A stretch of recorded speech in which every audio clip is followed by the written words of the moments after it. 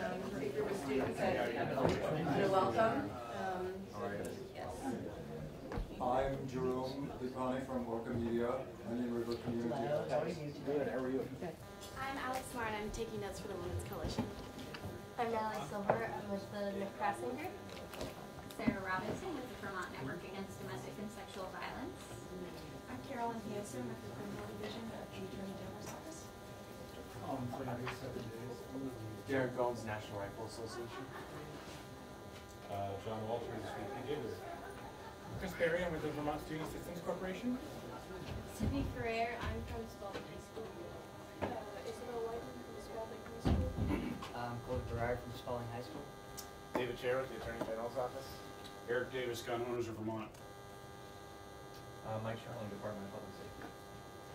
Patty Conlon, difference. Chris Herrick, Deputy Commissioner of Public Safety. Calvin Cutler with WCAX. Great, great. Welcome, everybody. So, um, as I said, um, Eric will do a walkthrough, but Representative Donahue, um, is on break from committee and, um, does have some narrow feedback, so, great, welcome in, thank you. Thank you, um, uh, Representative Anne Donahue.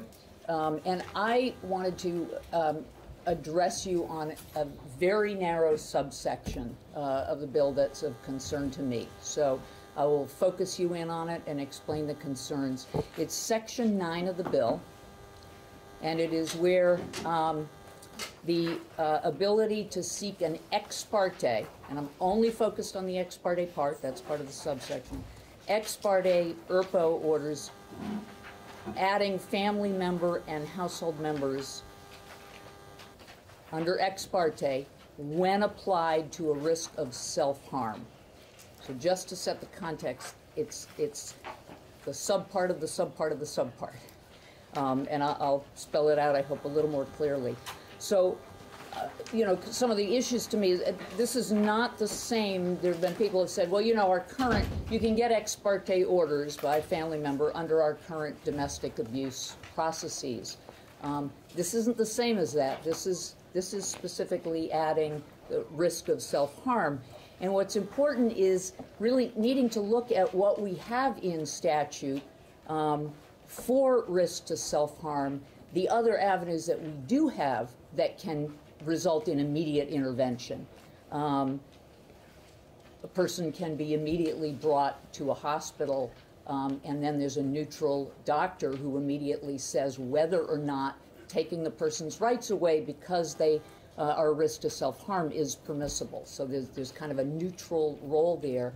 Um, that's an existing route in statute when there's that kind of a, of a risk and includes um, that the person has a disorder of thought or perception that impairs their judgment and therefore they are a risk of harm to themselves. So the real question is if, if those criteria that we have established in statute as when we intervene with a person's rights in that context. If they don't, if they're not in existence, should we be uh, creating a, a, removal of a person's rights? So, just to drill down a little more, I supported um, ERPO when the bill came through. Um, I support it. I support the thinking behind it, um, and I support uh, family or household members um, pursuing an ERPO in court um, in the court process, filing the petition or seeking an extension. I support the language that you've added there. You're in front of a neutral fact finder in those contexts. You, you have somebody who's making a, a decision based on seeing the, the opportunity to respond, seeing the, who the petitioner is and what they're saying. Um, and I don't oppose having an ex parte process when there's a danger of harm to others that family members can access because that is like our current law in terms of domestic abuse. We're balancing that risk to other people in an urgent situation and expanding the access to seek that to the, the family or household members who are the ones at immediate risk for themselves. But what I don't support is the ex parte ability of a family or household member um, when the issue is risk of harm to the individual. Because, and there are two really important becauses. One of them I mentioned is there is actually an existing mem- uh, mechanism to address that concern. Um, but, but the other reason is to understand um, the dynamics um, where you're involving um, the degree of risk of family emotion. Um, and, and the easiest way to guess in terms of, like, you know, parents worry tremendously about their children. And that's a good thing. We want parents to worry about their children, even their adult children. But that, that worry can be really out of context of reality because that's what human emotions are about. Um, and so when there isn't any kind of neutral assessment, um, you're, you're opening up a, a possibility there um, that, that's really putting things out of context. And, and I want to give just two little anecdotes. Um, one is about ex parte orders in general because um, because of the situation I observed last summer uh, and how these things can happen. And I, I, know you're aware of this. You deal with the judicial aspects, and and you know we balance the risk of abuse of of the process against the risk to others.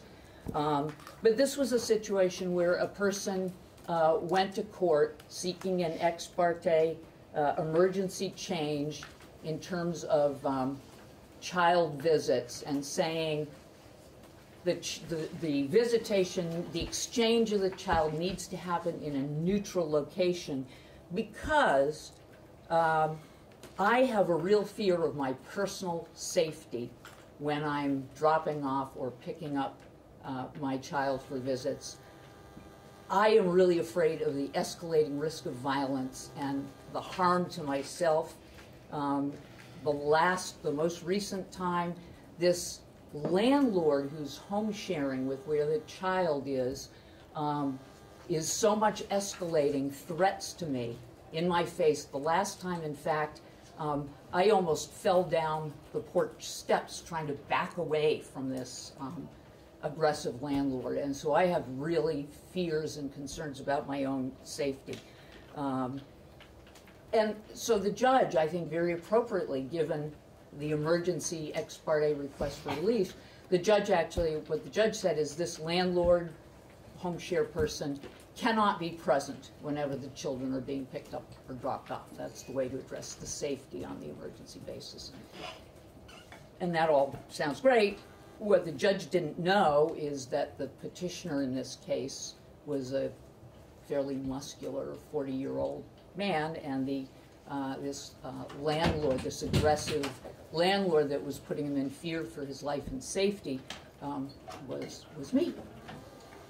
Um, I was the person, and in fact, there was a little bit of truth in it because I had actually recently confronted him, which he really didn't like because what I said to him is, if one of the kids comes back with a bruise again, I'm putting you on notice. I am going to let DCF know.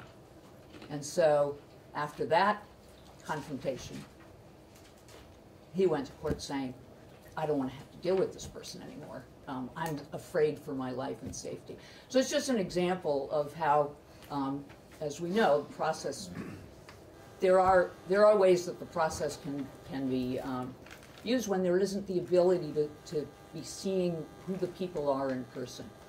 So the other anecdote is, is on the issue of um, how, uh, how family uh, dynamics can play into how parents may want to protect an adult child.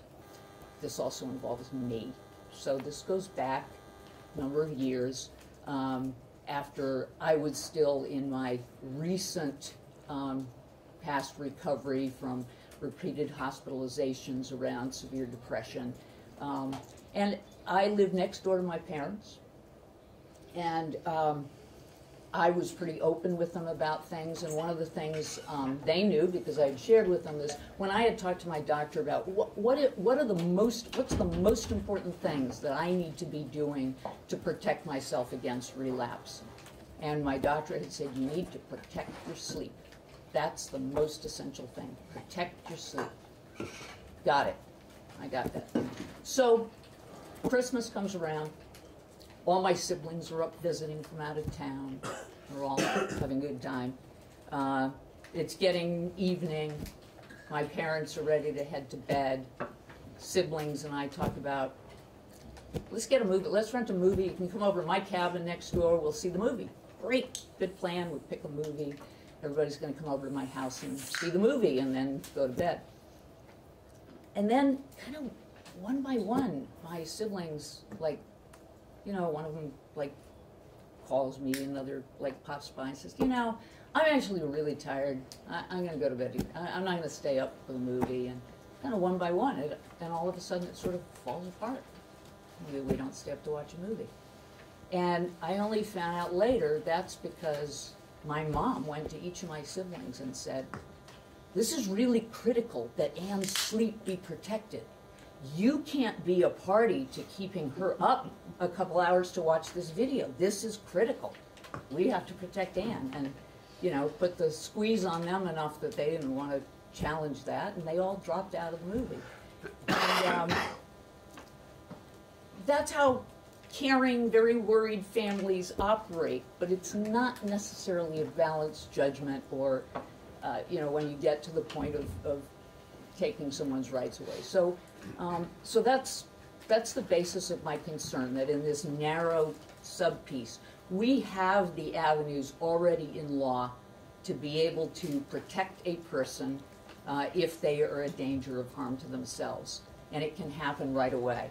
So we don't need this other avenue that removes any kind of a neutral ability to, to look neutrally at whether this family concern uh, is really valid and should result in even a temporary removal of rights. That's it. Thank you, Anna. A couple quick questions. Um, Can you, can you uh, refer me to the area of law where there's already the uh, mechanism?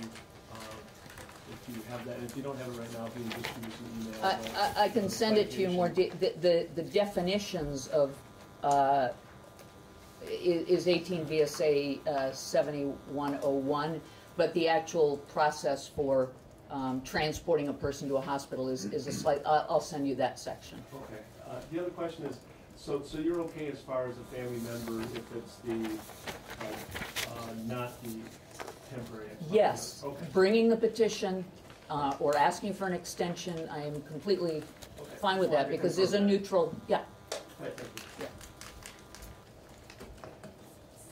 Um, so Anne, I appreciate your willingness to share your examples. And in, in that situation, it does sound like people having more information might have been helpful. But I wanna share with you a couple of examples of things that, um, I'm aware of happen to constituents or friends.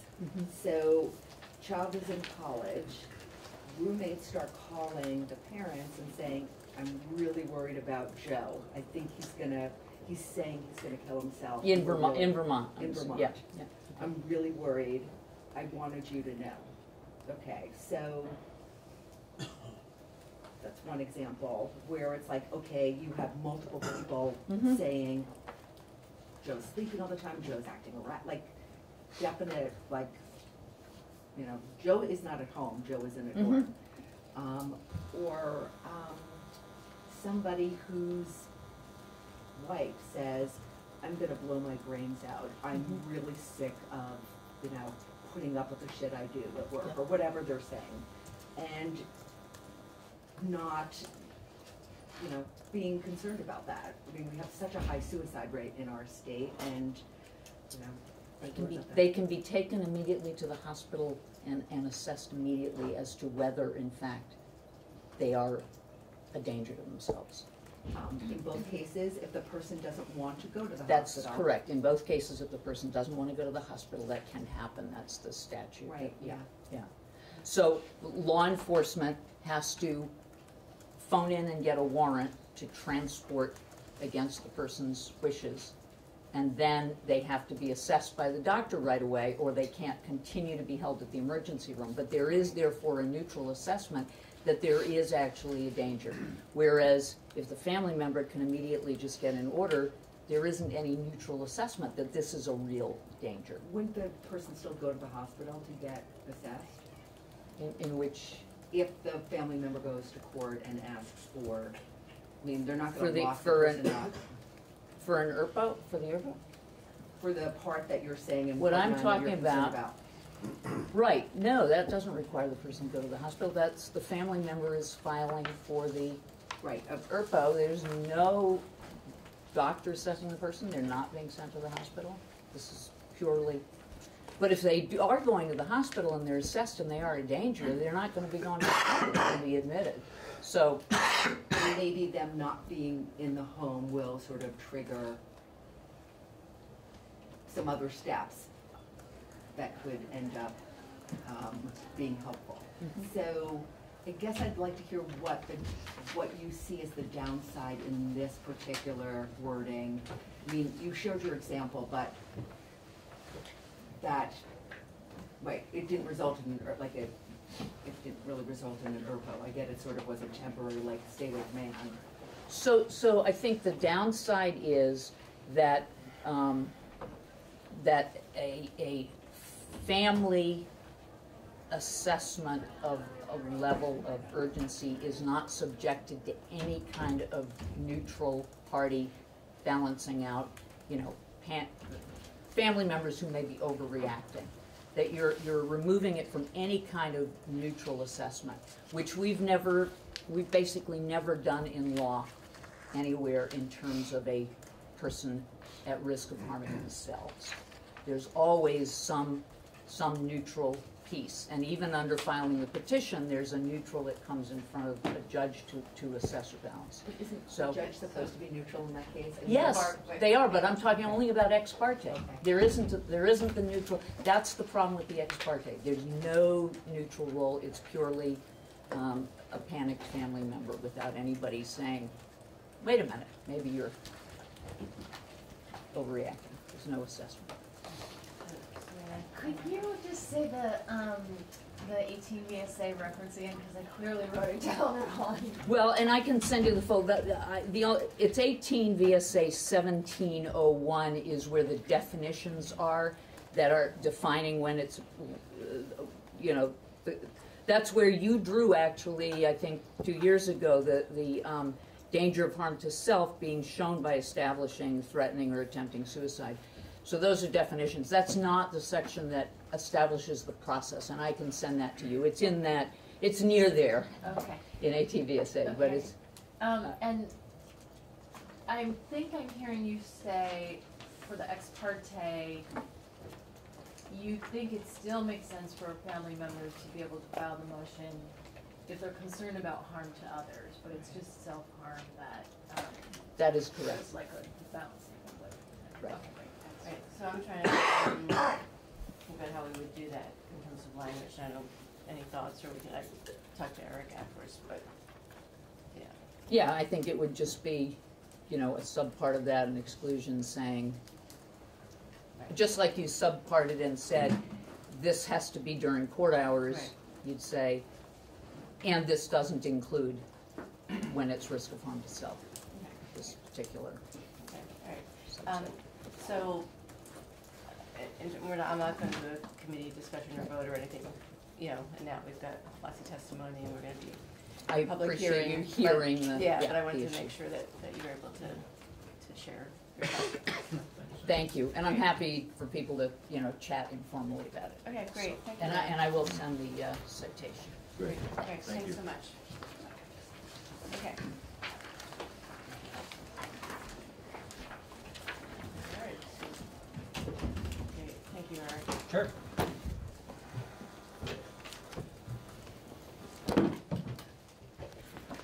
Morning, everybody. Morning. Eric Fitzpatrick with the Office of Legislative Counsel, here to talk again about the most recent amendment to H610, an act relating to firearms and domestic violence. I'm gonna try and see if we can pull the most recent amendment up so we can see it as we do the walkthrough.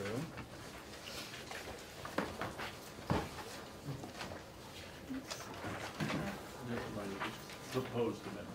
Yes, right? exactly. Yeah. It's on. Get it up? So we're just pausing with bated breath. They just used it. Oh, they were using it? Okay.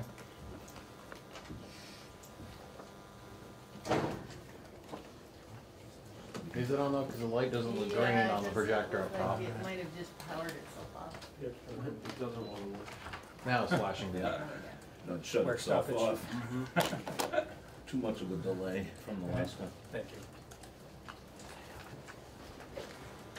Well, just for uh, purposes of making sure we're on the same page, literally and figuratively, uh, the version we're looking at is uh, draft number six point one.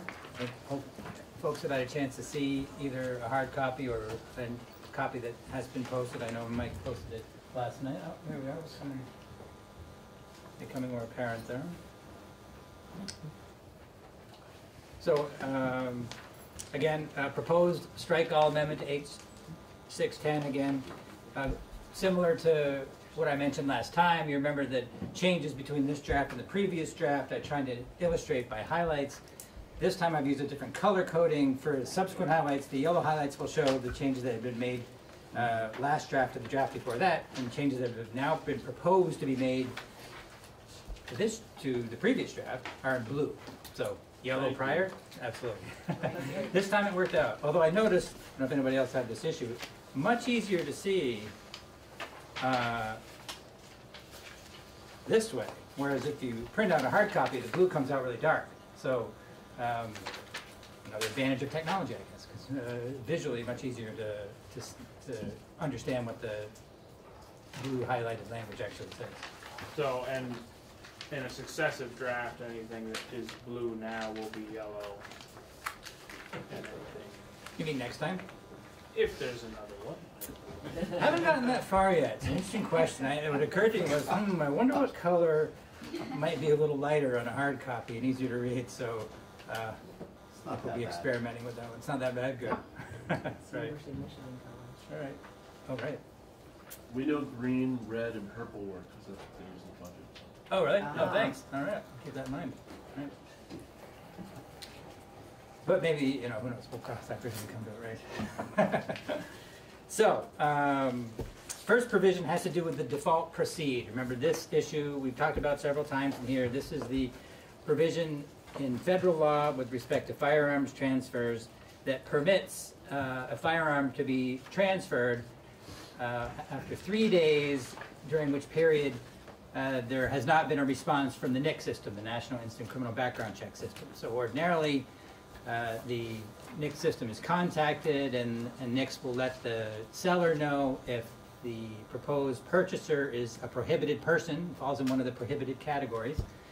But if within, uh, if not, if they have no answer to that question to the proposed seller during that three-day period of time, it is permissible for the uh, seller to go ahead and make the sale. So that's what, essentially, in a nutshell, what the federal law is. And Vermont uh, firearms transfers piggybacks onto that federal law. So what you have in front of you, you remember some version of this has been in the bill since the beginning. Originally, the proposal was that um, the transfer could not go ahead at all until there was a positive response from NICS that the person was not prohibited. So conceivably, that could go on indefinitely, right? Because if the, if the positive response never came back, then the transfer uh, couldn't go forward at all. The version that you looked at last time um, stepped back from the indefinitely pr- uh, proposal and instead proposed that, well, uh, there was no response back within 90 days, then the transfer could go forward.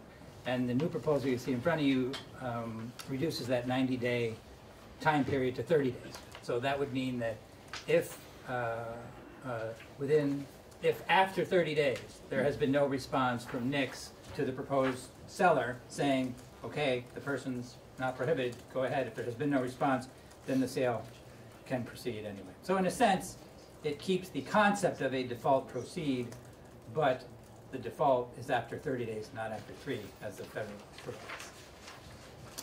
So that's the gist of how it works. That, And that's a day is a day.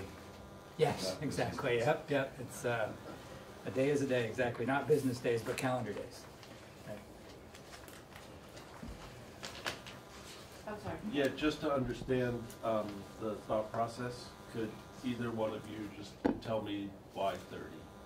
Right, well, so, I'm gonna backtrack and say why ninety. Um, Okay. the ninety was based on testimony that we heard that after, um, we heard eighty-eight days and we heard three months that they, yeah, that the FBI just stops. Mm-hmm. Um, and we heard testimony that, that still that ninety days, three months, whatever, seemed like a long time.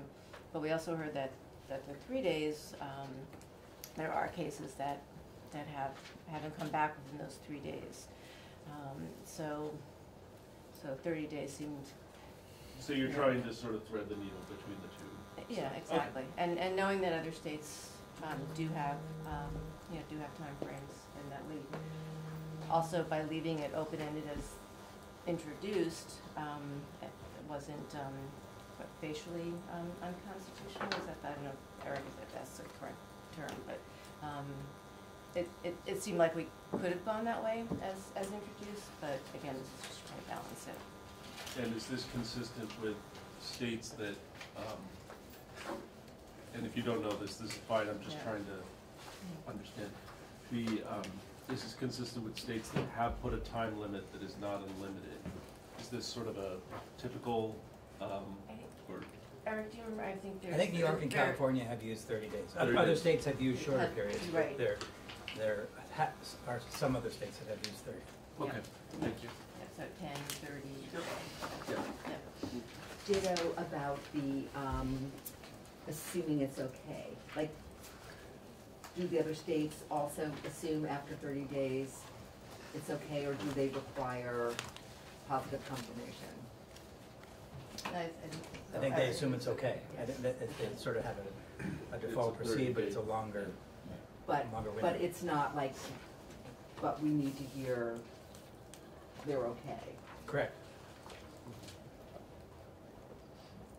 Is it, I mean, it's kind of essentially, essentially just lengthening the, the period, the, before the default proceed mm-hmm. goes into effect, but then the default proceed goes in. Right, I think that's a fair way to look at it, yeah. Yeah, it might be for, for you and Martin, but, um, or anybody who might be able to answer. Is, is there any numbers as far as how many more people the, uh, I mean, we've heard numbers at the, the three day, which of course can be close to a week depending on weekends and that type of thing. So many, the, it's a large percentage of the people fall within that.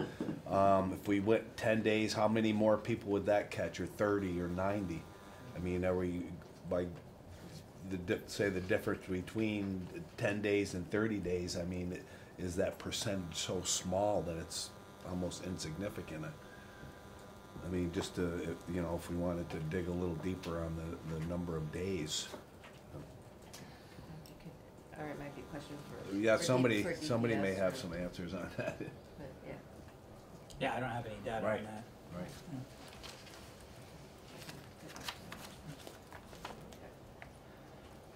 All right, should we move on to the relief from abuse order section?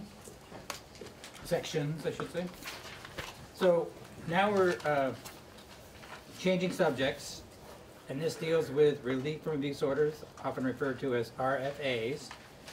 You may recall that I'm just going to point us to the language here real quickly, but uh, this is existing language, just to refresh everybody's recollection about uh, how RFAs work. Remember, a person can go into court and seek an order from the court, and you'll see line 10 and 11 here in existing law. Uh, actually, really lines uh, 9 through 12 is kind of what to target your attention on. And the court can make any orders that it deems necessary to protect the plaintiff or the children or both if the court finds that the defendant has abused the plaintiff, so there has to be a finding of past abuse, right? And that there is a danger of further abuse, or if the defendant has committed one of those listed crimes. But the danger of further abuse uh, seems to the most common finding.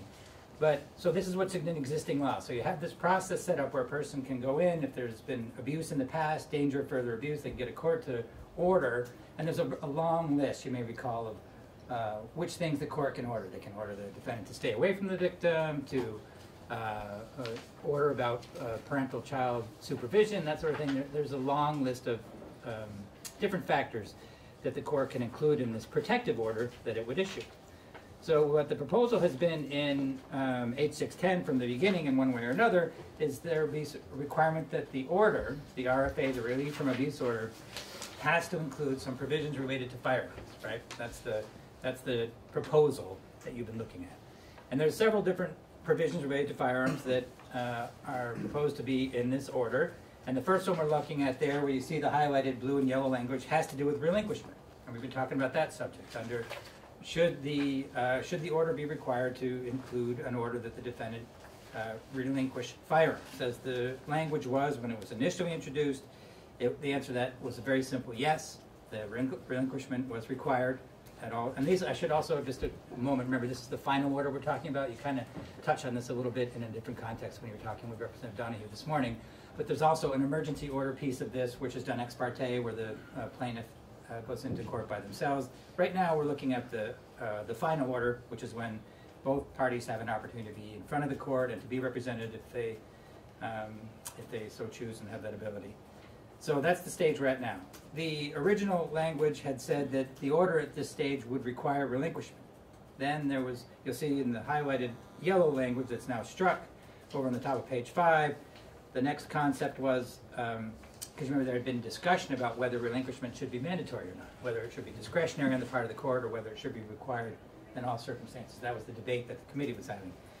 Um, so, one uh, alternative that was proposed last time was that, well, okay, relinquishment would be required unless the court makes this written finding by clear and convincing evidence that relinquishment wasn't required to protect safety. So a different approach is proposed in this version. You see that highlighted in blue. And this is that um, relinquishment would generally be required if, and it's sort of dependent upon this uh, court uh, finding that you see highlighted in blue, which is if there is evidence that the defendant is in possession or has access to firearms. So, again, this is at the final hearing. So there's, this is a court hearing. You have uh, the judge in there, hope, you know, ideally both parties, not always both parties, but both parties could be there. So that's why it's phrased in terms of evidence, because you're at a formal hearing, that's when the court takes evidence. If there is evidence that the defendant is in possession or has access, then um, uh, the order would include a requirement that firearms be relinquished. So that's the proposal. I have a, um, question about, about that, so, um, we're not, we're not sort of citing an evidentiary standard there, like ponderance or clear and convincing, and so when it just says, if there's evidence, what's this, what is the standard the court applies?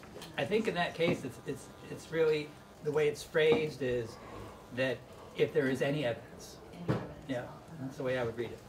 Mhm. Matt, was that your question? Mm-hmm. Same question.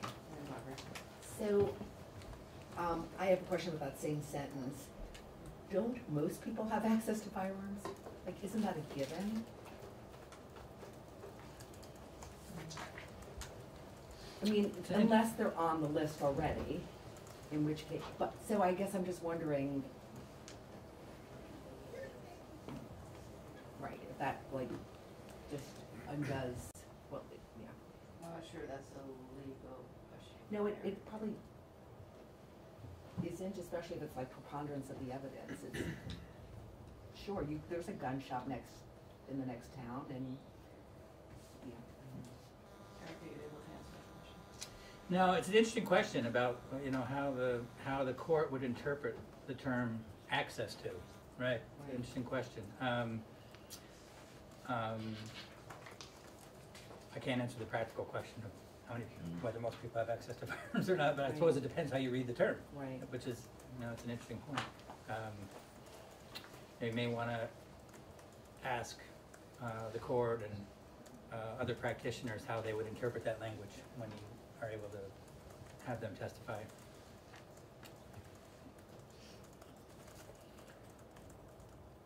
Everybody get a sense of that proposal? So no changes to the other pieces that are required to be in this order, this, you know, there's the, uh, I'm- oh, sorry. I'm sorry, in this, in the This one? place where there's no questions, there's been a couple of questions around the table that I think some clarity, some legal clarity would be helpful with. Um, When someone is, when a, when a relief from abuse order, a final relief from abuse order is issued, does that, is that person no longer eligible to possess, purchase a firearm Yes, for the duration of the order, for the duration of the order? correct. When the order expires, then the person, as, as the, uh, it's legally permissible for the person to possess. That is regardless of whether the order specifically mentions firearms or not. Correct, that's federal law. Okay. Oh, that, and also a proposal in the bill you're looking to make it Right, Vermont also. to make it consistent with federal law, but uh, under Right. federal law, if you have a relief from abuse order that is, a final relief from abuse order that is issued, you, for the period that that order is in force, are prohibited from purchasing or possessing a firearm. Yes. Okay, thank you. There was just some confusion around sort of when that kicked in. Thank you. Right. So if I could just comment, and, and that's why, actually, this was one of my suggestions as far as having evidence of possession of firearms, because, uh, before, we just had, uh, both in the final and in the ex parte order, uh, actually, in the final, we just said, you have to relinquish firearms. But, uh, in the, in the rationale for what, that was because it's illegal to possess firearms anyway. Uh, but I still felt that we needed to, uh, you know, have a separate order of relinquishment if there were firearms present. Um, I don't know if that made any sense, but. Somewhat, but I, could I, could I try a different way and see if that Yeah, works yeah. for you? That, I'm reading this to actually make it a little bit clearer for the person that the order is issued against. Right. It reinforces the fact, a person who has a final order, um, put in place may not know that federal law prohibits them, whereas this would make it abundantly clear that if they possess firearms, they would be in violation. Yeah, I think that's part of it, and I think the other part is that this component is to ensure that you get firearms out of the situation. Which they'd have to be anyway. Right, but that doesn't necessarily, I, I'm sure there are instances where an individual becomes a prohibited person, like they're, they are, um, incarcerated for a felony. Mhm. Uh, that doesn't mean that the law enforcement is going out and seeking relinquishment or seeking those weapons that the person may or may not have. Mhm. This in the domestic violence situation, we wanna have that action occur. So if there are firearms there, remove them. Mhm. Uh, and the other provision means that you can't now then go to a dealer and purchase firearms. So it's remove the firearms that might be there. The other provision, even though it says possess, it's really aimed at making the person a prohibited person for the duration of the order, so that, you know, they've relinquished their weapons, they can't just go and purchase new weapons. Do you know then, Eric, if, if the, the, and, and I'm sorry if we've asked this in one of the other drafts, but, so, does the order then get put into the NICS system so that if, you know, I have an order issued against me, it does not mention firearms, but now I'm prohibited from, it's for the length of time of a year. So, a month from now, I go, still while under that order, go to a licensed firearm dealer. Will that show up in the system so that the licensed firearm dealer would be told you cannot proceed? I don't know what the court's process is for passing those down to NICS. My understanding is they do. I think that, they do. I know that Jeff Wallin testified, they pass on convictions, and whereas it's, I don't think. This is not a conviction. Correct, so I think it's, I think it's that, uh, whether the court passes that information on, but I'm I'm not hundred percent sure. There might be others who would know the answer to that question better than I. Okay, yeah, Yeah. thank you. Yeah. Yeah, Uh, one more question, I think for Martin, Mar- Martin, um, on page four, line twenty and twenty-one. um, I'm assuming that, what you said, that was your language, so I guess my question was, going back to what Barbara was talking about, is what was your, uh, intent or the meaning behind access to firearms? Oh, that's a good question. I'd like to hear from witnesses on that as well. I, I think I picked it up from another provision that we had I took it from the provision that we had for temporary order. And that we have, uh, saying, or access. Um, I, I think we need to hear a little bit more about what that means. I, I mean, I agree that Barbara's raised this ambiguity and we have to address that, so. and No, I agree just that- didn't know if you had an idea, I- I since don't. you had it But- in But is there. your intent to be, I don't think your intent, your intent is to be as broad brush as perhaps she was saying that because you have access through not being a prohibited person, you're thinking of personal access, like I can personally access at this point. That, that's the idea, I Right. mean, the Yeah. idea that it's a, it's a firearm, Well, that yeah, the yeah, person, yeah. I think elsewhere we talk uh, the language of possesses or controls. Yeah. And, and I think I, the access is, you know, maybe a little too fuzzy, maybe we have to go to controls instead. I think that's definitely one we need to, Yeah, that would make sense, because access could be, I mean, a family member. Right, right. Access would be fairly easy, so. just trying to understand the intent. Right. Yeah.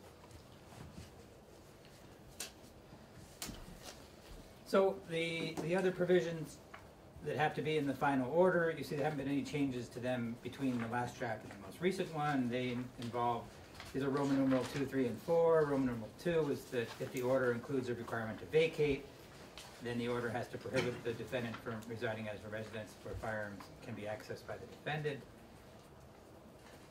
Roman numeral three, it has to be this information, I think this is what you were getting at, there's information that has to be provided to the defendant, they are prohibited from possessing firearms until the expiration of the order, so the order has to contain that statement to the defendant. And lastly, that if the order does require relinquishment, include all available information regarding types and locations of firearms subject to the order. We have some language about forms that hasn't been changed, that the complaint and the affidavit have to include specific provisions regarding the defendant's firearms, stating, um, permitting the the plaintiff to state with particularity the types and location of any firearms in the defendant's possession, ownership, or control, or that another person does on behalf of the defendant. That brings us to the emergency relief section. This is again, uh, the ex parte provision that allows the plaintiff to go in uh, and seek this order ex parte without the presence of the defendant. You'll see, again, similar concept here.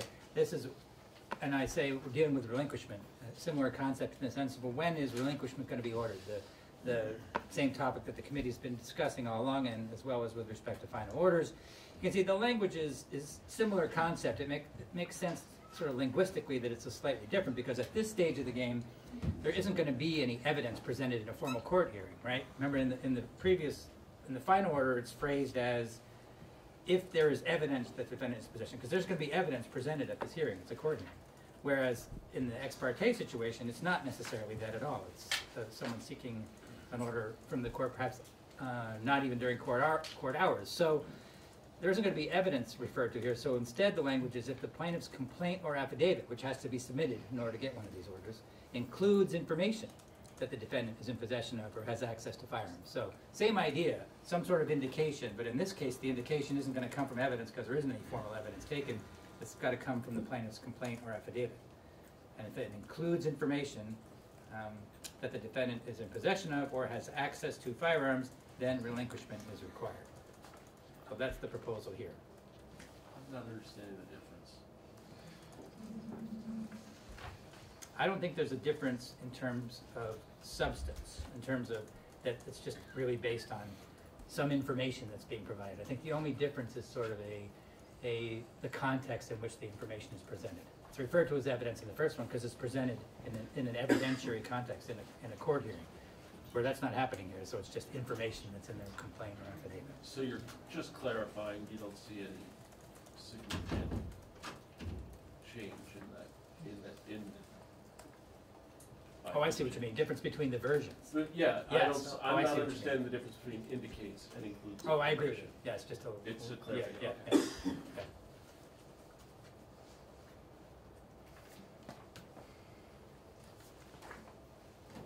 Sorry, I didn't raise my hand. Uh, Sometimes you forget when the witness is sitting right there. Uh, similar provisions that we just went over in the final order are also in the temporary, which is again about the vacate premises. Uh, If there's, or, if the order includes a requirement to vacate, then it prohibits the defendant from residing at the residence where firearms can be accessed. Um, Same language on, um, informing the defendant they're prohibited from possessing until the order expires, and as well as information about the type and location of the firearms. This is Roman numerals three and four.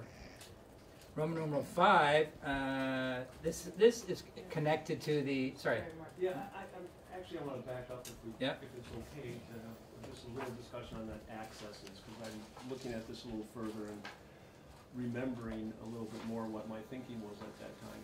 Um, the, the idea of saying access to firearms was really trying to do shorthand for, um, essentially the firearms that would have to be relinquished. If you look at the top of page five, it talks about defendant's ownership, or possession, ownership, or control, or that another person possesses, owns, or controls on behalf of the defendant.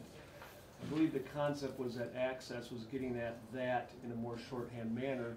That probably in hindsight is not necessarily the best approach, and perhaps it actually should say along the lines of if there's evidence that the defendant possesses, owns, or controls firearms, or another person possesses, owns, or controls on behalf of the defendant. I mean, it's a little more awkward, but it, I think it nails down what we're after.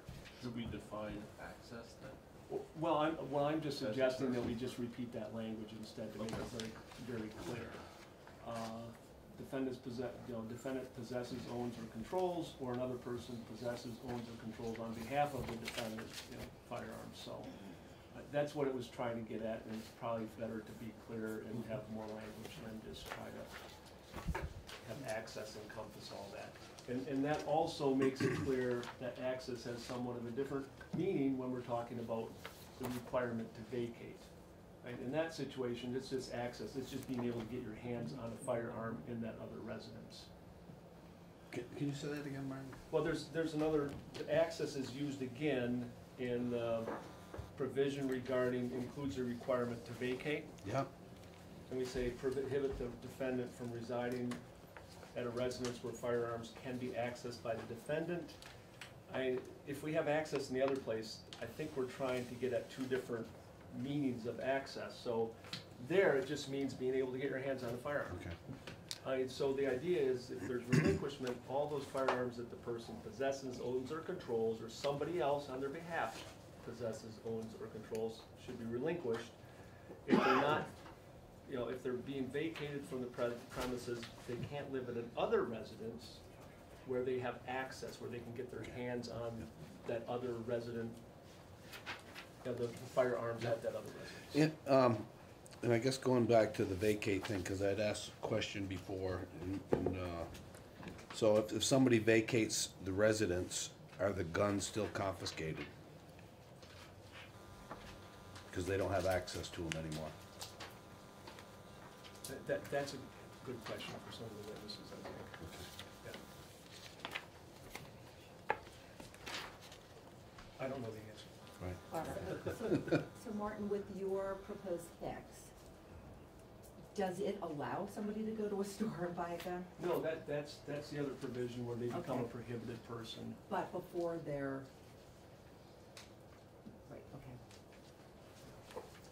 Because I was just trying to make sure in the emergency order, but, okay.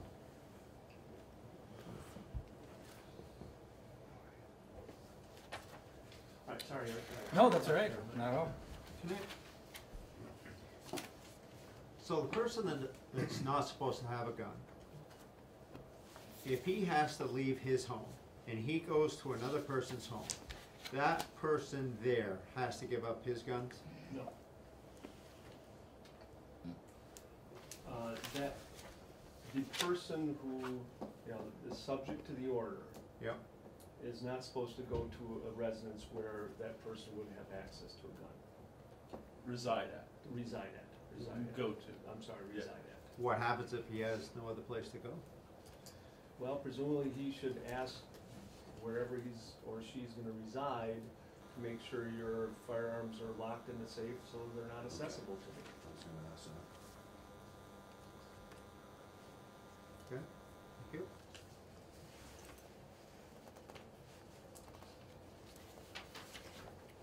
Um, so, we're, we're moving on to another provision that is proposed to be added to be included in the emergency order. A Couple other provisions, actually. We were just talking about uh, resident, vacating the residence, that's one piece, but let's see if you skip down to Roman numeral five there. The order has to also notify the defendant that, and this goes back to, you may remember the issue of essentially it's once served, always served. Remember that concept was, it's based on uh, statute from New Hampshire, that generally speaking, when someone has been served with an emergency order, and by served, I mean, that means a law enforcement officer goes and personally serves the person with the order that says you have to get out of the residence, or you have to stay away from this person, whatever, whatever, whatever it may say.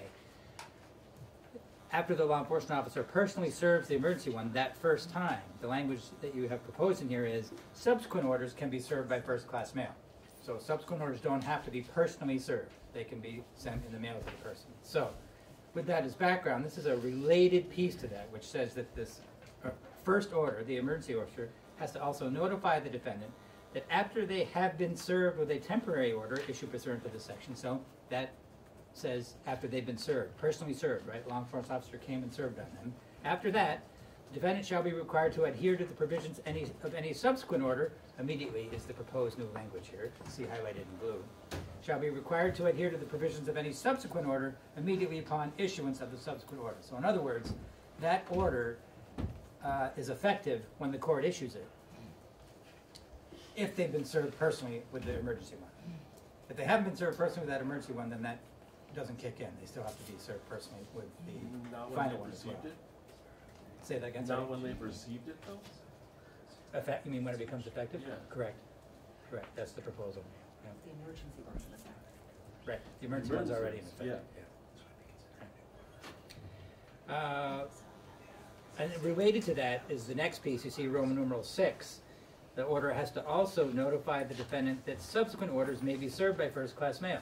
So that way they're on, they're aware of the fact, I think the committee was discussing the point that they should be made aware that they should be checking their mail, uh, just in case they would receive a subsequent order in the mail rather than it being personally served. And lastly, there's a requirement, also uh, new, Roman numeral seven, inform the defendant that third-party storage of firearms is not permitted unless the court has made the uh, findings required by, and then cites to Title 20. That's the provision that generally covers uh, storage of firearms that have been, um, that have been taken into custody by the state uh, in connection with uh, relief from abuse orders and others. There's very sort of specific provisions about what the state uh, does with them, how they can be stored, and there's a provision that permits third-party storage. In other words, not the state or a firearms dealer, but you can have a third party. Um, I might be able to take a look at that if it's up for a second here. Um, let's see. Oh, sorry, ahead. Yeah. Um, I'm not seeing that one here. Mike, is that link been posted by any chance, the, one- that one I sent this morning? The, uh, Just refresh it. just hit refresh? Yeah. Alright.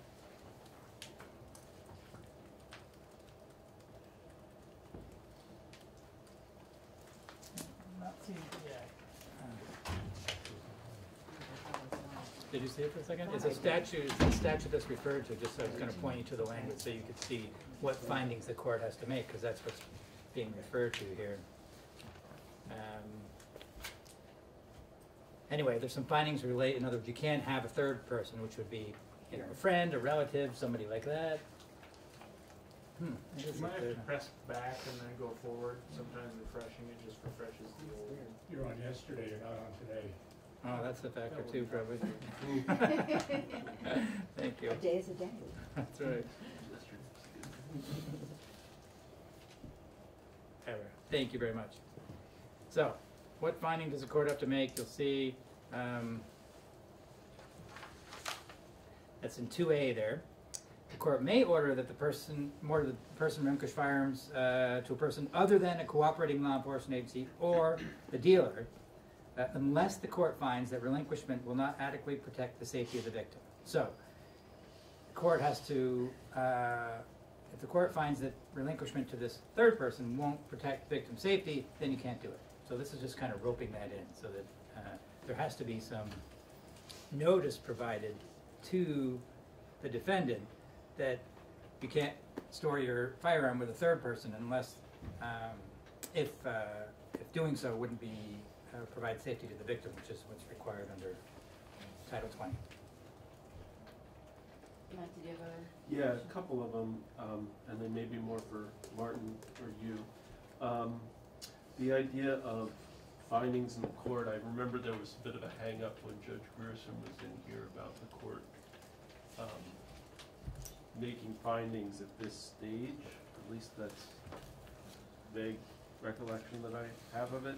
Are you you're referring to uh, line twenty, Yes, um, which is current, well, okay, go ahead, yeah. No, so, so it looks like the court finds is the language that's in there, is that different than findings? So it, the language that you just showed, Eric, Right. shows, it said something like, unless the court finds. Is that different than the court making findings? So, you make a good point there. Um, my concern, and we'll have to hear from the judge, is whether that provision is appropriate for an ex parte order, because there's, when it's an ex parte order, is there gonna be some third party who's going to store the firearms for the individual? I suppose, I mean, if the, if the affiant, if the, the, uh, person, the petitioner, uh, has that information or suggests that, but I don't think that information, and then we can ask the witnesses even on the affidavit.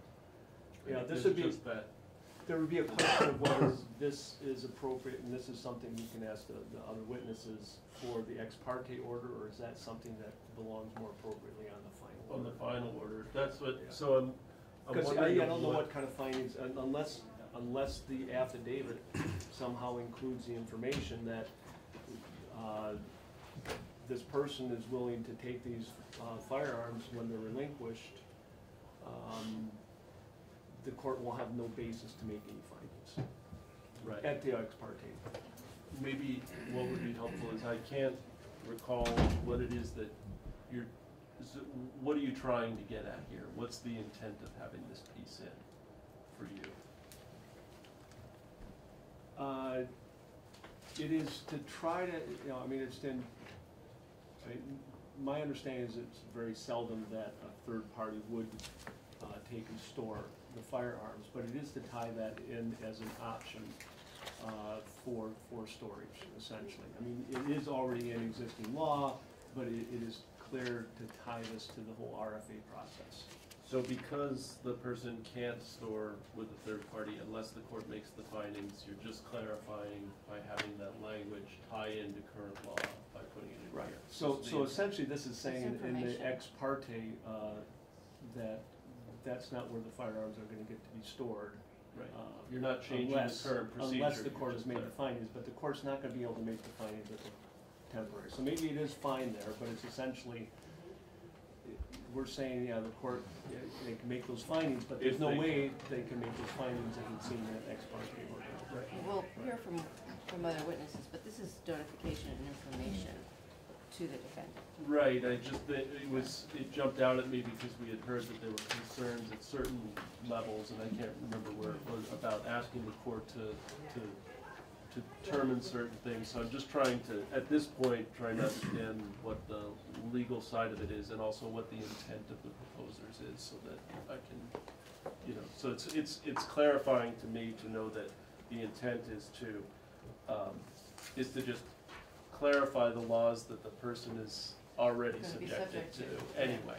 So it's helpful to know that. And make sure that, that, that, that person is informed. Understanding.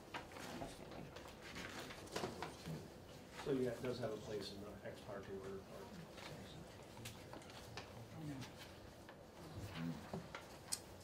All right, so moving along, there's no, no changes between this draft and the previous one regarding the forms. This is just some statements about what the complaint, um, for relief from abuse on the affidavit in support have to include, and specific provisions about defendant's firearms, questions permitting the plaintiff to state, or actually we went over the same language in the, in the final order, actually.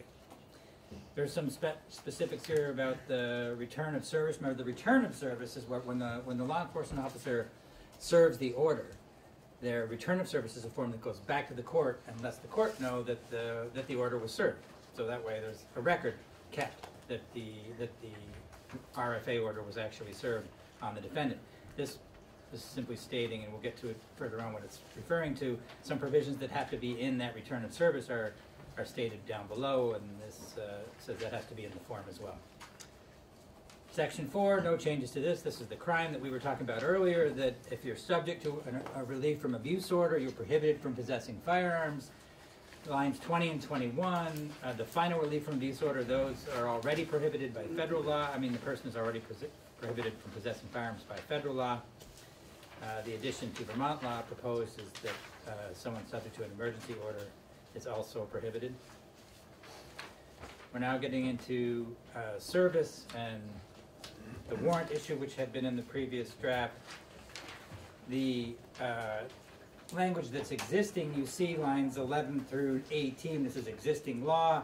This is the concept that, uh, again, as I mentioned, the emergency order has to be served generally by a law enforcement officer. The uh, provision in subsection B that you're looking at in existing law says that, well, if a defendant goes to the final hearing, they're actually physically present there, then they, um, they are, and this is line thirteen, and they received notice from the court on the record that the order has been issued, shall be deemed to have been served. So in other words, if you went there and you're physically present, you're deemed served at the, at the final hearing. This presumes that you were served with the emergency one. And if they're notified on the court on the record, they shall be required to adhere immediately to the provisions of the order. So again, these final order is effective immediately on the defendant who's there. It then goes on to say, though, that even when the court has previously notified the defendant of the order, mm-hmm. Uh, still requires that the order be transmitted for additional service by a law enforcement agency. So the proposal here is to provide another option there, that if they've been previously notified, um, that the order doesn't necessarily have to be served again, it could be served by first-class mail. That's the proposal. So there was some issue about addresses and making sure that it got to the person. So given the earlier language that says, once somebody's been served with the emergency one, they're responsible for any future ones, how do, do they know ways to, because you were just saying to make sure that the person knows, but do they know it would be mailed to you, or you can look, go to the court and get it, just so that there's no question of, I didn't know how to get it and it didn't arrive in the mail. Yeah, I don't know who, Yeah, that might be a better one for the witnesses too. I'm not- I know the language does provide for, um, that the emergency order has to tell the person that it could be coming. The subsequent orders can be coming by first-class mail. So they're on notice in that respect, that they may get some orders in the mail going forward, after they've been Right, served the first time. And that was the um, testimony of Judge Carvin, that, Right. that, that, that the um, person is put on notice and has the responsibility to um, let the court know, you know, that he or she's moved or not there. Right, Okay. And that's in line two, page ten, that it's, there hasn't been any changes to it, but you see that's the language about, um, once they've been served, kind of starts on page nine, once they've been served with a temporary order, they can be served with subsequent orders by first-class mail, defendant shall inform the court of any changes to their address. Um, So that kind of gets at what you were mentioning. Matt? Mhm. What kind of crime is that in, uh, it's back one section, but line one, Line one of, of that page? the page. Oh, right there. Yep. That is a misdemeanor. Does this line up with our other bill? Our other bill about classifications? Uh, what it lines up with is, uh, the other firearms provisions, that's what I tracked that with. The, this one, year and two year misdemeanors are common for the firearms offenses, so I don't know the answer to the, to the, uh, in, the sense that the classification bill is, um, you know, establishing classifications based on the length of the period in jail. Yep. It would fit, into- fit into one of those categories, but I'm not sure off the top of my head which one it would be. But the, the year and the, the number of years in the fine would be appropriate to within those. Within the range. category- Yeah, Yep, I think so. range. Okay, Yep. thank you. Yep. Might be a class A misdemeanor is my Class A, guess. yeah. Right. Class Right.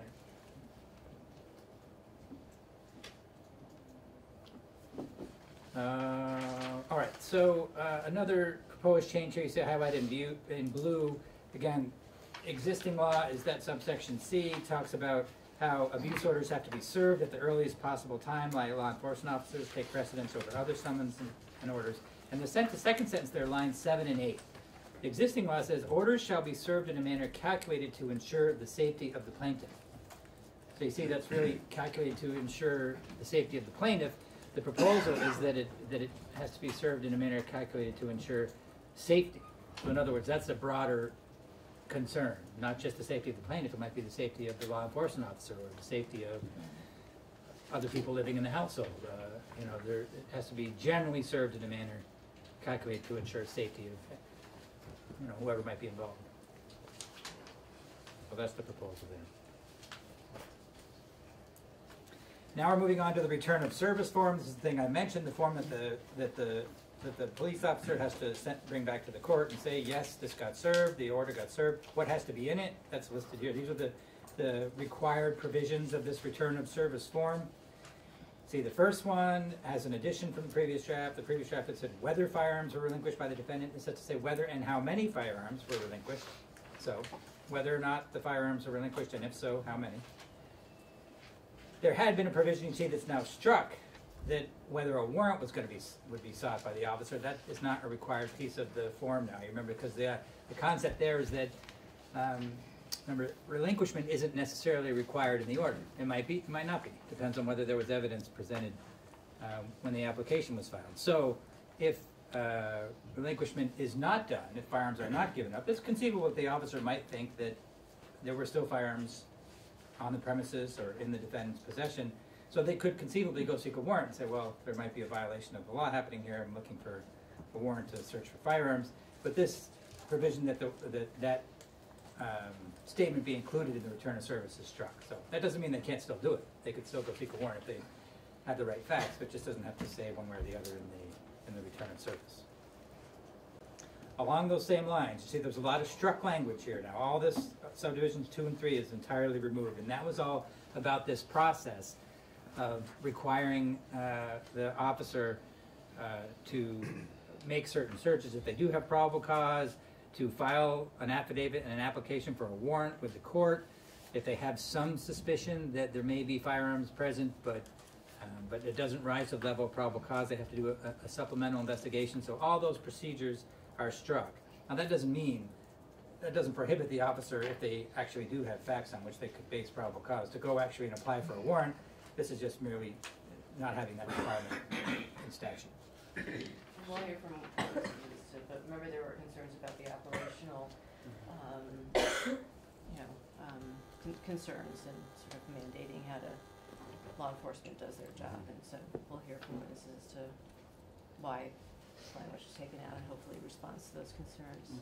Right, I mean, I just wanted to comment about, when, when we get into this operationalizing the, this process, uh, we asked the individual, uh, stakeholders would be involved in that to get together to try to work out how this would work. So, uh, the Department of Public Safety, the AG, the network, uh, Vermont Police Association, I believe the court as well, we asked them to get together and try to tell us how this would work.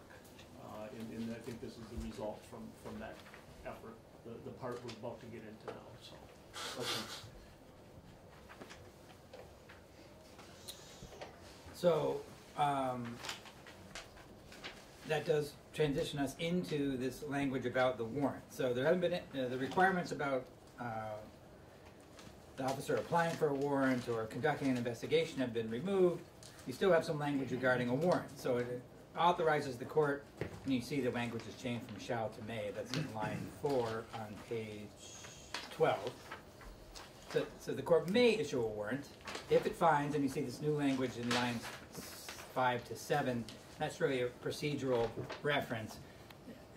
in response to an application for a warrant filed under Rule 41, and that's the rule that governs the procedures for issuing the warrant. So that's basically saying that the court's going to make this finding after an application has been filed under Rule 41, which is the way it is ordinarily done.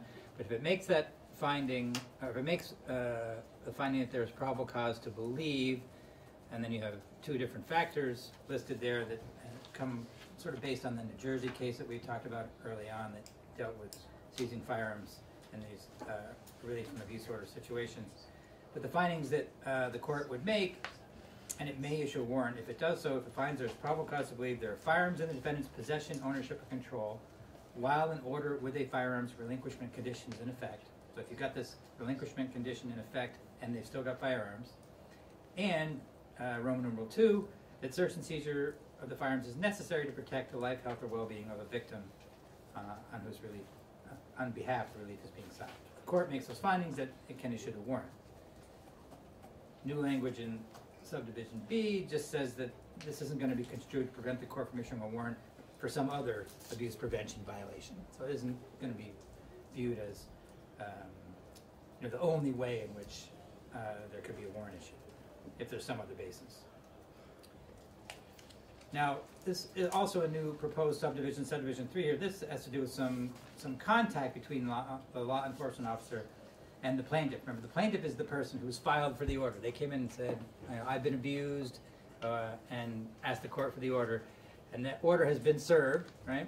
So that's where we are in the chronology. The order served. Then the law enforcement officer, uh, acting on behalf of the agency that served it, is required to, and this is line 18, required to attempt to contact the plaintiff after firearms are relinquished or seized in connection with a served order. So after the order's been served, and if firearms have been relinquished or seized, then there is a requirement that the officer, an officer, contact the plaintiff. So they have to loop around and make a, uh, make a communication or contact.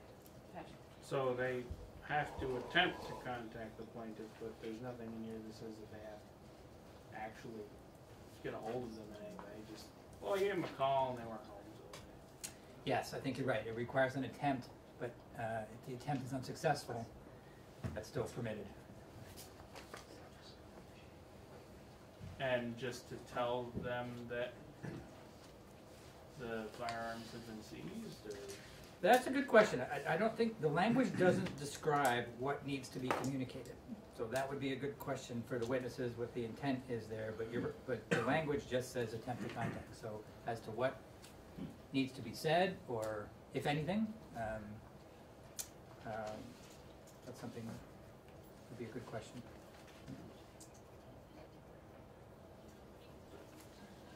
So that's the uh, warrant process. What's next here is immunity.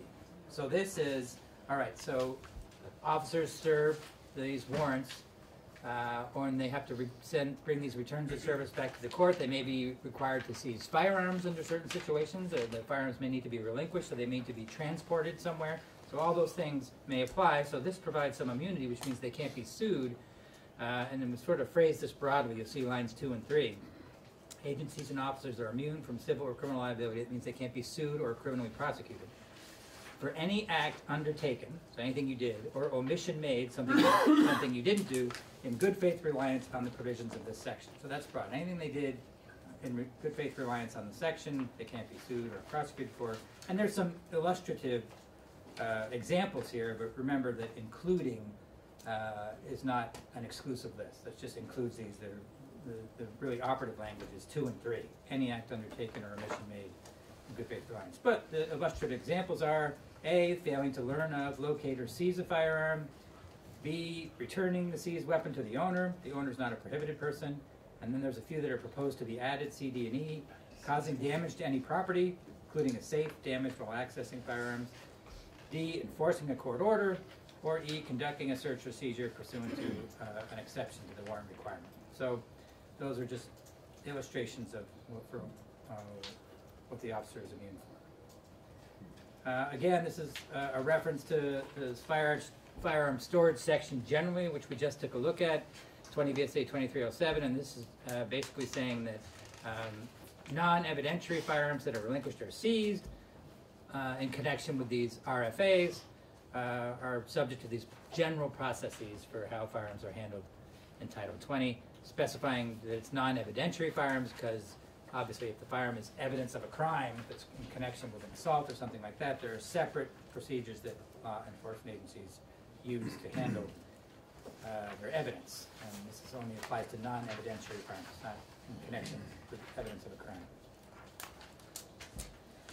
You have another uh, section of struck language here, and this is basically the reporting requirements that you had in. Remember, you may remember the agencies required to um, report back on the number of statistics about the number of orders served, final orders served, that sort of thing, number of firearms collected.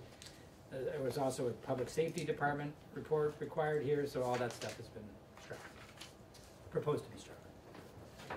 Why was that all proposed to be struck? I thought, wouldn't it be a good idea for us to have? I think you'll hear from, from folks who are promoting it. And reports are terrible things, should be banned.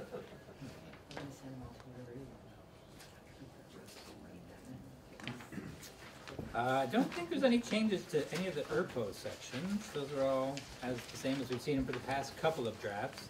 Again, getting, there's a couple of separate reporting sections at the end of the bill, just some minor tweaks to this, you'll see. This Department of Public Safety report on their modernization program, it gives, it backs out the requirement that it's not really a report, now it just says, has to inform the Judiciary Committee um, about their modernization reform program, which includes data collection and reporting. But you see, it gives them another year, doesn't have to be until 2021. Same thing with the Attorney General report in section 14 on their firearms technical assistance project. Has to report to you folks, the Judiciary Committees, uh, but gives them another year in which to do it. So, yeah, well, just while we're on that right now, um, should have dawned on me earlier, but would we have somebody informing, uh, it's not a report necessarily, informing the committee when it's not in session in December? Uh, shouldn't we push that to January twenty twenty-two? Um, I mean, Often, is often, that- re- I think often reports are before the session in case there's any proposed legislation that might come out of it, Right, just to inform. But- So I think that's unusual. But again, I'd like to hear from the folks to disagreement where these dates came from.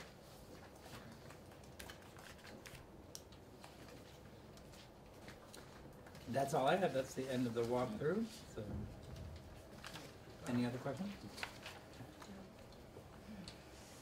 So I know we're at the lunch hour, however, I wanna check in with David and Commissioner. Um, just gonna have David go next. Um, excuse me, Commissioner?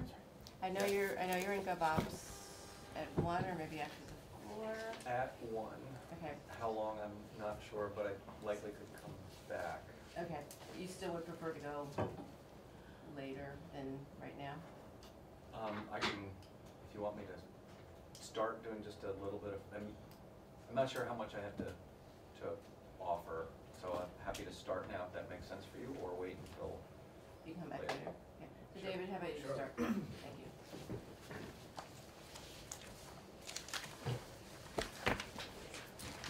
Um, David Scherr with the Attorney General's Office. Thanks for having me this morning. I'll try to move quickly. The, um, uh, my primary mission here, uh, to start is actually gonna be go, to go over a consensus memorandum that I believe the committee was, uh, given in your materials, and it is from, um, the Vermont Police Association, the Vermont Network, the, uh, Office of the Commissioner, and our office, and it does propose a few additional changes that primarily address concerns for law enforcement.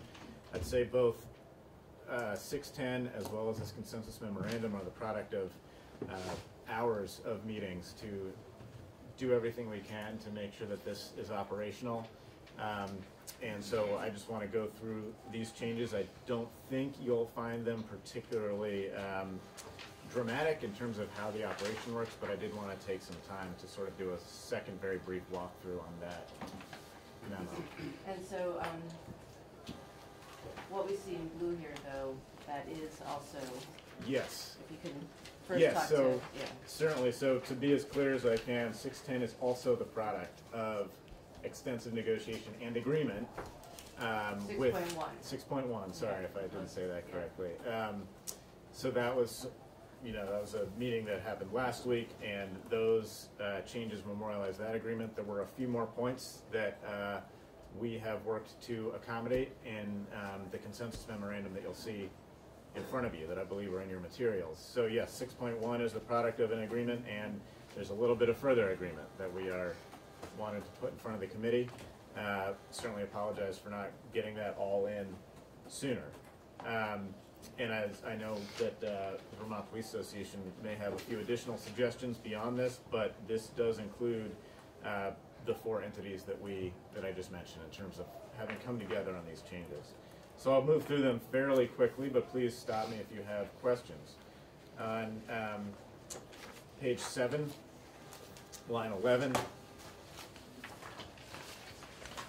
Uh, if the order requires permission for firearms, this will include all available information regarding the type, and then we are adding number, the type, number, and location of firearms. That is our first proposal. Um, And that? Say that again? It is, the proposal is to simply add number. So it- after the word type, in line eleven, we would add the word number. And that is just to make sure that all the information that can be reasonably put on the order is put on the order. That's for the sake of clarity for law enforcement, uh, and for judges who may be trying to enforce an order. We move ahead to page nine.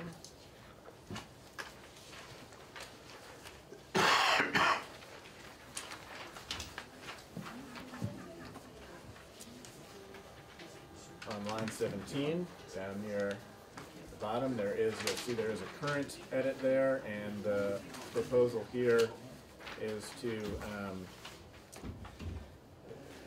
strike the word additional and, a- and, uh, add the word personal, insert the word personal, so it would read, transmit the order for personal service. Where And are the you rest on now, be- David? Sir, uh, Line this is line seventeen, page nine.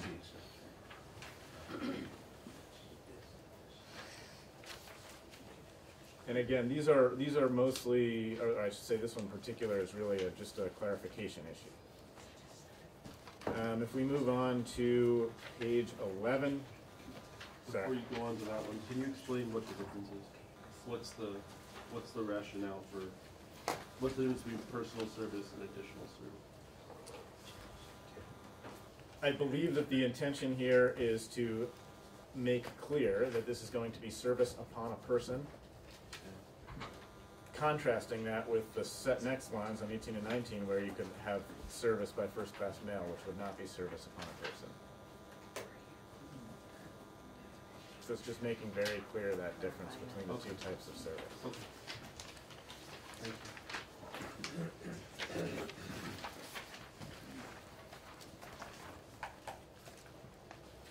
On page ten, lines twenty through twenty-one, so. Or eleven.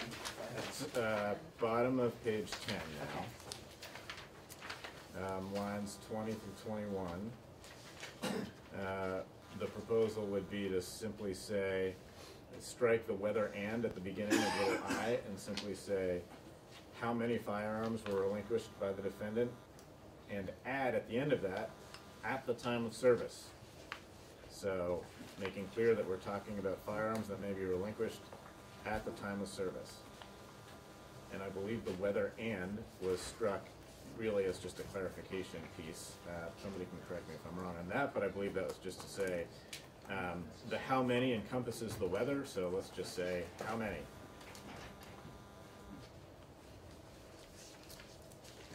And again, stop me if you have questions, but I will move on to page eleven.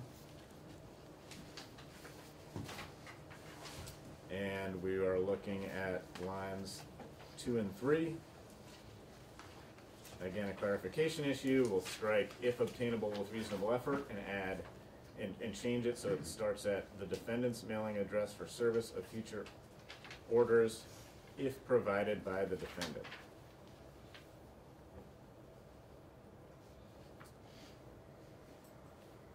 Moving uh, down a little bit here to uh, right after that, actually, the proposal would be to add a little three, a little, uh, sorry, little three I, little three, um, right immediately following line three, uh, it should also indicate whether a law, the proposal would read, little three would say, whether a law enforcement officer has attempted to contact plaintiff after service prior to the return of service being filed with the court. So an indication as to whether an attempt to contact the plaintiff has been made. Moving down to lines six to eight. Uh, subsection C. In a, uh, addition would be made that says, um, after the word orders, at the end of this, it would say, and orders following completion of the information in subsection A. So, you know, saying we're gonna do this return of service, but to clarify, the return of service will be after the completion of the required stuff that you need to fill out or accomplish in sub, named in subsection A. And we'll further add, failure to properly complete the information required in subsection A will not, shall not affect the validity of service. And the point there is to make sure that nobody can, nobody who's the subject to an order can attack the validity of the order because you didn't fill out all the little pieces here. The point is, you got the order, you know what's in the order, and you have to follow the order.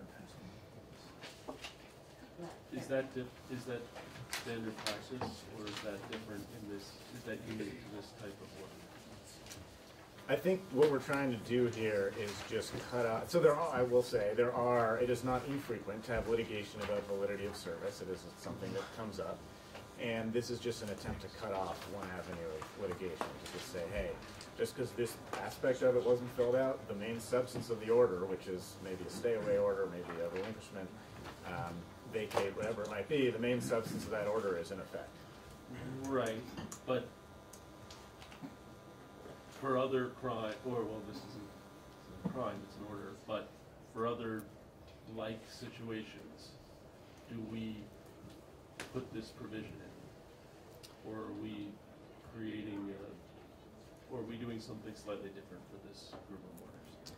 I think that we're, I'm not sure if there are perfect analogies here in terms of this type of, I mean, you know, relief from abuse orders are their own Right. entity in law, right? So I'm you wouldn't I'm serve of, someone in criminal law, I'm assuming.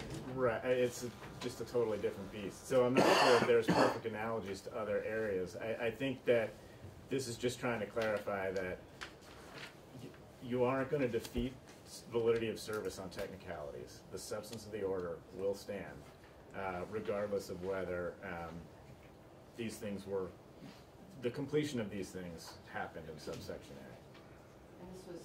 And this was requested by, or this is, um, I believe this is actually from the Vermont Police Association, Okay. and, uh, we think it's a good idea. okay, that's right. Okay, great. So, Can I- Can I ask a quick question there, thanks, So- so Yeah. I'm not following that language at all, the, the, not the second sentence, that's clear. But, uh, the, the clause at the, that you've added at the end of the first sentence, is the intent there that, that the return takes precedence after the required information has been completed? Is Yes. that the intent? yes. All right, so I would suggest rewriting that to. If, I'm sure we I defer to I ledge understand counsel. what your intent is. Yeah, Okay. defer to ledge counsel on the drafting. Okay, thanks for clarifying. Um, moving on to page twelve.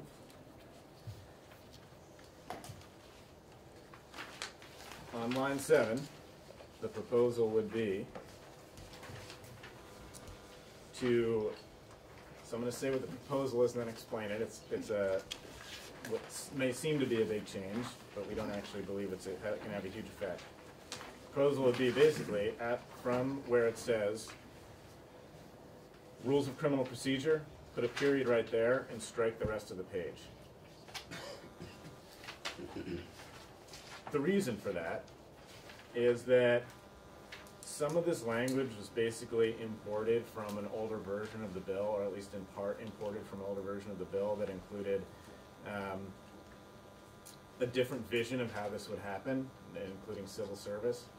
basically, the rules around warrant service are contained within Rule forty-one. There, there doesn't need to be additional, uh, conditions on that. Um, there did need to be when we were trying to essentially invent a new type of warrant service, but we're not trying to do that anymore, so we don't need to have these additional caveats. Um, and subdivision or subsection B, capital B, um, again, this is sort of, this was protective language that I think was put in in all reasonable caution, but the group got together and really felt like that just wasn't necessary. Um, it's understood that in any, for any current circumstance for which you can issue a warrant, nothing's changing. That, remains the law, we don't need to say that again. For line seventeen through twenty, um, it was the agreement of the group that the best way to, and I know there's some discussion on this section around the table earlier, it was the agreement of the group that the best way to accomplish this sort of plaintiff contact is really gonna be through, um, through training and operational implementation stuff. And so that was the input from law enforcement, and, uh, the group agreed that that was the best way to move forward with that.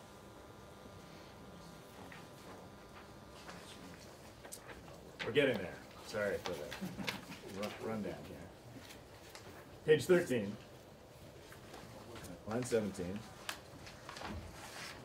Actually, let me make sure I don't make a mistake on this. The, um, so let me, uh, let me do the last bullet point on our memo first.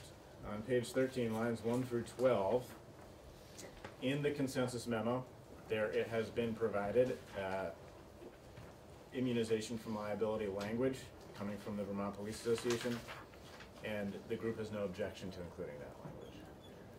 And uh, it's my understanding that a chunk of this language actually is modeled on other states, what other states do. And Vermont.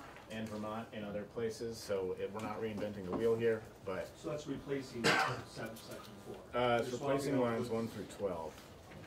Right, right, line one, zero, okay. Yep. Substituting, okay. Didn't hear language. Well, it's not always a- we had this, um, Yeah. It's like this language that replaces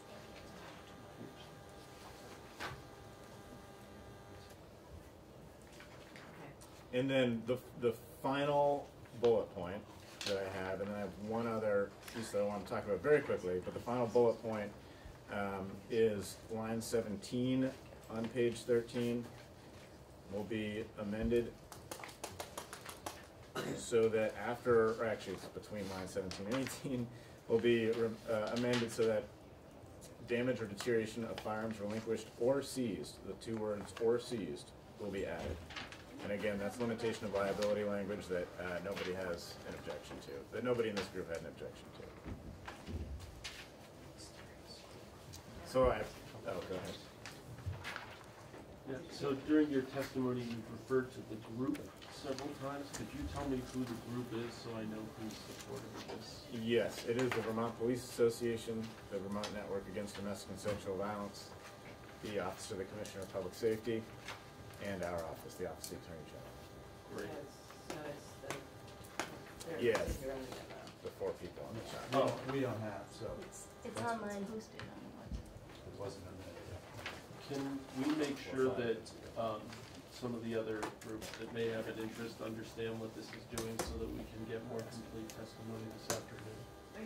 Yeah, just wanna make sure that ones that aren't on there And I will say, we've tried to keep can, the main operational interests apprised of this, so the judiciary has been reviewing all this, and they will be able to put their input in, and our hope is that, um, th- these are really primarily operational concerns, and we've tried to keep everybody in the loop. yeah, I just wanna make sure that if we're hearing for, like, for example, Judge Grearson later, that And he's, So David, do you wanna repeat what you just said, that yeah, so Judge Grearson's been a part of this process, he has seen this memo, and I think he'll be ready to So, discuss it. but not part of the group.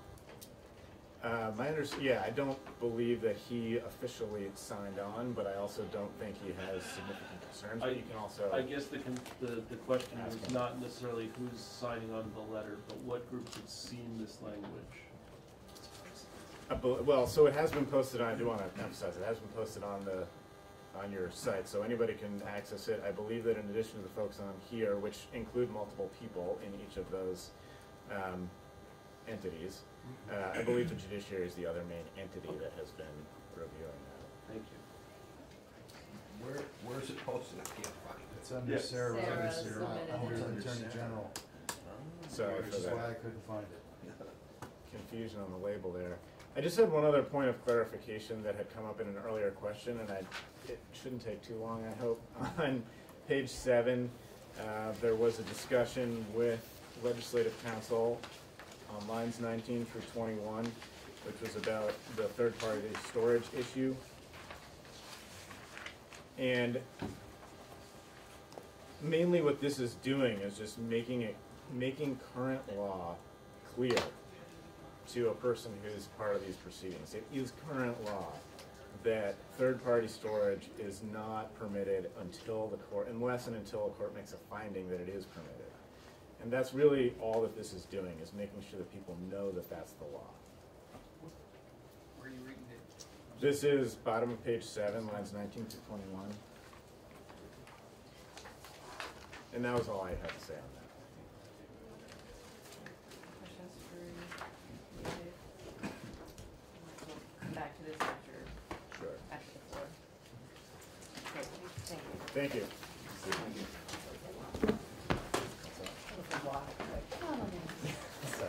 No, it's good, I mean, it's good.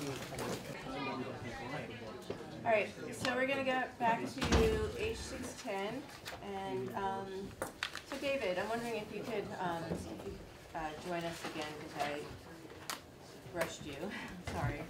Um, And I'm not sure if you have other things to add, but I'm, I'm wondering if you can, again, kind of give us the context of six ten and then what's been referred to as this other memo, and, and if there, um, you know, if it's, if it's six point one and six point two with this memo, or is it, you know, just sort of how they relate to each other? Sure, I'd say they are both part of an ongoing collaborative process that a lot, that a bunch of people really tried to get together and address operational issues around making this happen. I think there's really a lot of agreement on the underlying policy issues here, which is making sure that um, people who are subject to relief from abuse orders don't have easy access to firearms. And the committee heard a lot of testimony on the value of that. I don't think there's any disagreement on the importance of that. And so these are, both of these are really um, just, I, I think we can all look at them as a unit. They are um, one sort of unit as, as, in terms of us moving forward in an effort to uh, make sure all the operational issues are addressed. And this, as a practical, you know, the policy isn't really up for, isn't really a matter of debate among, among a lot of the people who are, who are working on this. Um, and just, this is, these are practical efforts to implement a policy that has a lot of agreement. Um, and, oh, and I should say, just as a, um, you know, the, the consensus memo, as it's uh, titled, that we just went over, was sort of directly worked off of six point one, so it's not like it was coming out of nowhere, it was working directly off of what had already been um, established with a lot of discussion. Okay, and would you say that it's mostly technical, substantive? Uh, Yeah, I mean, I, I think that I would cer- certainly characterize this as primarily operational issues, making this a workable policy.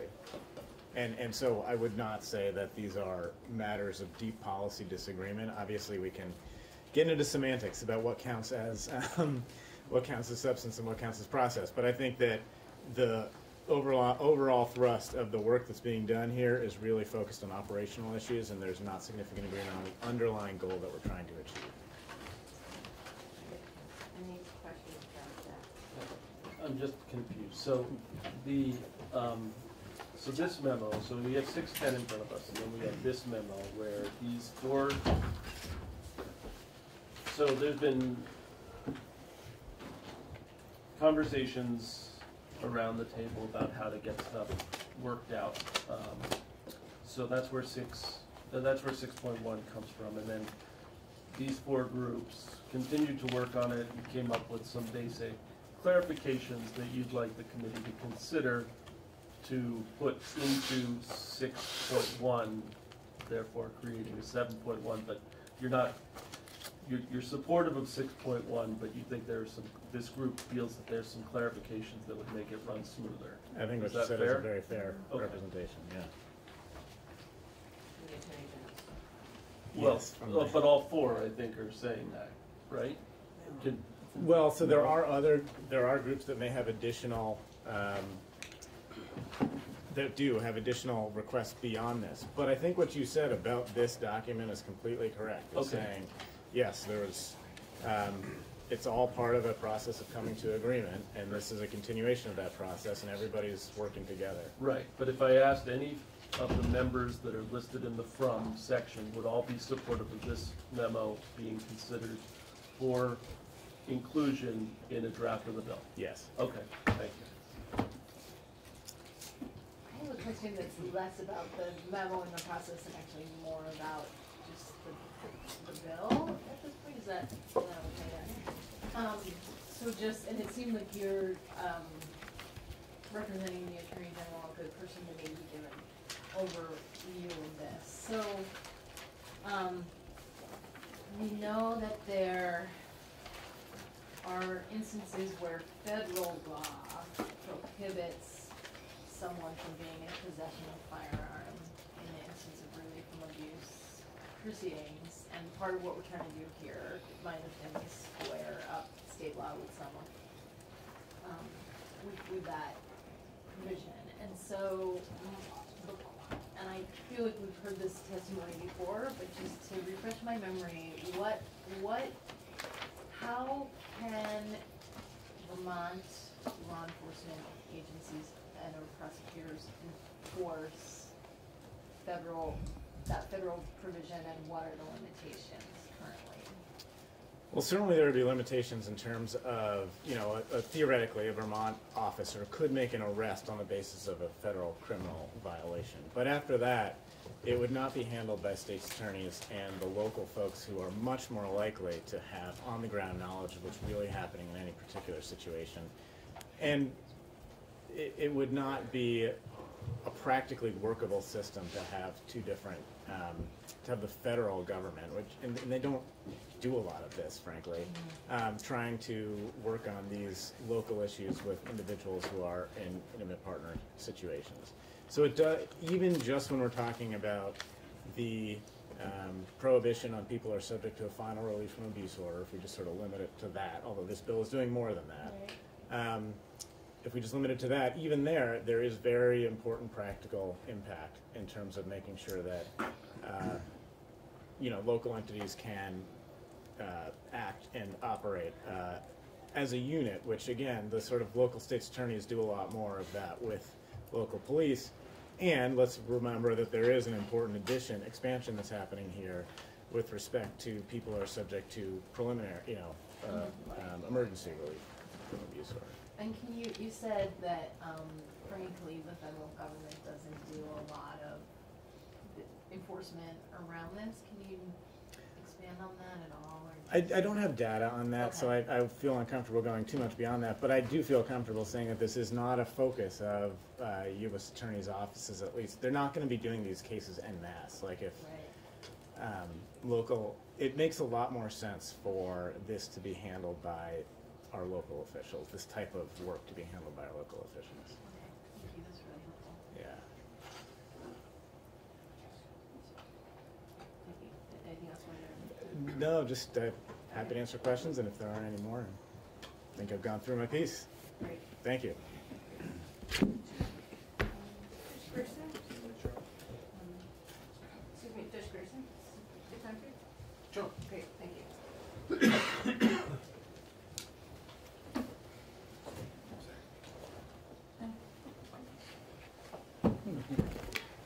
Never know. Good afternoon. Record, Brian Grearson, Chief Superior Judge. Uh, Speaking to uh, draft 6.1 of H 610, and I'm also looking at a, called a consensus memorandum dated February 12th, which I think the committee has been reviewing with um, David Scherr this morning and this afternoon. let me just give a little background as to my involvement in this. You'll see under the from section, I am listed there.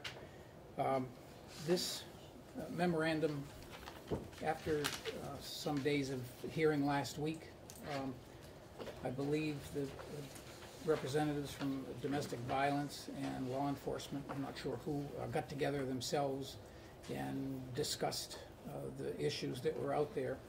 I believe that was last Friday, and then over the weekend, I corresponded with uh, Beth Novotny, VPA, and with Sarah Robinson.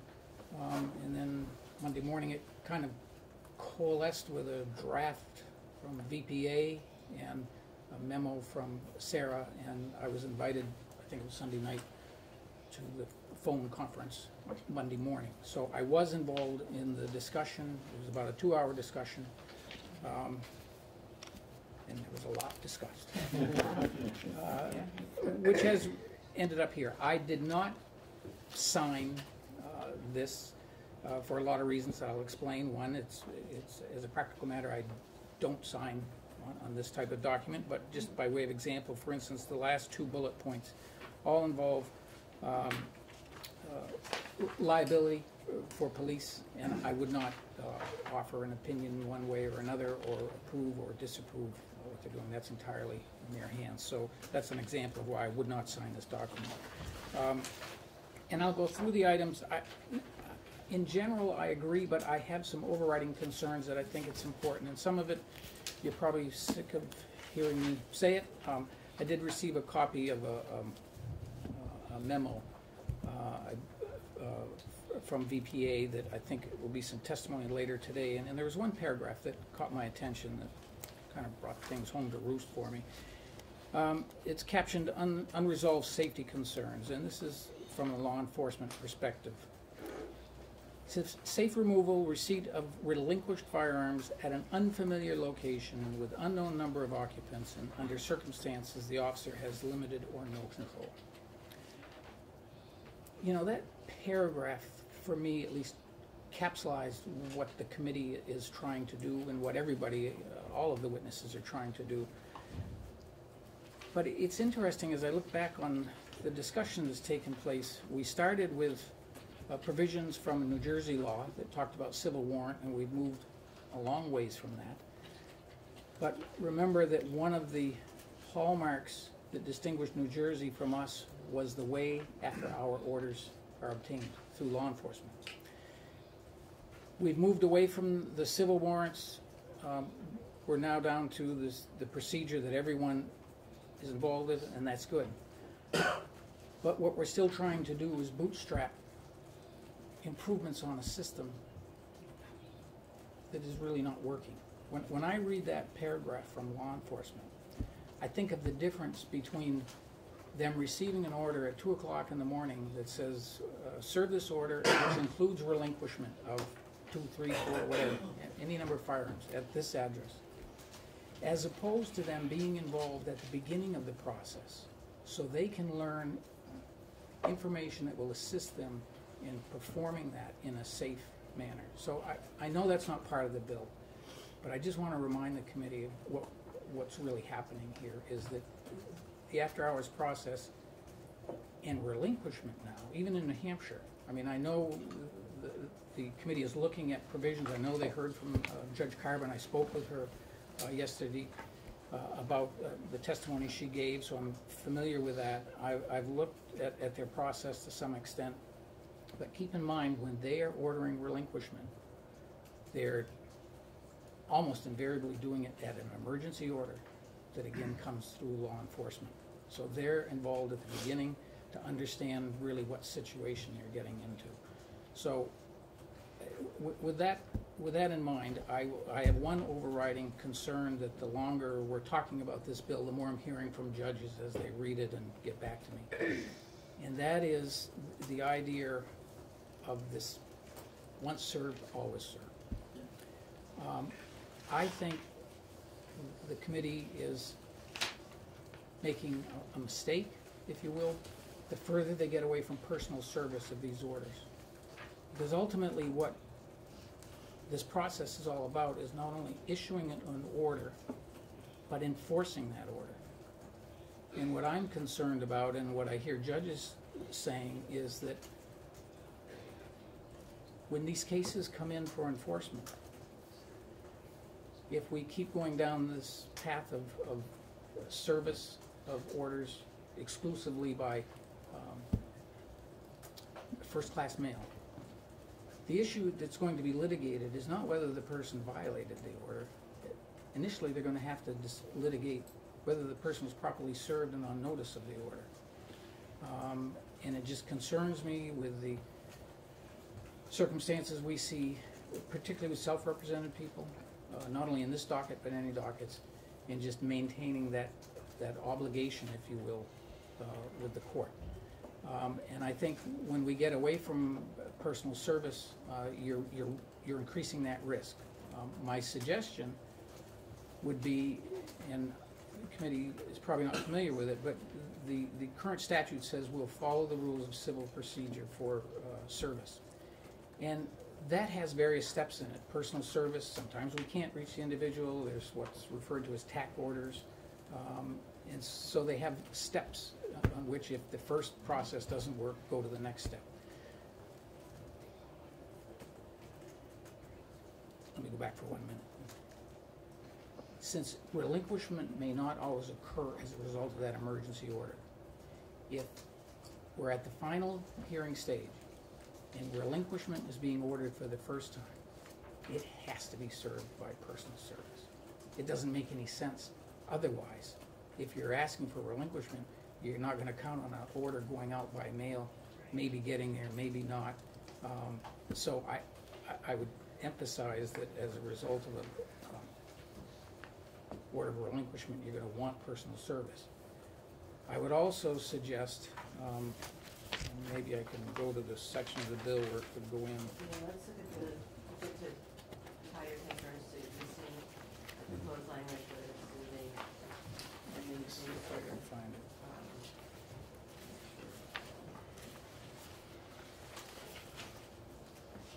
So I was looking at uh, page 11.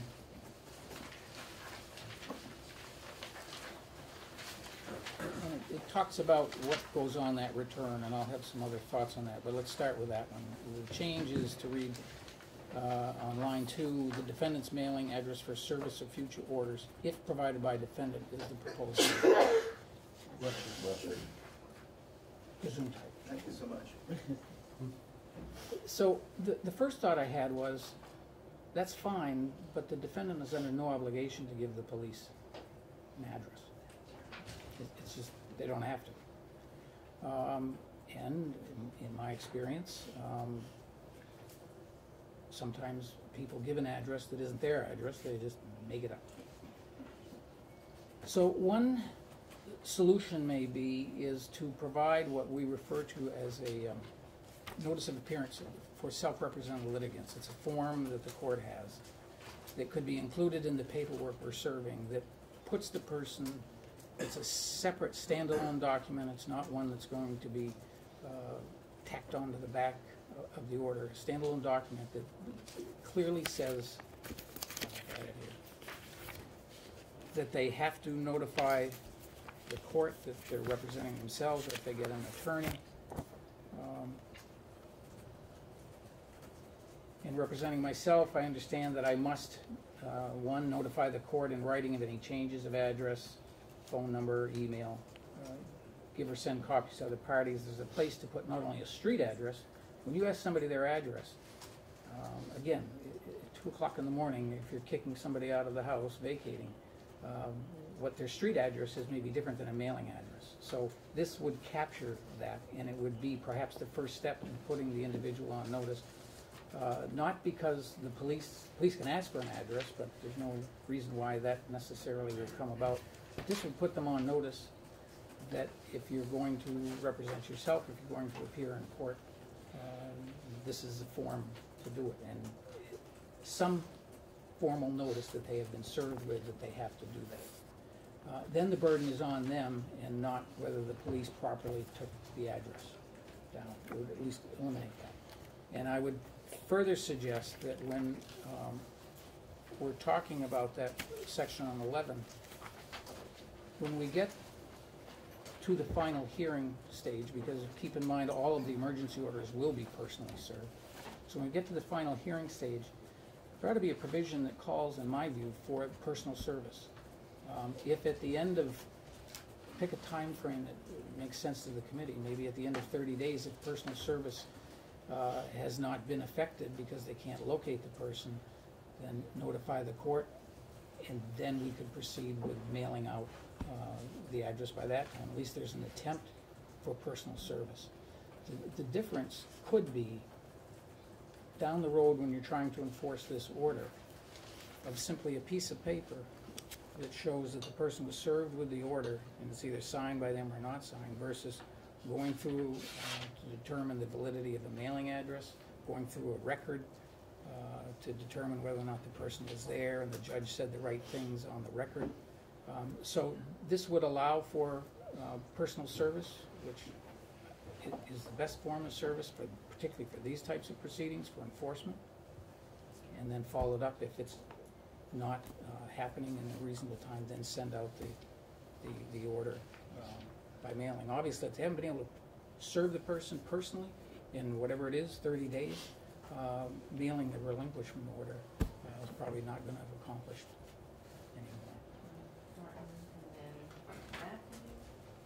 So, um,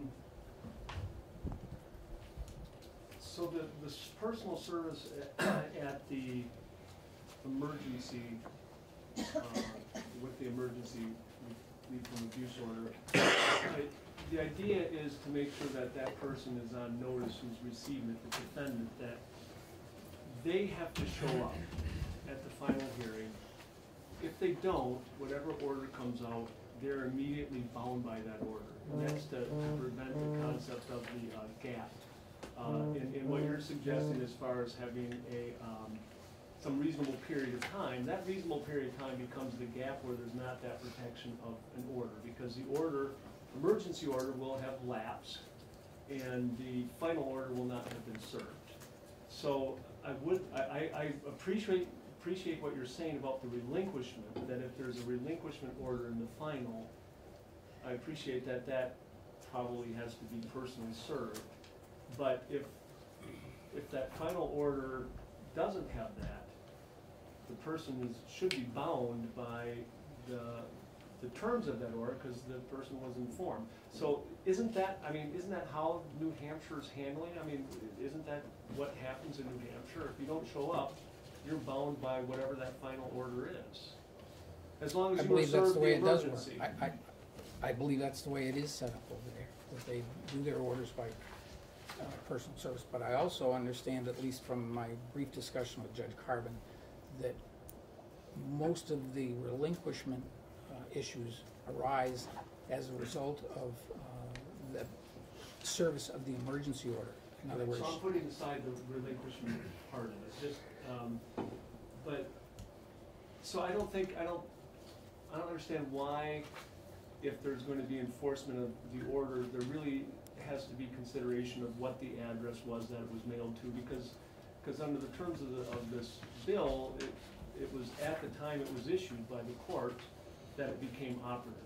And what ties that person into it is the fact that they were served a temporary order with the explanation that you need to show up because you're gonna be bound by that whether you show up or not.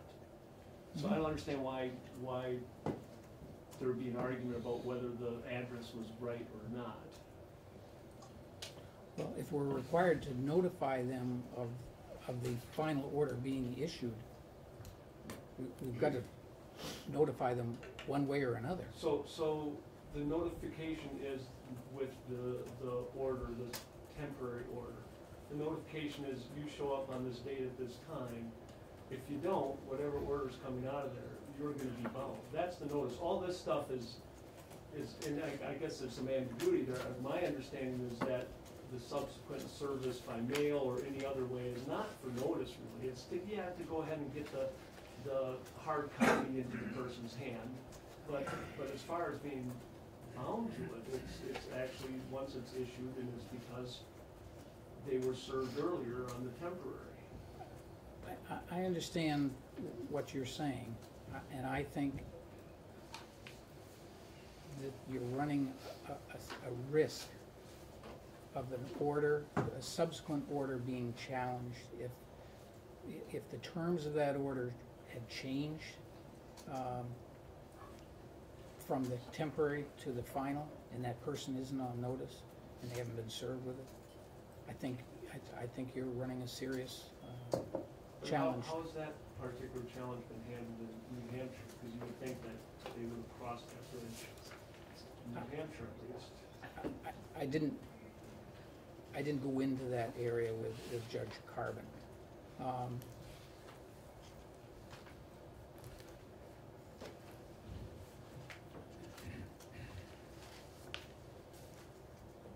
I, didn't talk with her about that issue, we, quite frankly, ran out of time between her schedule and mine. Um, and I'll be glad to talk with her about that, but I'm, I'm hearing concerns from almost all the judges who are responding to me about that very issue, that the lack of service, the lack of notice, um, is concerning to them. The, the, the, ultimately, the due process, uh, argument of whether or not the person has been properly notified. I, I'm not sure what the reluctance is to have personal service.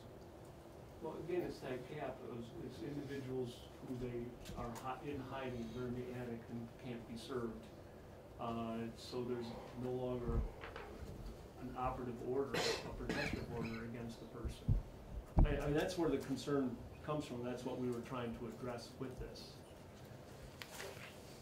Is that gap between, uh, the lapse of the emergency order and the service, personal service of, under current law, the personal service of the final order. So I, I would have to look again at the New Hampshire statute. Uh, there may be ways to say that the temporary order remains in existence till served with the final order. Um, if there is a final order. Um, and again, that would allow the temporary order to remain in effect until you accomplish service either in person or by mail. Uh, if, if you're, if you're unable to effect personal service. Um, and that may accomplish it. I haven't looked at that from a, from a procedural constitutional perspective, but that may take care of the gap you're talking about and still allow, um, changes, modifications to that final order, um, that we believe the person needs to be put on notice of what, if there are changes. Um, So I think that could address the final order, I mean, the uh, gap that you're referring to. What, what it still misses from what New Hampshire has is if in fact there's some modifications to that order, uh, to the temporary order, that that again would not be in effect until that final order is served, whereas in New Hampshire, it would go into effect immediately, even if there are changes, because the individual was notified they needed to show up, and therefore would be bound by whatever happened at that hearing, so. And at this point, I, I look back at the form that we're using now, I believe the defendant is notified that they have to show up or that they're bound by changes. Um, But I'm, I'm just concerned at, when you ultimately get to enforcement, that's what this is all about. I don't understand why we wouldn't have the best possible process of service for these types of proceedings. And that's all, that's all personal service is. So, so could we have, uh, the personal service requirement still, forget about the mail, but still the person is bound upon issuance? I, yeah, it, it, it's, um, yeah, the personal service does allow the law enforcement officer to go over it, to go over any changes, but, uh, if you're hiding or if they can't track you down, you're still bound by, by that order because you didn't show up. Yeah, I understand that's what New Hampshire reads, I understand this is a proposal. All I will tell you is that many judges, again, have gotten back to me concerned about issuance versus served with the order with those changes. So I, I, they just see that as an area where they're not going to be surprised if, if there's litigation around that. And I guess that's what I would want the committee to understand. You can proceed the way this is laid out, I, I, I think it's important that the committee be aware that, at least from the judiciary's perspective, we have real concerns about that process. Uh, it's not to frustrate, um, any particular party, it's to make sure that if we're going to issue orders, um, if the order is, is followed, there's never a concern. The only time it's going to be an issue is when, uh, there's a claim of, uh, uh, that it needs to be enforced. And the first step in any enforcement, whether it's through the court or through the state's attorney, um, process of a violation of an order, it's going to be, how is this order served? And I understand what the statute in New Hampshire says. Um,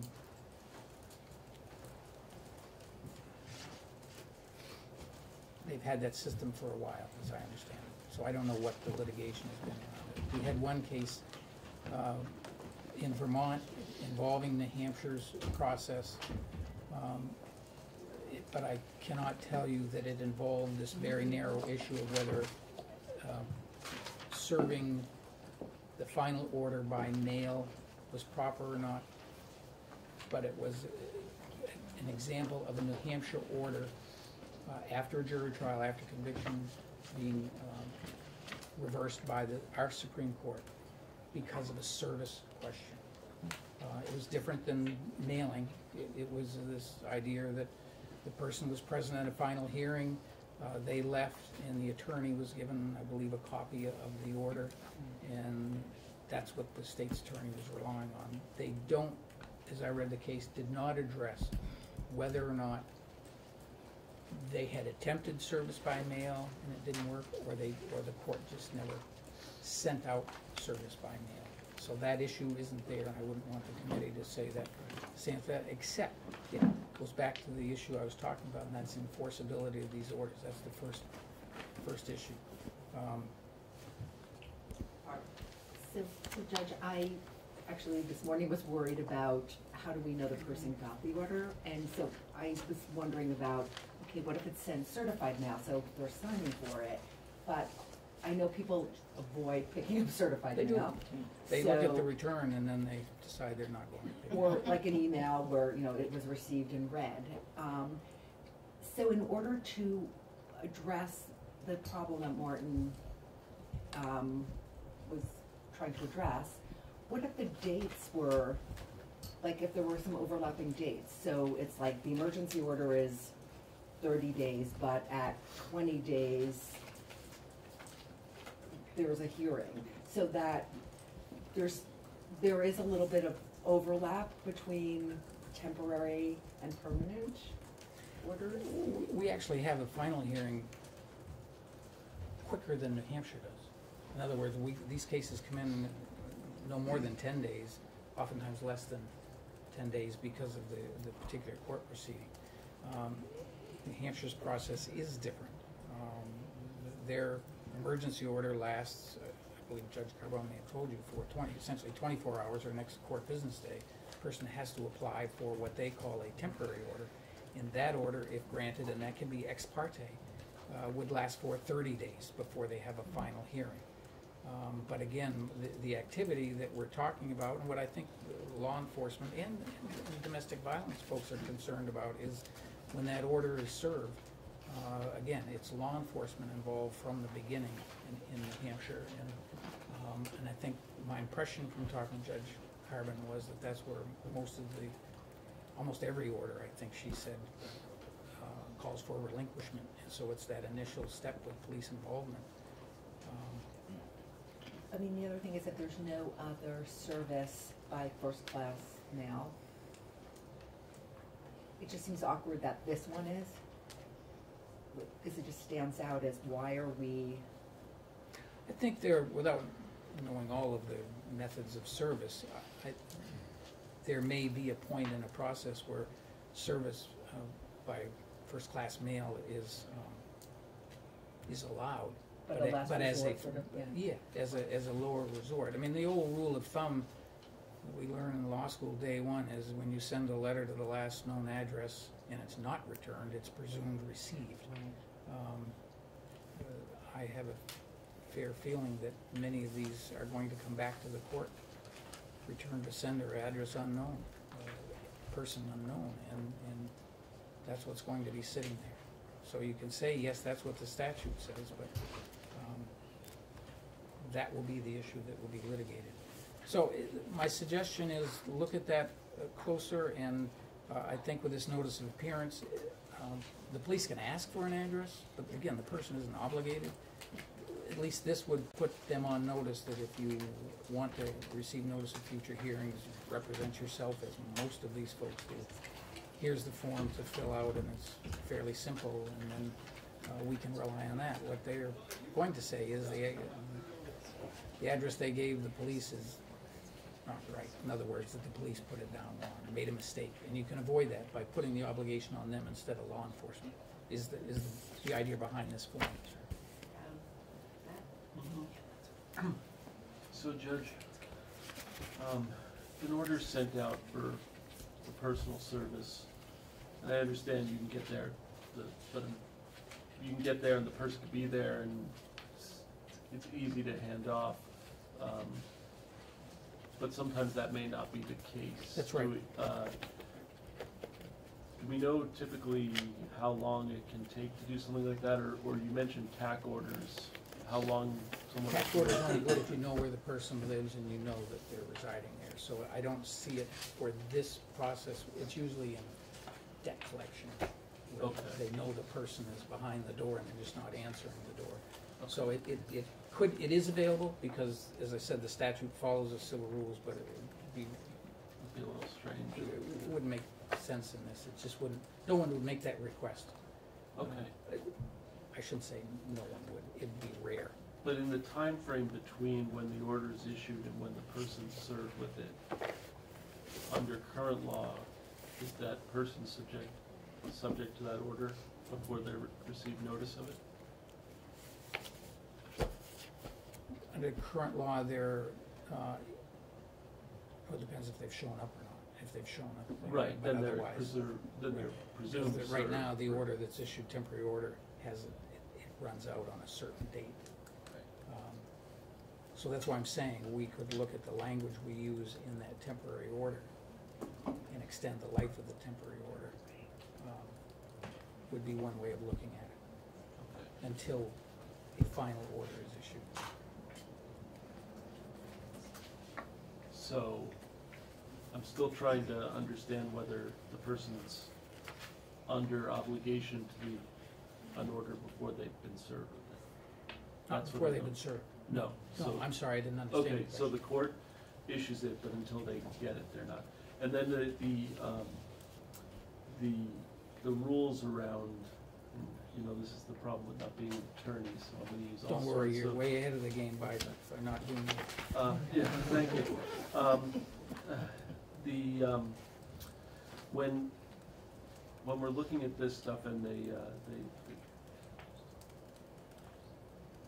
I'm trying to think of how to phrase this.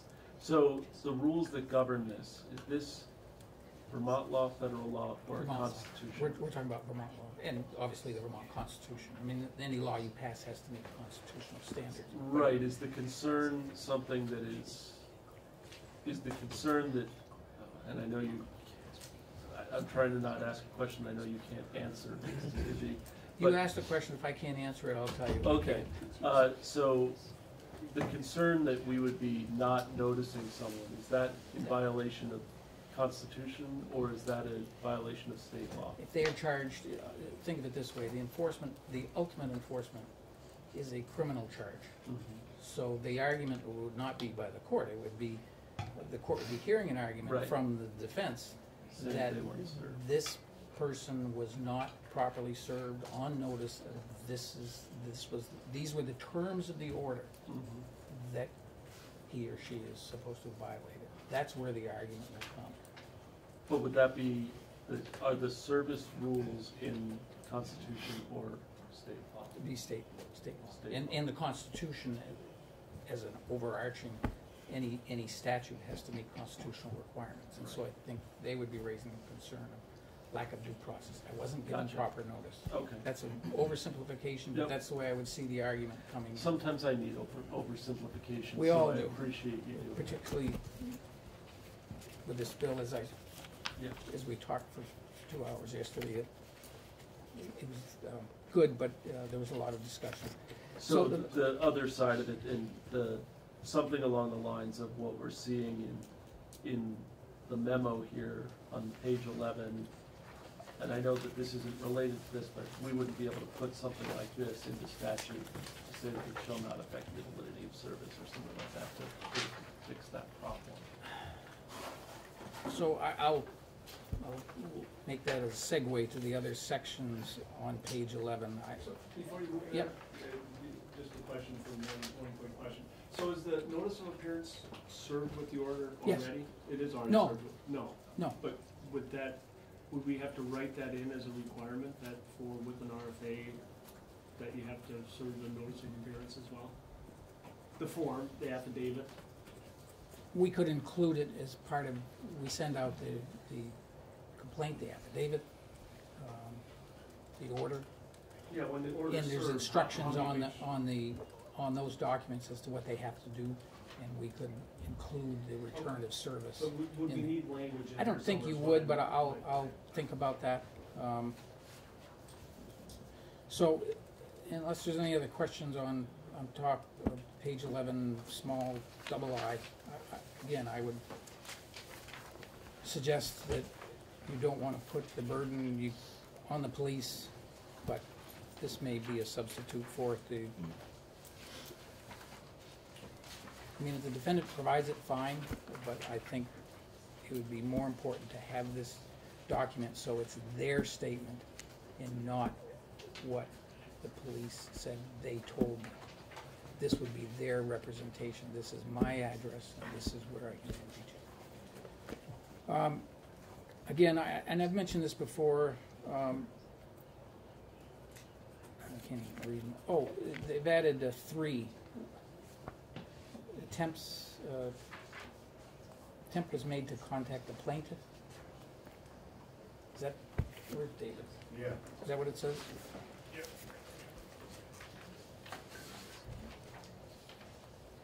Oh, yes, so I'm reading down on, uh, one, two, three, four, looks like the fifth bullet.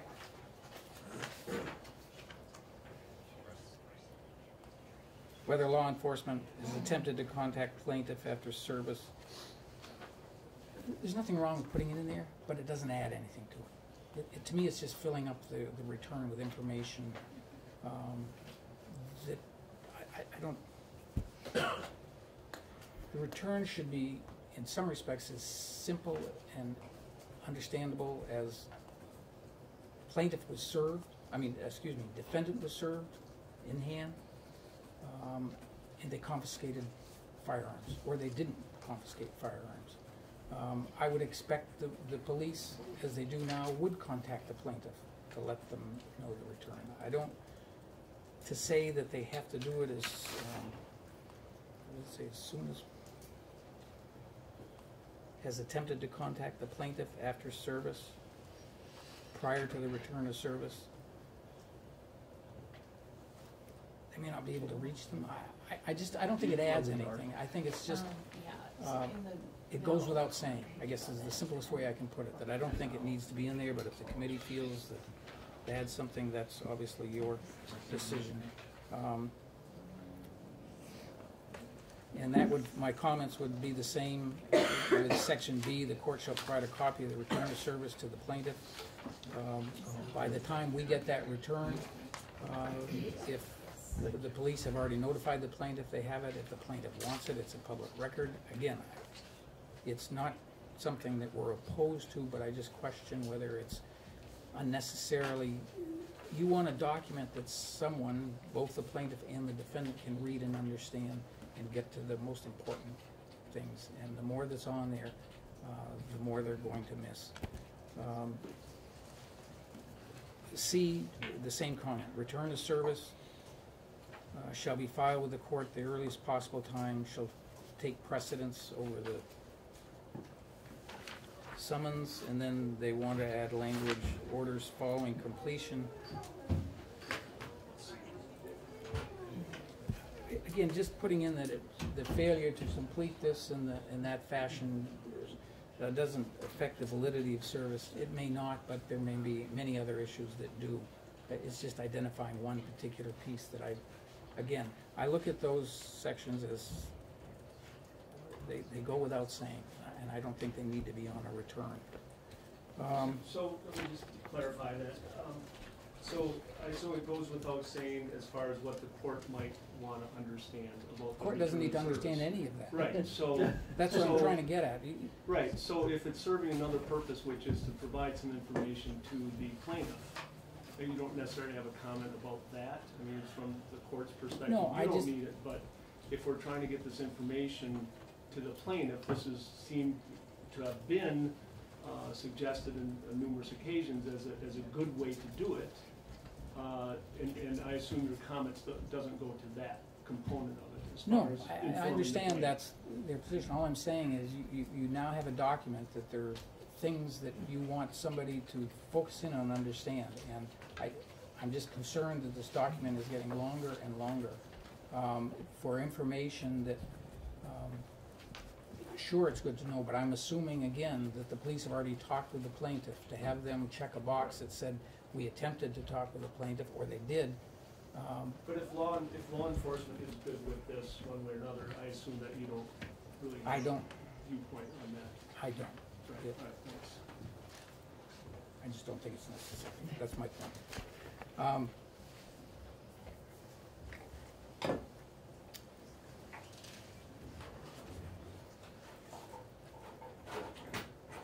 I don't. Oh, my, other concern, and, maybe I misunderstood, again, it's that same bullet about page eleven, lines six to eight, revised to read return of service we wouldn't want any delays in filing that return of service with the court, whether they've contacted the, the plaintiff or not. In other words, all the information they want down there, um, what's critical is that that return get filed as, as soon as possible. Um, and so I, I, I guess that's the other reason I, I'm concerned about all of this going on a return, when the important thing is to get it served and get it filed with the court because until we have it, we can't provide it. And oftentimes, I think I mentioned in previous testimony, we don't even get the return, um, sometimes until the day of hearing. Um, It just happens. Um,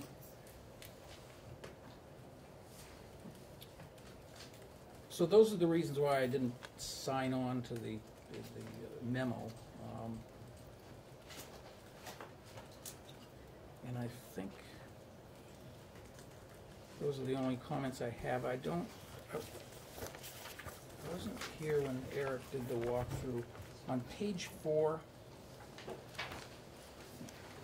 at the very bottom, lines twenty and twenty-one, the copy I have, it has it in uh, color green, green blue. Uh, This is more grammatical than anything else. It would just be to take the language that's in blue and put it at the end of that clause.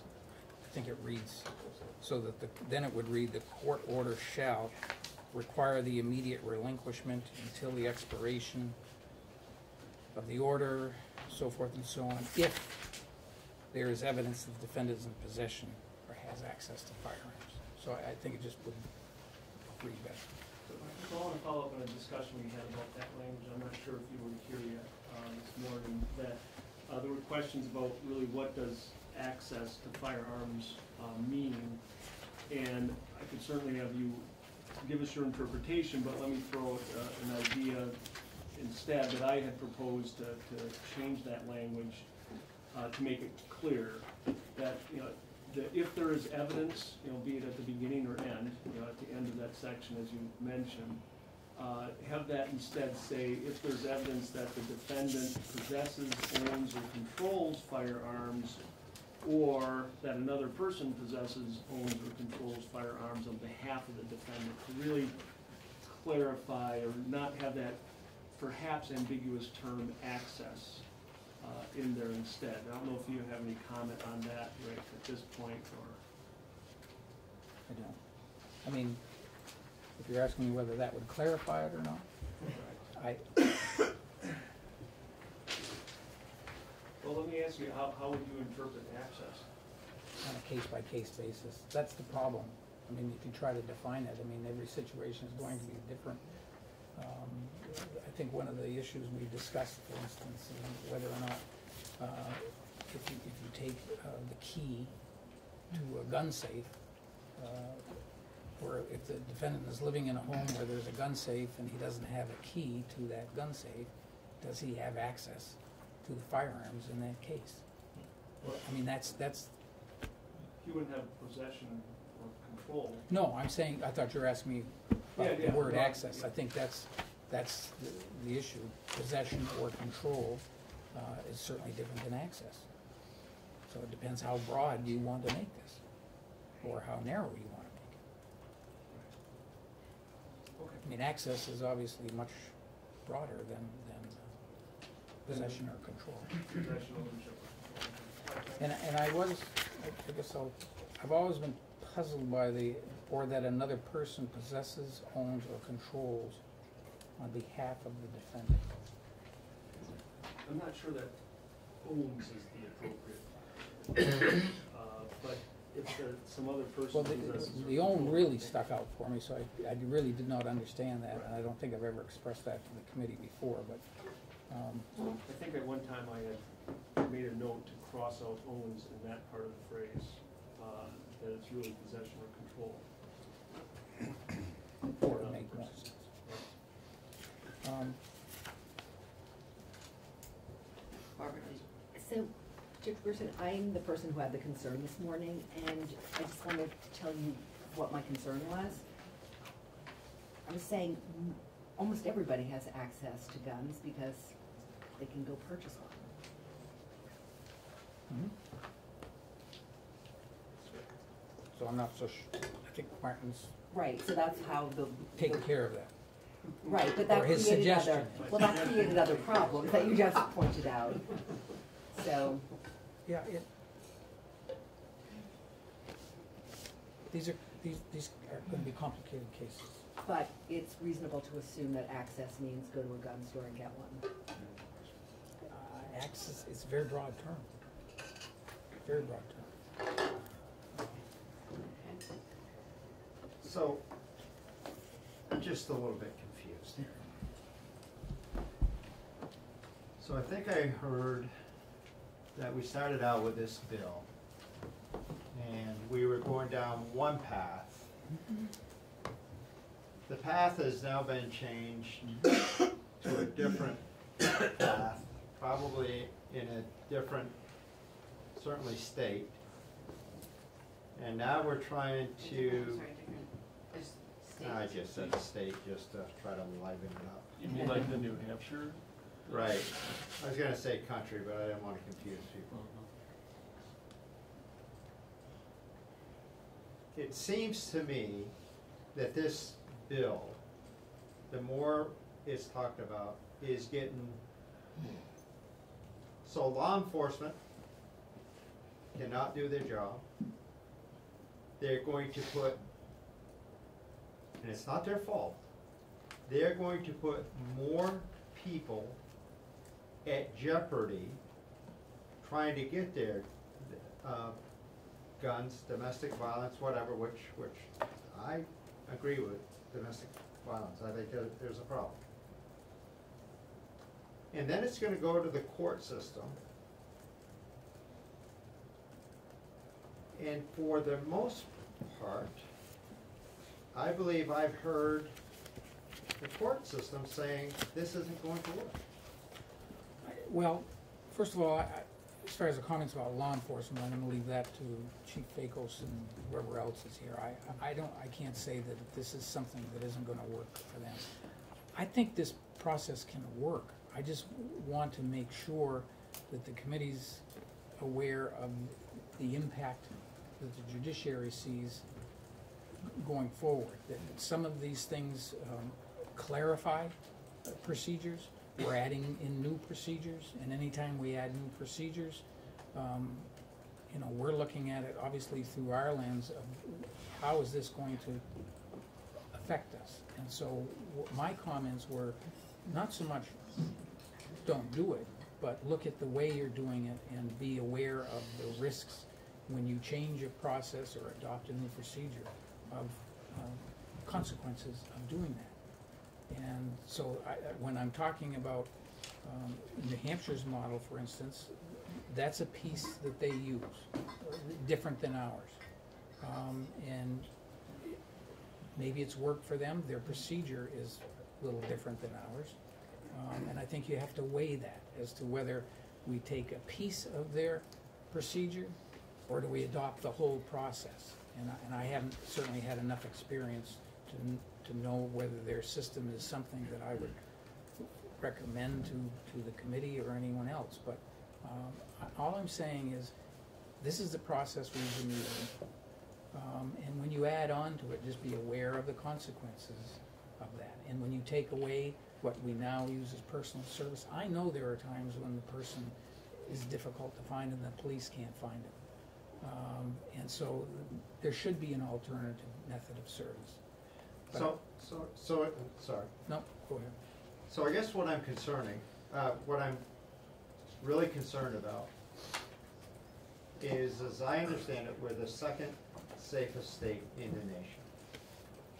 I think we're taking a situation here that we could be opening up a whole new can of worms that could make a pretty good situation a lot worse and putting certainly, uh, public safety more of, more at risk.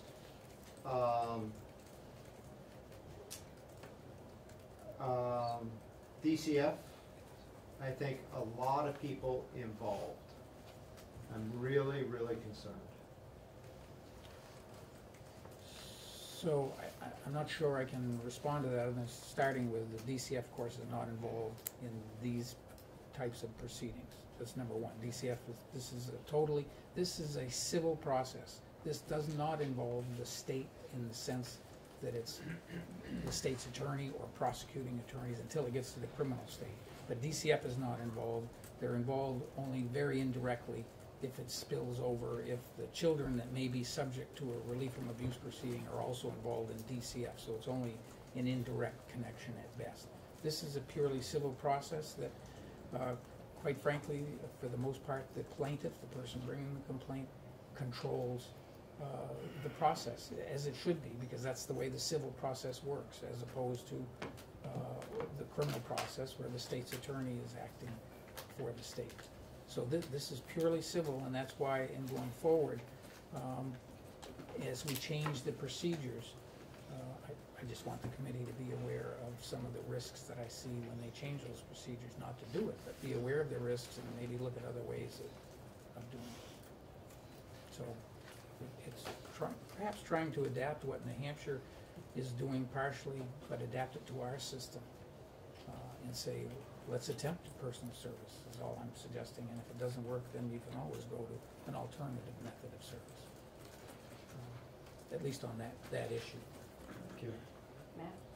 Yeah, I think, um, Ken brought up some points that are sort of rattling around in my head a little bit, and I'm really sympathetic to what we're trying to do here, but I think there's just been this nagging fear in the back that's, that's, that keeps coming back to me around it, cause I recognize that there's some potential flaws in a system over time, and we're trying to make people as safe as possible Mhm. and make them understand, make sure that we're doing everything that we can to protect them, make sure that they understand what's being done. But I guess I keep coming back to,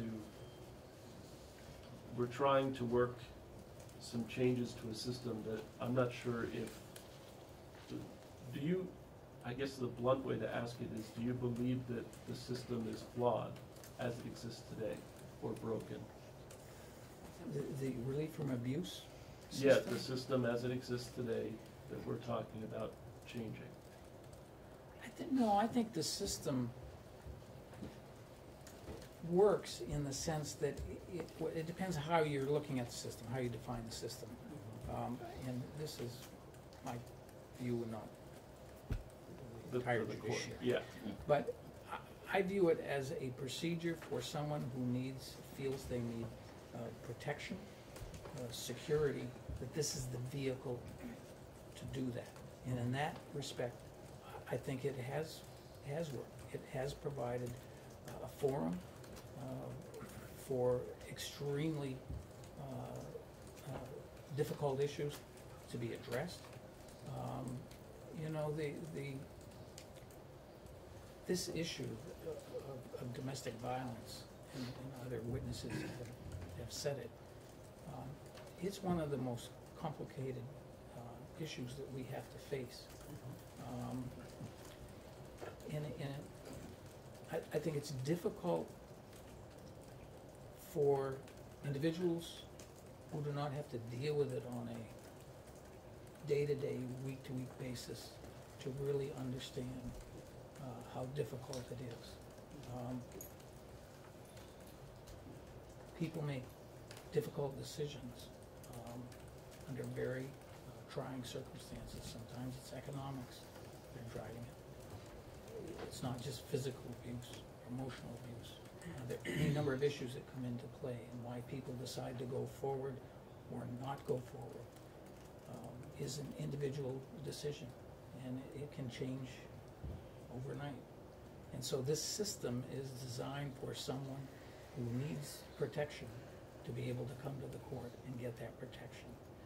I think the difficulty is, um, in, in, in my discussions, uh, not only with law enforcement, but uh, domestic violence folks, to a great extent, the, the, the, um, the system relies on self-report. In other words, we're, you are going, or you're contemplating going to another step of search warrants. Um, It started out, uh, as Representative Goslin said, in, in one process, a civil warrant, which would, would be new to Vermont. You now are considering going, processing those requests through the criminal process, which is appropriate. It- Because what you're really looking at is if a person is not supposed to have firearms, the potential there is for a criminal offense. And that's where the police should be involved, uh, and that's why search warrants, under the rules and procedures that we follow, is probably the best, most effective way to do that. Um, You know, I, I don't wanna, I don't wanna sound like a, you know, the, the, uh, the, the broken wheel, but where the system, I think, has, has changed, let's put it that way, over the twenty or thirty years that after-hours process has been in effect, that's where we've seen real changes. I mean, that was a system that was, that it worked. I mean, it's a very simple statute. All it says is the court shall provide after-hours access, and law enforcement shall work, effectively work with us. I don't know what the phrase, but it's very simple. There, there's Close no, enough. there's no guidelines for the court. There's certainly no guidelines to say what the police have to do or not do. And over the last, whatever number of years that that process has been in effect, uh, law enforcement has changed in terms of their availability after hours. Uh, we used to staff after-hour requests exclusively through court volunteers, staff members that were willing to be on call, um, to go out in the middle of the night. Uh, At one time, they would go to a police station to process these orders, um, and it seemed to work. Uh, But over the last few years, uh, and currently, out of fourteen counties, I believe the last time I checked, we only had four counties where staff were still willing to, to do this, which means we've had to go to contract personnel.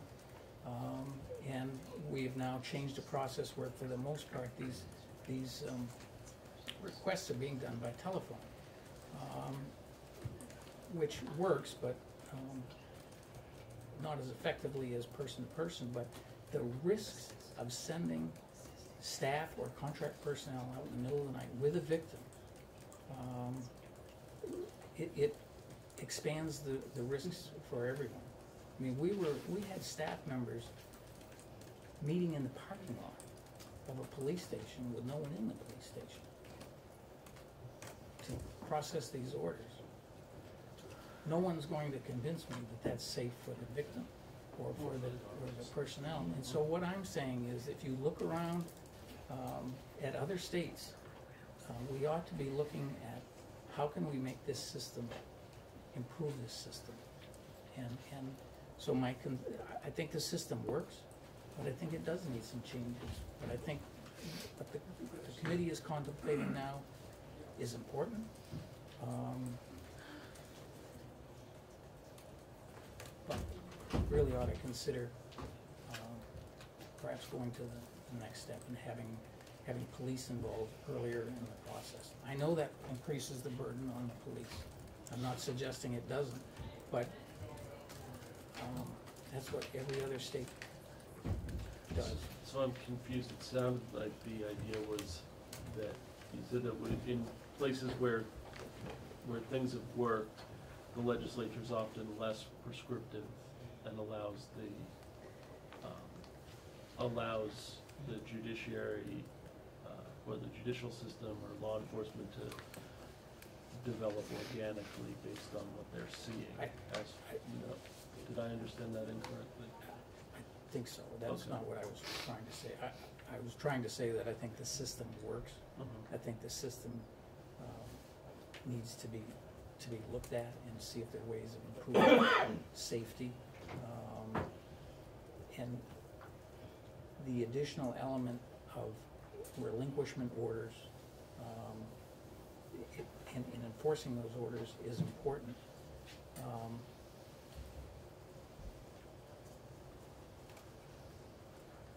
by not having the police involved at the beginning to assess the situation they're going into is, is, um, is a different, different risk. um, For them, certainly. Um, And so this has to be done the right way. Um, It's, it's, it's an important process. Um, And I, I do think it works, but And it, it, it's complex, I mean, when I look through a lot of the sections of this bill, I sit there and at face value go, oh, that makes sense, that makes sense, and then hearing you talk about it, I, I wonder whether in some cases we're making things almost more difficult and putting people at risk in some situations, whereas, you know, the, the idea of someone being able to get out of a re- relief from abuse order down the road because they could say that they weren't served properly is not something I would have thought of when you said I'm not that. saying they can get out of it easily, but I'm saying that, that could become another, another challenge to the enforcement. Um, when, when whatever information we get from the, the plaintiff on that late night call, and that's put in the order, uh, in other words, uh, I believe defendant has two long guns and a firearm, a handgun. And that's all the information we have. Uh, And we put that in the order, and that's, that's the order the police will receive. And then they've gotta go to that address, serve that, and demand those firearms. It's really all they can do at that point. This order says you have to relinquish, and our information is you have X, Y, and Z. Defendant may say he has X and Y, but not Z. Um, and he turns them over. Um, And then that's where the, that's where I'm saying this self-report starts. Where do you go from there? Um, And that's, that's what the issue will become. That's why I'm saying, I have no doubt that police, upon service of that order, will go back to the plaintiff with or without the language that's in this bill and say, I've served so-and-so, and this is what we obtained. Can you tell me more about why you think there's a third gun? And that's where this whole process will start, as to whether or not there's enough information to obtain um, uh, a search warrant, to perhaps go back and find out if there is another gun. The difference being that if the police were involved in the beginning, they would have that discussion with that individual and say, well, tell me what those guns look like. Um, Where do they, where do they keep them in the home? Or do they keep them in their car? In other words, it's that kind of investigation uh, that I think will make the relinquishment order more meaningful, uh, not for the court, um, but for the person that has to go out and, and serve that order. Um, and, and do what police do, and that is in- investigate and make sure that the case they present uh, to the court is as strong as it can be under the circumstances. Um, that's, that's where I'm saying, I think the earlier they're involved with this process, the better. Certainly these are questions for law enforcement, which. Sure. which we will Yeah, I, not, certainly not speaking for law enforcement.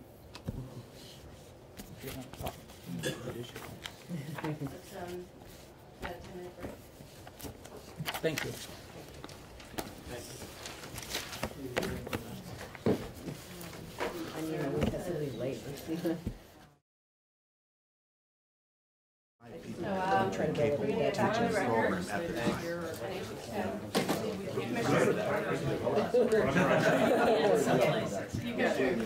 Right? Ah, thank you, sorry it's noisy back here. We don't follow So, welcome. Thanks again for, for having me. It's been a, a long day talking, so if I, I can't speak any other languages, so there's, that's not a danger. Um, Again, Mike Schirling, Commissioner of Public Safety. I'm, uh, I'm happy to take questions. I'm going to be brief, just a couple of points on the progress that's been made on 6.1, uh, robust effort on the part of uh, the network, the judiciary, AG's office, the VPA. Um, I'm sure I'm leaving somebody out, but uh, uh, Lots of conversations. Um, It's been pared down, which is helpful. Uh, Just a placeholder that my general look at these kinds of things is less is more. The more, it's easier to operate if we make it more uh, streamlined and it being the bill is introduced. it, uh, from the original introduction to the 6.1 version is easier to operationalize because it is less complicated. So the more we streamline, the, the better off that is. It, it is. Um, there's, uh, th- there,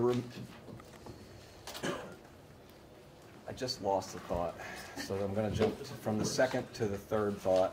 Uh, The third thought is, um, I would be- remiss if I said it's perfect. There are still operational concerns around, it- there are safety concerns around how to execute this stuff, and there isn't magic to doing it. So I'm not sure there's going to be perfection.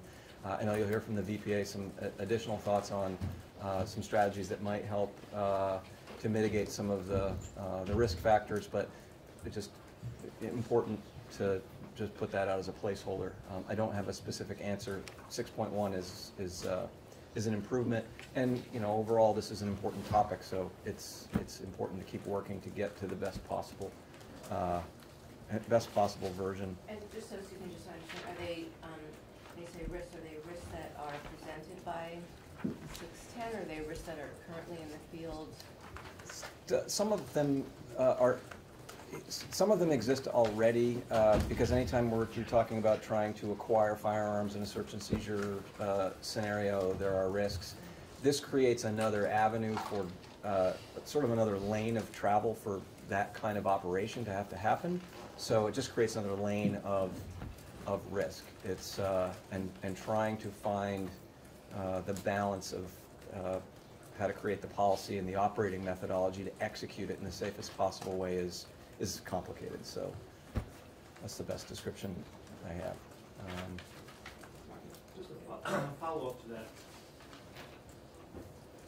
Uh, As far as how to, to address the safety, as I've envisioned this, is, uh, once we get the court to issue an order, the order goes to law enforcement, and then law enforcement should have essentially complete discretion to execute that order, to execute a subsequent warrant, to get the firearms, uh, paying attention to whatever issues they have regarding safety and logistics.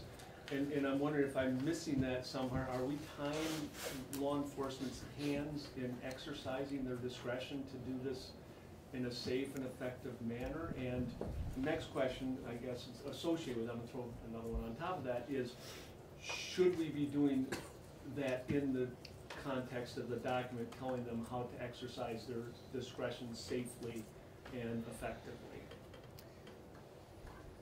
Let me do the first one. I may have to ask you to repeat the second one because I'm on my fourth hour of testimony today.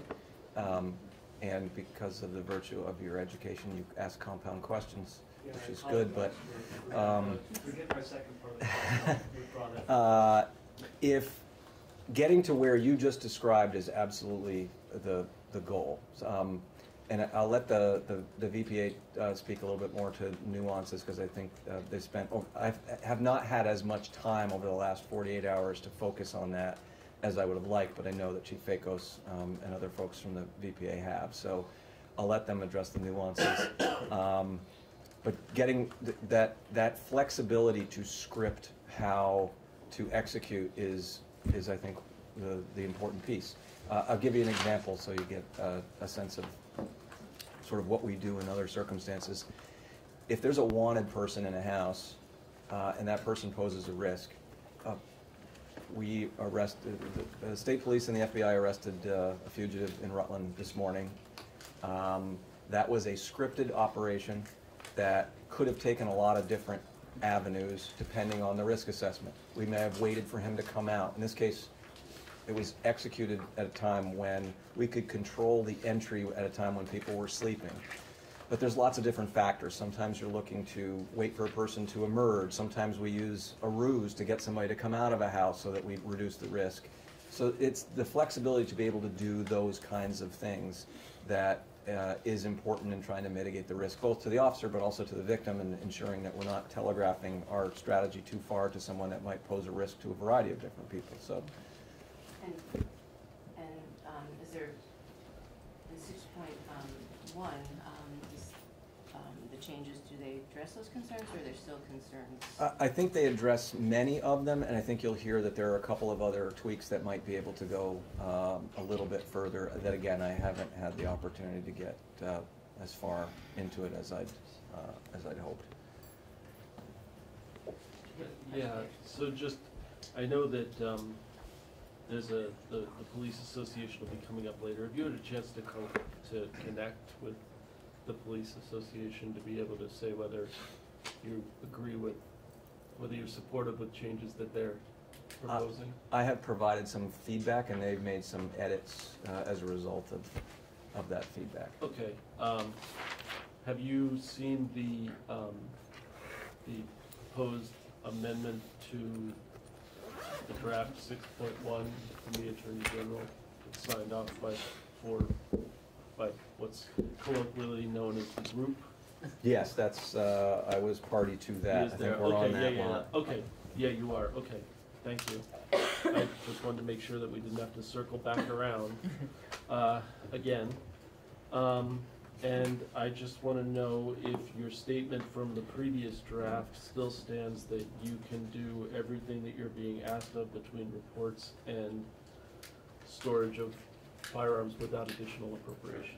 Reports and storage stands, yes. Uh, The, you'll hear of, um, from the VPA, I think, some additional uh, placeholders or concerns around the, the resources and how many, how many officer hours to do some of the things that we uh, have to do around six point one, or any version.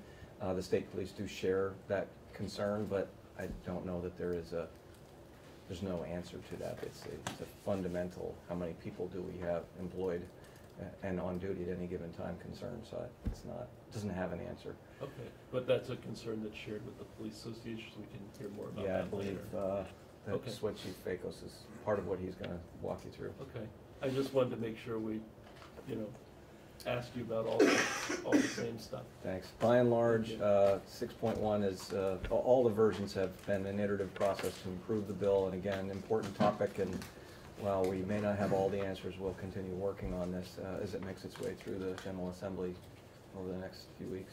Thank Thank you. Thanks. And congratulations uh, arresting that murderer. I had nothing to do with it. He did not come to my office. Wow. You're at the top. But I will pass that along. And it's your people.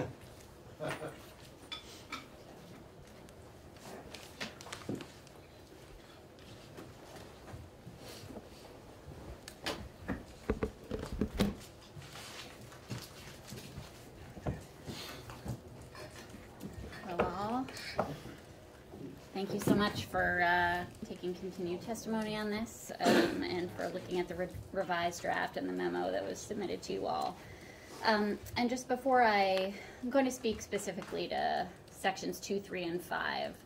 Um, but before I do that, I just wanted to zoom out a little bit um, back to what the network certainly hopes is uh, the effect and intention of the bill.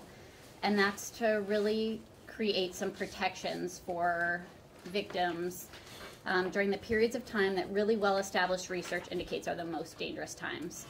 Um, and the reviews that are done, in depth reviews of individual cases and individual domestic violence homicides in Vermont, um, such as those done by Vermont's Fatality Review Commission, often find that the victim has accessed every possible system of support, that law enforcement have met all of their obligations, the court has met all of their obligations under the current framework of the law, but that there are still really um, holes in what our statutory scheme offers currently that, uh, that pose risks to victims during these really uh, especially dangerous times. Um, and I'll just direct you to, I, I, submitted to the committee two studies that um, I would encourage you to review. They're posted on the judiciary's website. Um, and just very briefly, uh, again, research really indicates that presence of a firearm and access to a firearm um, is the leading risk factor for domestic violence homicide. And estrangement and leaving is also a leading risk factor. So this bill is intended to address both of those both of those um, elements. One of the uh, very briefly, one of the studies that um, was posted looked specifically at state level firearms laws related to prohibiting possession um, and statutes that look at relinquishment. And they found that um, by far states where there was a statutory scheme which both prohibited possession and addressed relinquishment, um, there were results across states in terms of lower rates of firearms related domestic violence homicide. Um, and so the bill in front of you proposes to really do just that and address both of those items. So as you've heard since you received uh, initial testimony on the bill, the network has worked to address concerns that were raised by law enforcement and the courts while trying to maintain the critical protections that are necessary for victims of domestic and sexual violence.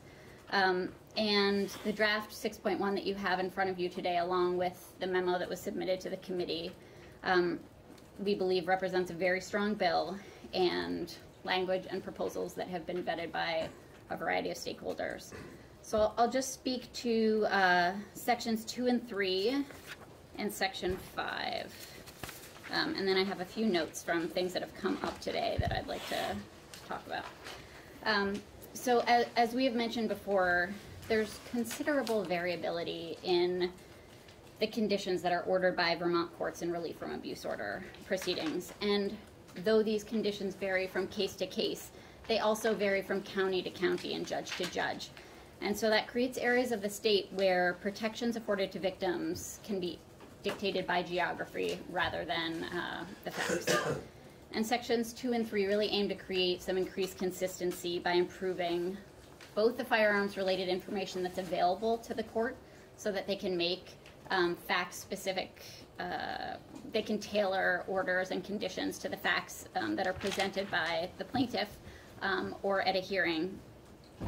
Um, and to really ensure that this information is directly related to the conditions of the order.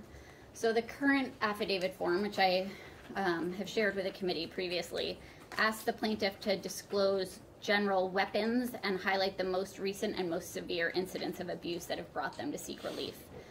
And even if firearms are present in a violent home and are used to um, coerce and control victims of domestic violence, often the most recent and severe incidents are not firearms related.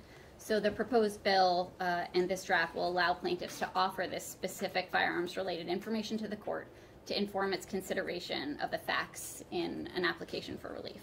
Sorry, Sarah, could you repeat that? Could Sure. By a little. Yep. So um, the current relief from abuse order affidavit that plaintiffs fill out ask the plaintiff to disclose general weapons and to highlight uh, that the defendant may be in possession of, um, and to highlight the most recent and most severe incidents of abuse. Okay. Okay. Um, that brought them to seek relief. Those are kind of how the questions are framed. But even if firearms are present in a home and used to threaten and coerce a victim, um, the the other question that's asked is what's the most recent um, and severe incidents of abuse, and it's not likely that the most recent or severe incidents of abuse are firearms related. If that makes you. sense. Yeah. And Sarah, does that go to, I don't know, if was there testimony, but testimony that we heard that now domestic violence is seen as a course of conduct? Correct. And of course, Exactly. we're thinking, I don't know, something, but. Right. So rather than asking specifically about, um, and I do think the forum intends to get at a course of conduct, but it does ask about most recent and severe incidents. Um, and often, especially firearms, are part of a co- course of conduct and an escalating pattern of um, control and coercion. But um, yes, certainly unlikely that a person has been previously injured with a firearm, and that's why they are applying for relief. So it's as much about more information getting to the court so that the court can make those determinations. And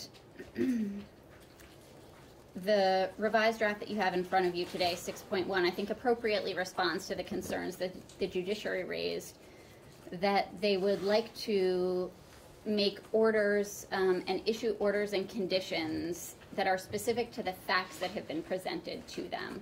And so, as additional information is presented to the court, the court is um, more easily able to tie the conditions of the order to um, evidence or information that's presented to them. On section five, um, I wanted to. Before you move Yes, yes. So, um, I'm just wondering if we have any information, even if it's anecdotal, Mhm. about where the system breaks down in most cases. Yes. Because, um, if, you know, we had some of the clarification this morning that, Mm-hmm. um, you know, once the final order's put in, the person is prohibited for the length of that order. So obviously, there's a breakdown somewhere. And do you, do you know where we're seeing that and, and does this cover that area? Um, so I think that the draft, sections two and three, does uh, work to cover that area. So I see a few places where um, there's a breakdown. A prohibition on possession alone um, is not adequate in addressing the relinquishment of firearms. that makes sense. So if there's no order to relinquish, but a person is just um, prohibited, there's not necessarily any process for uh, those firearms to be um, relinquished or to be seized in the absence of a criminal complaint against that person. Okay, so just kind of like a, um, because there's no mechanism for how to do it, even though they are prohibited by law from having them, it doesn't, it, there's no, there's no way to say, They here have you go. Unless someone reports it to law enforcement, unless law enforcement conducts an investigation. Mhm. Um, the prohibition in and of itself is not adequate without the relinquishment Gotcha. components. Okay, thank you. Mhm. Uh, so section five includes two distinct but important provisions related to the service of relief from abuse orders. Um, so the first is the once served, always served process that I know um, Judge Grearson discussed earlier um, today. And, you know, the intention was really to, a, there was really a dual purpose to that proposal. The first was to reduce the number of orders which need to be personally served by law enforcement officers and creating a more efficient and safer process um, for officers serving final orders. Um, and I was just sharing that on the break, I received an email from an advocate in Rutland um, who has is working with a survivor who is looking for funds to be able to put an ad in the paper um, because uh, the person that's subject to her relief from abuse order has evaded service five times. Um, and so this issue of defendants ducking service is a very real one um, and a common one. And uh, that intentional evasion because defendants know that they're not bound by the conditions of that subsequent order really poses a, a significant safety risk to, to victims. Um, and Could we stop there? yeah, absolutely. Yeah. Yeah. Um, so along those lines, when we're trying to balance out the idea between wanting to have something as tight as possible and then, but at the same time understanding that we're in a situation where you have someone who has an order against them that they're not subject to. Mhm. Is that how you sort of break down in your thoughts of how to balance it, of saying that, um, the idea of the once served, always served Mhm. is a safer bet for you because of, um, the idea of ensuring that we have something that says that they're served and then deal with any issues about process later? Um, I, I know I just Should- put a lot of words in your mouth Yeah, there, I'm but not sure I would exactly say it that way. I think that the most important piece for us, certainly, is that uh, orders are effective upon issuance. Mhm. Um, and so I think that what the really dangerous gap that occurs is when um, either the temporary order has completely expired and there's no order in effect, or there are changes in the conditions between the temporary and the final order, and the defendant doesn't have to abide by those conditions because they've evaded service.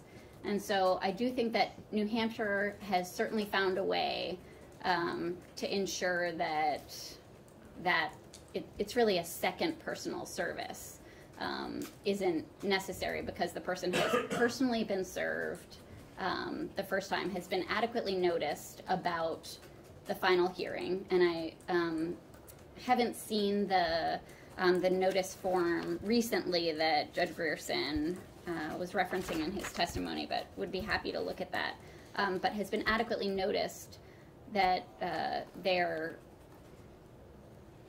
of the date of the final hearing and that they will be bound by um, any subsequent conditions, uh, uh, conditions of a subsequent order. Yeah, I, I mean, I, I understand that when I first saw this, I was thinking to myself, why didn't we decide to do this a while ago so Mhm. you don't have that gap? Um, the, uh, I guess that also speaks to the other idea that was sort of floated out there, extending the length of the emergency order so that there would be, perhaps be some overlap if we went the route of personal, so you, you, you still think the, um, the once served, always served thing is better? I still think noticing the defendant that they will be bound by the final order upon issuance, Mhm. whether it is personally served the second time or not, um, is important. Um, because again, there may be differences in conditions between the temporary or the final order. So um, even if the temporary order is still in effect and still in effect longer, while law enforcement is running around chasing a defendant who's perpetually ducking Obviously evading, service, yeah, then they're still not bound by the conditions of the final order. Thank you. Mhm. Any other questions on that? Um, yeah, and I'm happy to look at the notice of appearance um, suggestion that the that the judge offered. Just gonna see if there I have any other notes on once served, always served. Okay. Um, so section five again.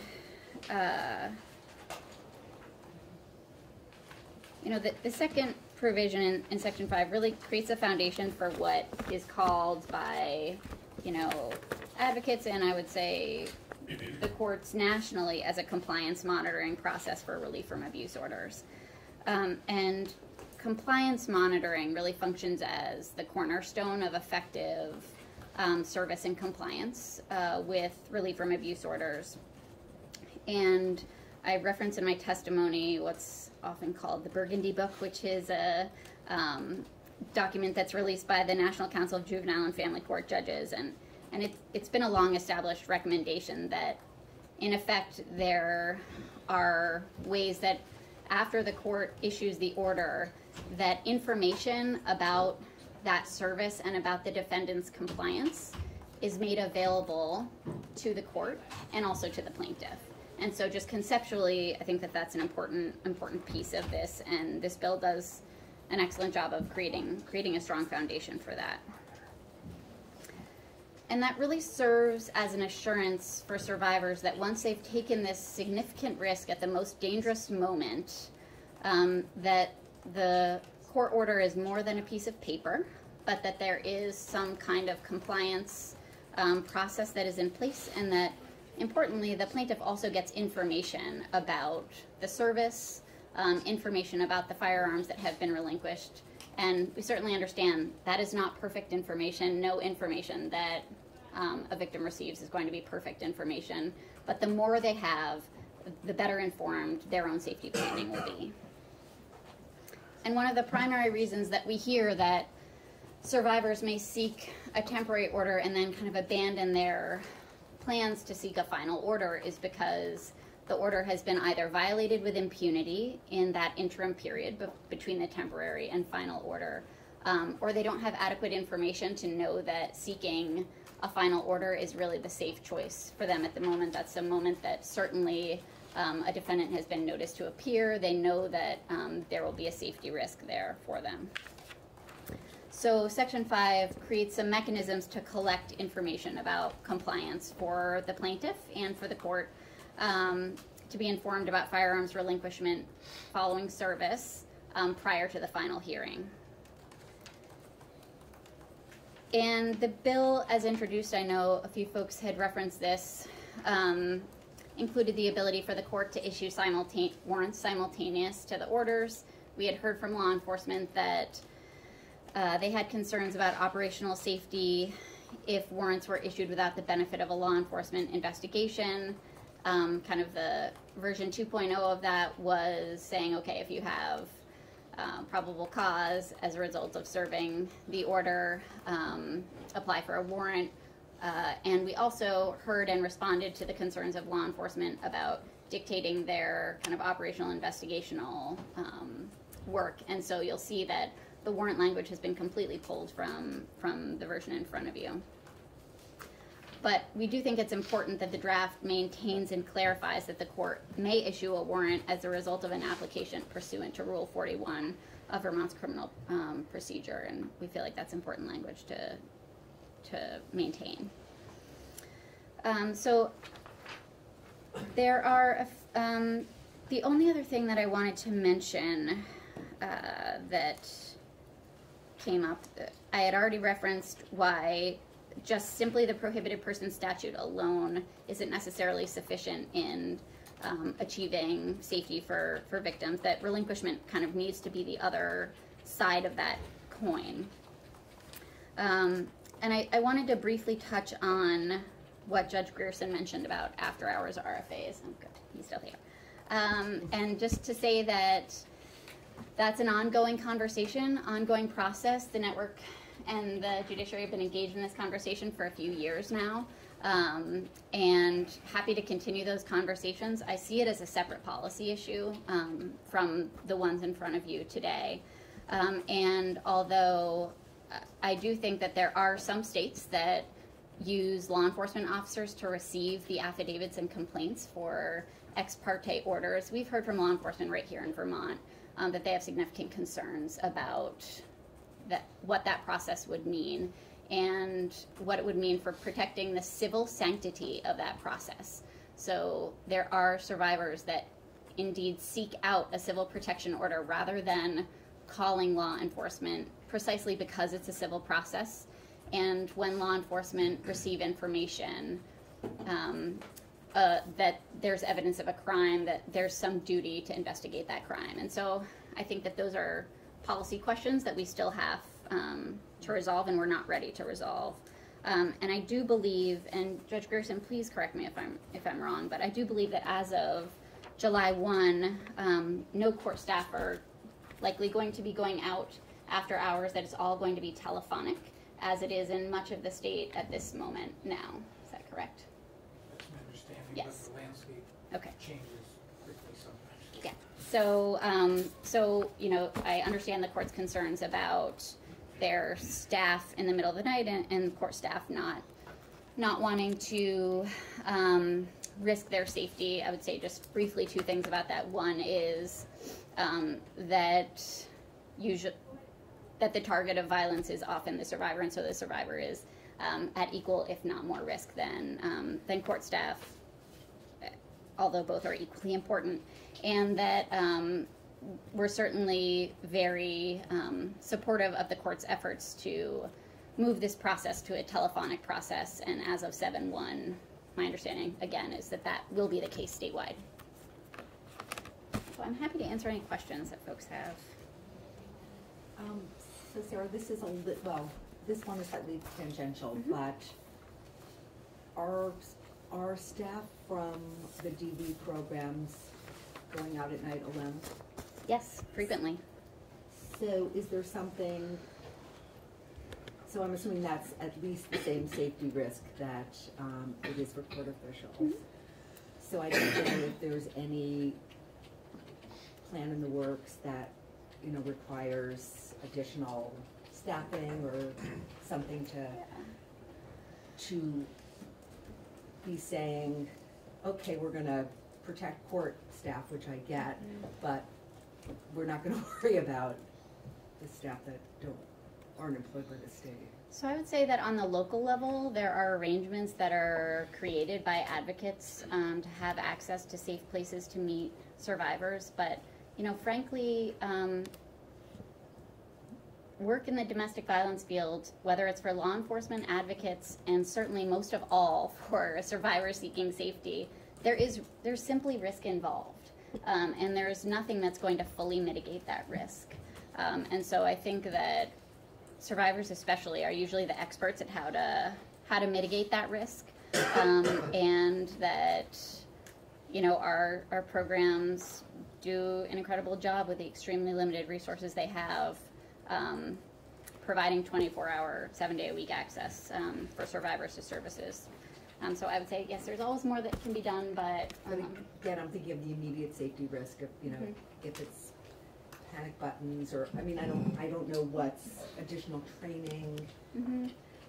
many of our programs do have safety protocols that they've they've adopted yeah. Um, So,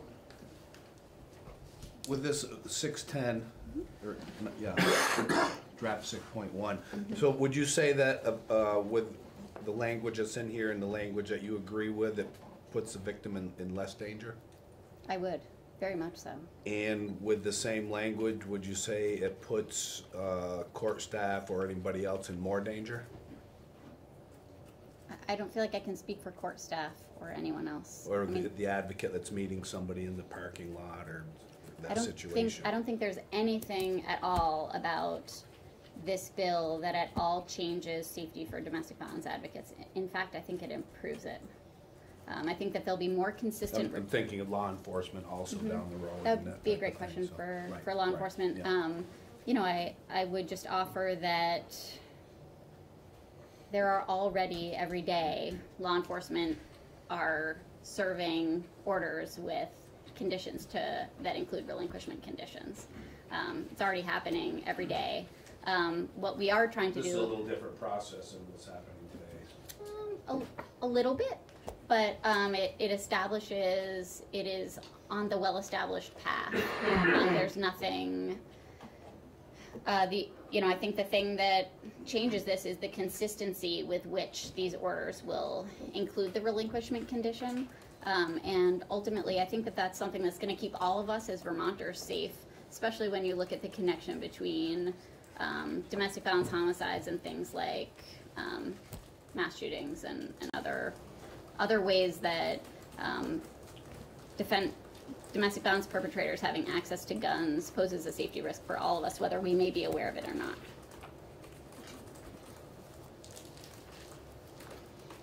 Other questions? All right, thank you.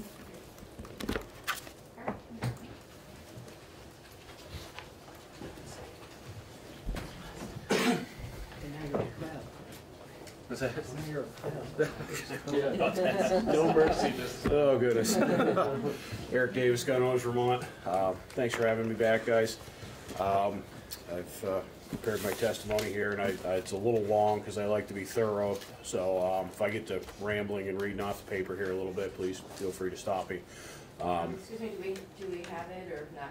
Yes, I, I brought copies for everyone if, if you guys want to pass it around or, or, Can we make sure to post it as well? Okay, yes, absolutely, yeah. I'll give that to Mike. Thank you very much. Hello, my name is Eric Davis. I'm the president of Gun Owners Vermont, and I thank the committee for the opportunity to speak today. I'd like to begin by acknowledging the committee's efforts to improve this bill over the last few weeks. We unfortunately still have some lingering concerns about both sections of the proposed legislation, or, or most sections, I should say. Um, starting with section one, um, we appreciate the attempt to find common ground on this part of the bill. However, we remain concerned that section one still weighs heavily on the side of infringement with only a small theoretical chance of a benefit. The Brady check already delays good people access to their rights for three days under the assumption that they are guilty until proclaimed innocent by the NICS check. And as we previously discussed, approximately 98% of all hits on the NICS check are false positives. This means that the wrongfully accused 98% will still have their natural rights suspended for up to an additional four weeks under this proposal on the justification of catching a small, tiny fraction of the remaining 2% who might slip through this theoretical loophole. We would humbly suggest that progress might be easier made regarding more effective background checks by reviewing the reporting system and the tools that law enforcement have at their disposal to ensure that firearms don't end up in the wrong hands. Instead of chasing hypothetical scenarios where we default to removing rights from good people, perhaps we should ask some different questions. For instance, are prohibited persons being properly reported to the NICS system by law enforcement and the courts? Are NICS denials being thoroughly investigated by law enforcement? And if so, how many of the denials in Vermont each year result in the prosecution of that individual for attempting to illegally purchase a firearm? What is the strategy of our law enforcement to combat straw purchases and theft, which are the two most common ways of obtaining a firearm illegally? In an effort to find common ground, I think we can all agree that there are certain individuals in our society who should not have access to deadly weapons, and that we should at least try to manage that risk. How we handle these folks as a society is up for contentious debate, but we believe progress towards safety can be made in numerous areas without compromising the rights of the good people of Vermont to obtain a firearm. With respect made to the efforts to improve this part of the bill, we still believe that Section 1 has way too much bad in exchange for a very small and purely theoretical good. And we continue to oppose this section. Regarding Section 2 and the seizing of firearms from persons subject to RFAs, the committee has heard much testimony on the legality, but not much on the logistics of such a proposal. And out of curiosity, we started crunching some numbers, and the results were staggering. And a fair warning, I'm going to get a little bit numbersy here for you guys. So, and, and if I start to drone on a little bit, feel feel free to stop me and, and say, hey, you know, what what the heck did you mean by that, or whatever. But um, we begin with the small arms study, which was conducted by the Graduate Institute of International Development Studies in Geneva, Switzerland which estimates that there are currently 393 million privately owned firearms in the United States. We chose this study for the purposes of this illustration, accepting that this estimate is likely lower than the actual number based on other available data. Keep in mind there's no way to get a clear number, and all we have are educated guesses based on the number of firearms manufactured since the Gun Control Act of 1968, when they mandated that firearms be serialized. Actual numbers are likely much higher due to several factors, but for the sake of this example, we're using the number 393 million, or rate of 1.205 guns per resident of the United States. So, if we take 626,299 residents in the state of Vermont times 1.205 firearms per person, you come up with 754,690 guns in the state of Vermont, physically. This number is also likely low since a rural state like Vermont will have a much higher ownership rate per capita than the natural national average. There have been over 600,000 background checks conducted in the state of Vermont just since the Brady Bill in the 90s, so the actual number of civilian-owned firearms in Vermont could well be double or even triple our estimate, but again, for the sake of argument, we're using the lowest possible number given the available data. Once again, no way of knowing for sure. Some estimates put the number of gun owning households in Vermont between 70 and 80 percent, but again, for the sake of this argument, we've intentionally watered down the number to a, our best estimated guess of 60 percent of the households in Vermont have guns. We figured that could be a you know reasonable number that, that everybody could uh, agree on, you know, wi- within that general area. So if we take the number of households in Vermont, 259,589, times the 60% ownership rate of firearms, we come out with 155,753 households in Vermont owning a total of 754,000 guns, or approximately 4.8 guns per gun owning household in Vermont. So every house that has a gun in it has approximately five guns, just shy of five guns, according to these rough calculations. So here's where I kind of get to the point. There were a total of 3,380 relief from abuse orders filed in Vermont in 2018. If 60% of these households possess firearms, that comes out to 2,028 RFAs involving firearm confiscation with an average of 4.8 firearms per household. If we take the 2,028 RFAs multiplied by 4.8 guns per incident, again, using the lowest possible estimates to calculate the rate, that makes 9,826 firearms that would have been confiscated in 2018 under H610 just from relief from abuse orders. Just shy of 10,000 weapons that law enforcement would have to go out and physically round up and confiscate and store.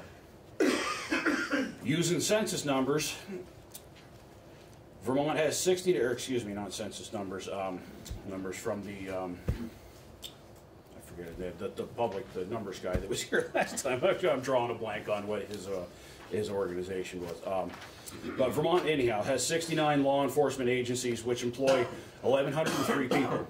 So each law enforcement agency would be tasked with the seizure and storage of 142.4 firearms per year on average, in addition to what they already do for regular crime.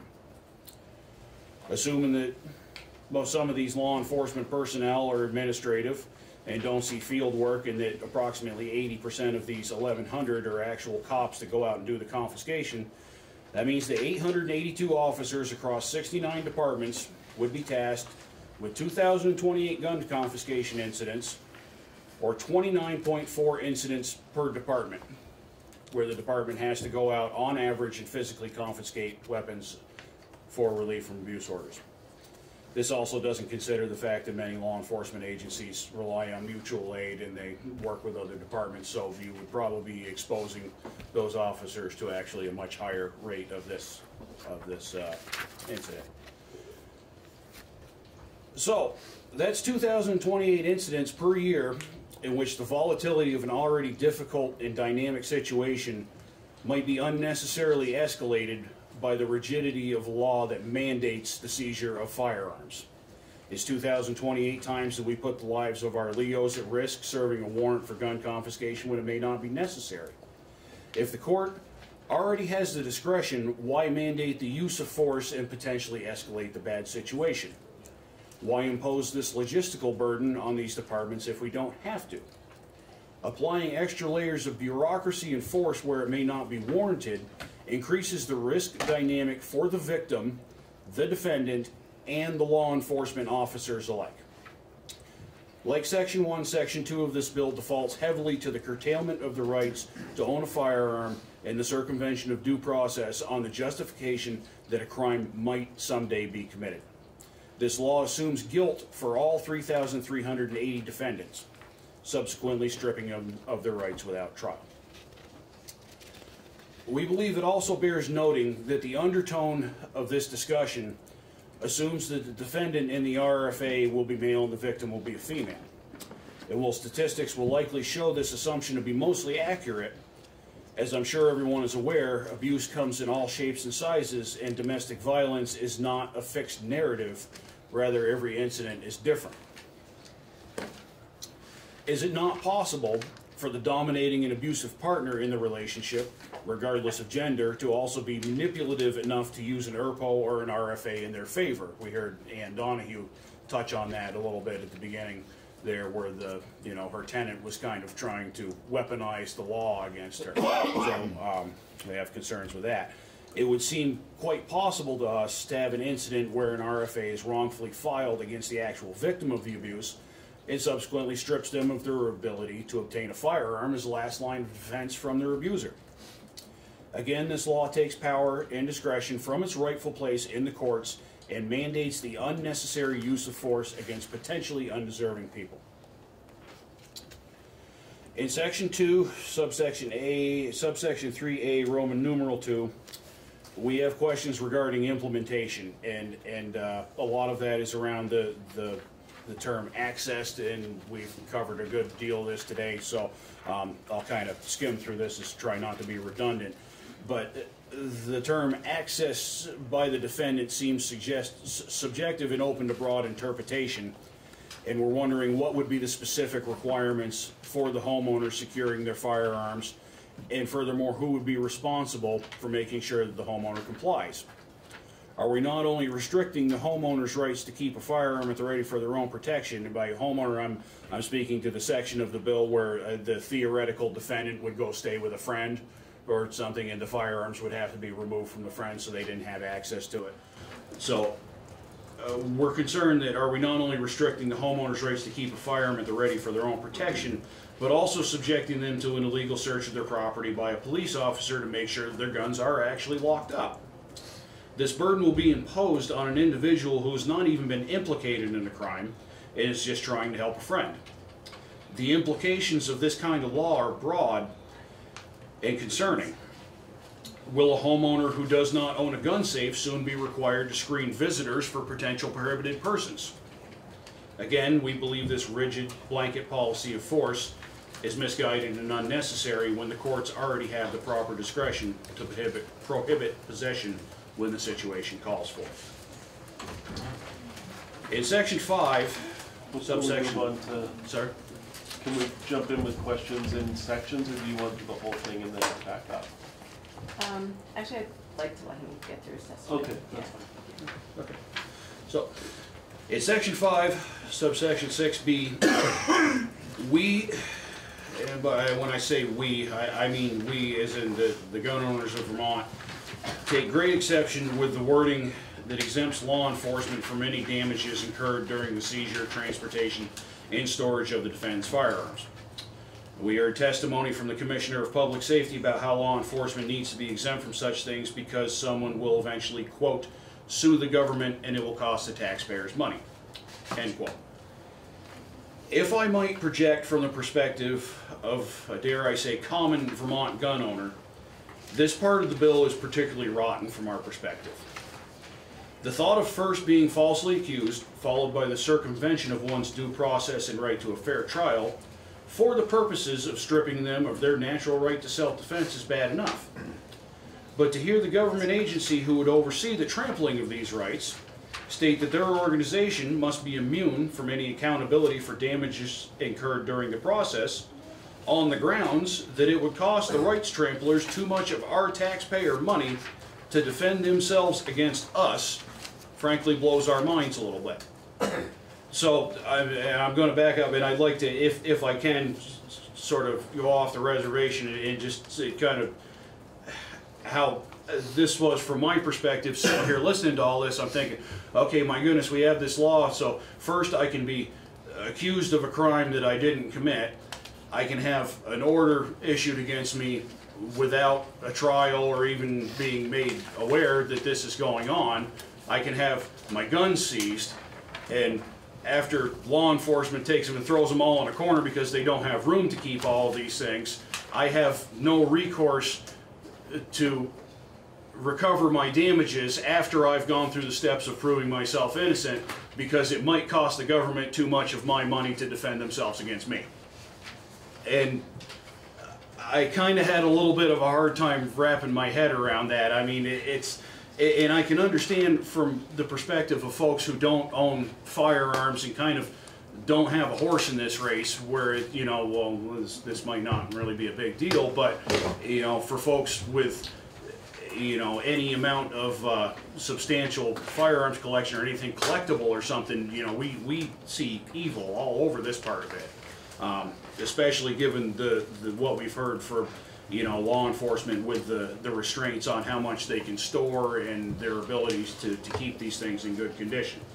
So, we acknowledge that the wording of the bill includes an excep- exception for negligence. However, the cynic in all of us should question the fairness of a system that first allows government to bypass multiple safeguards, which are enshrined in the Constitution, and then relies on itself to determine if it has been negligent or committed any wrongdoing. It's the old government investigated government and found out the government didn't do anything wrong. So, at the very least, we would like a little bit more protection for our private property if and when we should be subjected to, you know, this, this area of the law. We believe it practical to conclude that persons suffering gun confiscation under this law would likely see their firearms damaged and devalued through improper storage practice with no recourse. Antique and collectible firearms are very common, very expensive, and very susceptible to damage if not handled and stored properly. Furthermore, accessories like scopes are incredibly sensitive to mishandling and can often be worth more than the firearms themselves. A bill which mandates unlawful confiscation of private property is bad enough, but to leave citizens with no avenue to recover damages incurred during the seizure of that property is horrendous. It might be able to be made legal from a technical standpoint, but on the grounds of morality, when viewed through the paradigm of individual rights, it does not pass muster. Frankly, it's not even close. We strongly oppose this section. In sections 6 through 10 regarding ERPOs, we also have concerns that expanding Vermont's relatively new ERPO law before there has been time to evaluate its effectiveness as is will further increase its risk of misuse. The existing law has already been used in Vermont with mixed results. Consider the incident in Middlebury where a man had his firearms removed from his home because his nephew's friend talked about stealing one of them to shoot someone. We've also seen these laws turn deadly, as was the case in Maryland in 2018 when a 61 year old man was shot and killed by police officers serving an ERPO. Gary J. Willis had not been convicted or even accused of a crime when police arrived to confiscate his guns. Confused and irate, Willis resisted the officers' attempts to disarm him and was shot and killed in the struggle. Michelle Willis, the man's niece, told reporters that one of his aunts had requested the red flag order against Willis, but she declined to give a reason. She reported that her uncle, quote, likes to speak his mind but wouldn't hurt anybody, end quote. We believe that taking a relatively new law, which already has serious implications to due process, as well as little to no observable data as of yet to determine its effectiveness, and expanding the scope and threshold in the manner of which it might be abused is highly unadvisable. Considering the many different dynamics of modern family relationships, adding family and household members as defined in 15 VSA 1101 to the list of people that may request an ERPO significantly increases the chance for abuse of this law. As defined, a quote, household member could mean almost anyone. A vindictive ex, a disgruntled sibling, or even your daughter's deadbeat boyfriend that you've been trying to get out of your house for the last few months. Are we sure that it's a good idea to give these people the power to send police on a gun confiscation raid to someone's home on a whim? We think not. In conclusion, this law might stop a criminal someday. It may even save a life. Who knows? But for now, what we know for certain is that this legislation harms innocent law abiding Vermonters by curtailing their guaranteed rights of due process and self defense, suspending the rights of individuals, even temporarily, on the pretense that they might offend sets a dangerous precedent and can be nothing less than infringement. The practice of denying the natural rights of individuals based on the presumption of guilty until proven innocent has no place in a free society. When comparing the balance of suspending constitutional rights of every Vermonter versus the uncertainty, wishful thinking, and conjecture offered by this bill in return, there is no comparison. The potential benefit in this proposed equation is greatly outweighed by the absolute certainty that this bill will unnecessarily harm the good people of Vermont. We strongly oppose this bill. So, um, so clarifying questions for the witness, again, it's not time to engage the witness, but but to make sure we understand witness's testimony. And what I mean by engage is that I, I, I don't want, you know, clarifying questions, please. I'm not looking to debate, but I did Yeah. want to ask a couple of Yeah, questions. yeah. Yeah, yeah, Yeah, yeah, yeah. So, um, I wanted to bring around to a a question and some confusion that I have, uh, Mm. based on some, some conversations before. And maybe, I, it- you know, I see all the numbers and I, you know, I, I'm going back to section two. Okay. So, you know, I've, I also have had some concerns about the ability for law enforcement to be able to handle the number of firearms, but they're pretty adamant that they can. Um, I- I'm, but I am sort of wondering what the, if you could talk a little bit about the, um, opposition to section two as it relates to, um, the current federal law. So what I'm trying to understand is if the current federal law is that someone who has a relief from abuse order is prohibited from owning a firearm during the time that that firearm is, um, uh, that that order is in effect. Uh, what is the opposition to the relinquishment portion of this bill?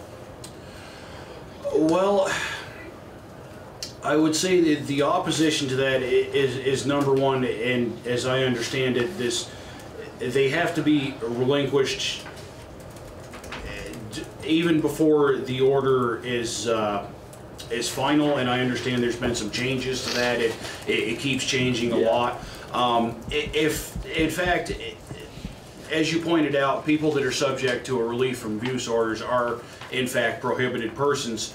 So when that order becomes final, um, I think you could take a good, long, hard look at what that person may, should have to do with their guns.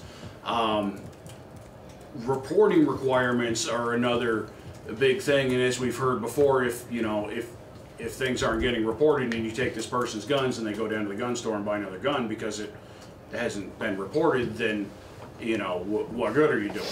So, um, with respect to that, I, I think, especially with reporting requirements, there's a lot that could be cleaned up there, sort of outside of this bill, but So when you're talking about reporting requirements, you're- you're talking about getting information. into getting information into the NICS system that says, okay, this person has been convicted of a crime or has a relief from abuse order, which makes them a prohibited person, so they are in the system as they should be.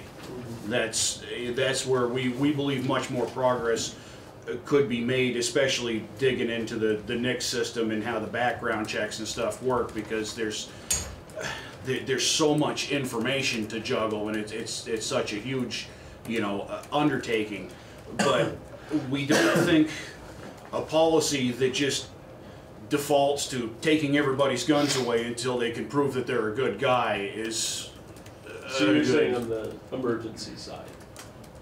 I- So you're saying, uh, um, so this, it, it is a little confusing. It- it because is, yeah. There's one section where you're talking about at a hearing where there's an order, and then there's Mhm. another where you can have the ex parte thing where you're not there. Yes. So separating those two out, going to the one that's where you're, you're noticed, you've had a chance to be there. Mhm. If that order is approved, that, that there's an order issued at that point, then the person by federal law loses their right. becomes a prohibited person, and yes, they, uh, that would be reasonable that they would at that time have to find something to do with their guns, because they are prohibited is- by federal law. Right, which we've heard is somewhat problematic because there's no mechanism in place to. Sure. Yeah. Um, and then, but the, the other side is the opposition that you're stating to the, um, to that process being put in if the person hasn't had the chance to. Correct, Okay. and, I- and I would say to clarify, that's where the majority of our objections come from, is that ex parte part where, you know, you can just be accused of a crime and have the cops show up at your door to confiscate your guns. I mean, you can see how that would, could and probably would go poorly at some point. It, it, and it gets very confusing, because It, it, sections does- there's a lot, it that changes a very- lot, so I'm, I'm doing my best to try to keep up with everything. Um, and can I go to section five? Yes, Where please, you talked please, about the, um, the storage of the guns. Mhm. Has there been, do you, do you know of, um, any issues, because I was looking and I think it's hard, again, it's hard to tell because the different versions, but I Mhm. believe that those statements about, um, the immunity except for negligent conditions is current law. It, it is current law, it Yeah. was, it was I think it's misunderstanding that then?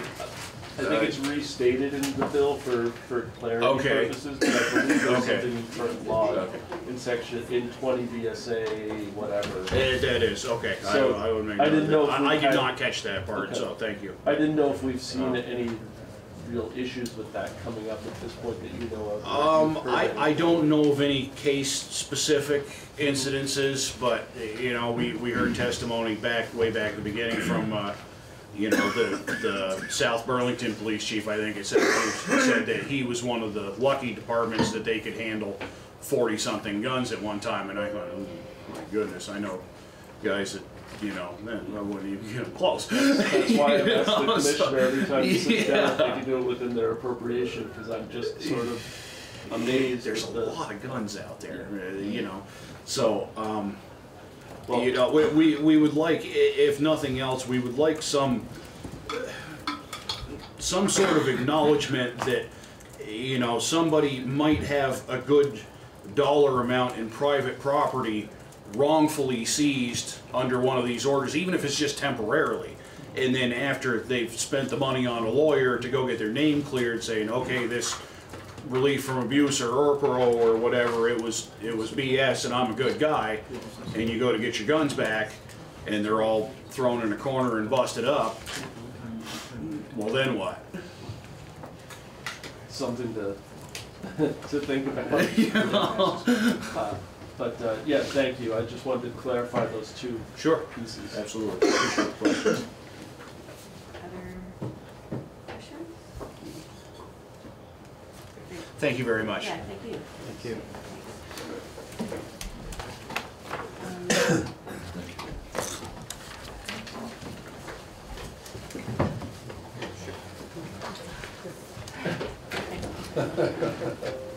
Thank you, Madam Chairman and members of the committee for this opportunity. Uh, My name is Tony Facos, I'm the Montpelier Police Chief, and I'm here to represent the Vermont Police Association. Uh, thing I just want to say up front is that uh, law enforcement of Vermont and the Police Association, we are deeply concerned with and um, how do we best reduce the number of domestic violence homic- homicides. And so we are in that process absolutely, uh, to do whatever we can to keep people safe. Uh, So the VPA does support proposed uh, revisions uh, to version six one that, uh, that, that we're working off of today um, with the, the consensus draft, if you will. One of, so I'm just gonna focus on something a little new that we haven't um, kind of nibbled around on, but we still have unresolved safety issues, and I'm gonna try to get into those safety issues and some recommendations that uh, might provide us some, some, some uh, tools or options to, to manage that risk. So safe removal receipt uh, of relinquished firearms at an unfamiliar location with unknown number of occupants under circumstances the officer has limited to no control. That's kind of the problem statement. So relinquishment to law enforcement officer or to a law enforcement, o- law enforcement agency must be pursuant to the instructions of the law enforcement officer. The goal is to remove firearms in a safe and orderly process without harm to anyone, including officers. The obligation to relinquish arises immediately, that's, uh, in section, page four, line twenty-one, and page seven, line fifteen, upon service of the order by a law enforcement officer. From an officer perspective, a law enforcement officer must immediately be prepared to manage and accept relinquished firearms. Relinquishment will occur in all hours of the day and night where backup support may be one to two hours away. During relinquishment, law enforcement officers, it is imperative that officers be provided with full discretion and a variety of options and tools to assist the law enforcement officer in controlling the relinquishment process, a highly dangerous process with ever-changing circumstances. the safest way to quickly remove relinquished firearms while serving temporary or final orders. So, uh, to ensure the location is free from all occupants with no opportunity for people to arrive at or enter the residence during the removal. Again, we're trying to control the environment here in a, in a way, uh, sometimes similar to how we would conduct a criminal search warrant investigation. Uh, deploy special equipment such as if need be, as we just heard, uh, U-Hauls, additional officer anticipation, of worst case scenario may include lots of firearms and lock safe, and lock gun safes, people on scene who are young, old, agitated, under the influence, armed, dangerous, limited mental capacity or mental health issues, and dangerous agitated defendant with access to firearms. So, uh, again, that's our approach, so how do we, how do we, how do we manage that, uh, in the most effective, safe way? So, just to make sure I understand, so, um, so you're saying that law enforcement needs full discretion, right? And, um, can, can you point me to the language in six point one where you feel like it curtails that discretion? Uh, Well- am I understand, is that what Well, you're? Actually, we're looking to add, um, some, we're making a recommendation for additional language, because this, the, in total, six point one, um, does create a different, uh, more frequent challenge for us. And that's, I think, the key here is the number of times that we may be faced with a relinquishment, um, through this process. Okay. And we just wanna make sure that we have uh, effective tools to help us manage, um, even, to even include we can't safely do this right now. Um, And, and we've kind of heard from, I think, Commissioner Schirling, but also, uh, the way I look at it is you've got a defendant, you've got a plaintiff, and you've got guns. Separation of one of those three factors could be critical. There might be a time where we might help facilitate, for example, removal of the victim and children that could be in danger until it's, it's safe. We're just, just gonna talk this through, so, um, again, this is in response to what six one creates, and we hadn't had a chance, just be, just we ran out of time to effectively vet, um, some of our proposed language that's gonna center around relinquishment and potentially impeding that process in, in the, uh, service of, of this board. Um, So yeah, another thing is, he's also aggressive dogs and there's a variety of things. So the vast majority of Vermont law enforcement agencies do not have the law personnel capacity and resources to serve temporary and final orders, uh, for example, with a SWAT team and trucks twenty-four hours a day, seven days a week. Uh, you cannot resolve the resource and cost issue, uh, that's something we're gonna have to just figure out on the fly. Uh, you know, and again, we've worked the mutual aid and, and agreements, as we would any other criminal, uh, situation that we would need to muster sufficient resources.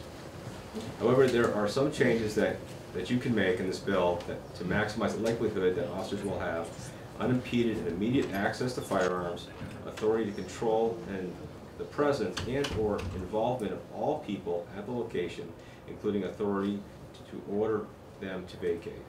Um, so, uh, that, will- there'll be language I'll, we'll get into regarding, uh, criminal impeding, which is, uh, Title thirteen, Section three thousand one. Authority to arrest, detain non-cooperating persons failing to follow an officer's instructions during relinquishment and removal. Uh, ability to remove firearms without harm to any person and damage to property. So proposed revisions to H six ten, uh, to this, this version addressing concerns. Embed in every order where firearms are to be relinquished involving, involving a law enforcement agency, not the third party, a requirement that the defendant follow the officer's instructions. These instructions, like other authority granted to law enforcement officers, are always subject to constitutional restraints. This gives officers the authority within constitutional constraints to control defendants' movements and location and, and the purpose, and, and the process for relinquishment. So for example, officer instructs defendant to stay outside the house or leave the premises until following relinquishment. Officer notifies defendant to return, the officer instructs defendant to remain present. If the law enforcement officer needs to ask the defendant for assistance in assistance in accessing and removing firearms, such as providing keys, geographic locations, directions, uh, number of firearms. It would, it would not authorize a law enforcement, law, an officer to search and seize without a warrant or other recognized exception to the warrant, the warrant exception process. Because the provision is embedded in an order, a violation is enforceable through arrest pursuant to the crime of violation of abuse prevention order. Define relinquishment to mean fully cooperate with law enforcement efforts to access firearms by providing upon request of a law enforcement officer information or keys, locks, including but not limited to location of firearms, production of location of keys, combination to locks, firearms, safes, doors, just to give us the access. Um, And an example of that, we get to, uh, get, you're serving an- the order, there's multiple, and the defendant meets you at the door, says, yep, have at it, uh, all my guns are down in the basement, they're in the safe. Well, he's not, he's not, is that relinquishment or not, but yet we have no access to that safe. So That's some of the, the, the challenges that we're trying to anticipate and just have a, an option how to best deal with that. Uh, the time, place, manner, conditions of relinquishment.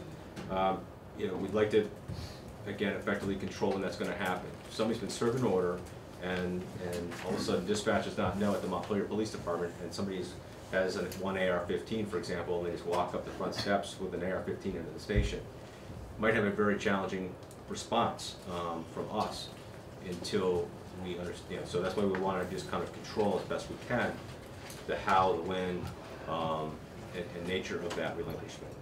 And, and again, do you, um, can you, can you do that now? Can you, do, can you control that now? Well, And does this take effectively, effectively, no. Uh, we can ask. We, you know, we always try to, to go the path of least resistance and get cooperation. And, Yeah.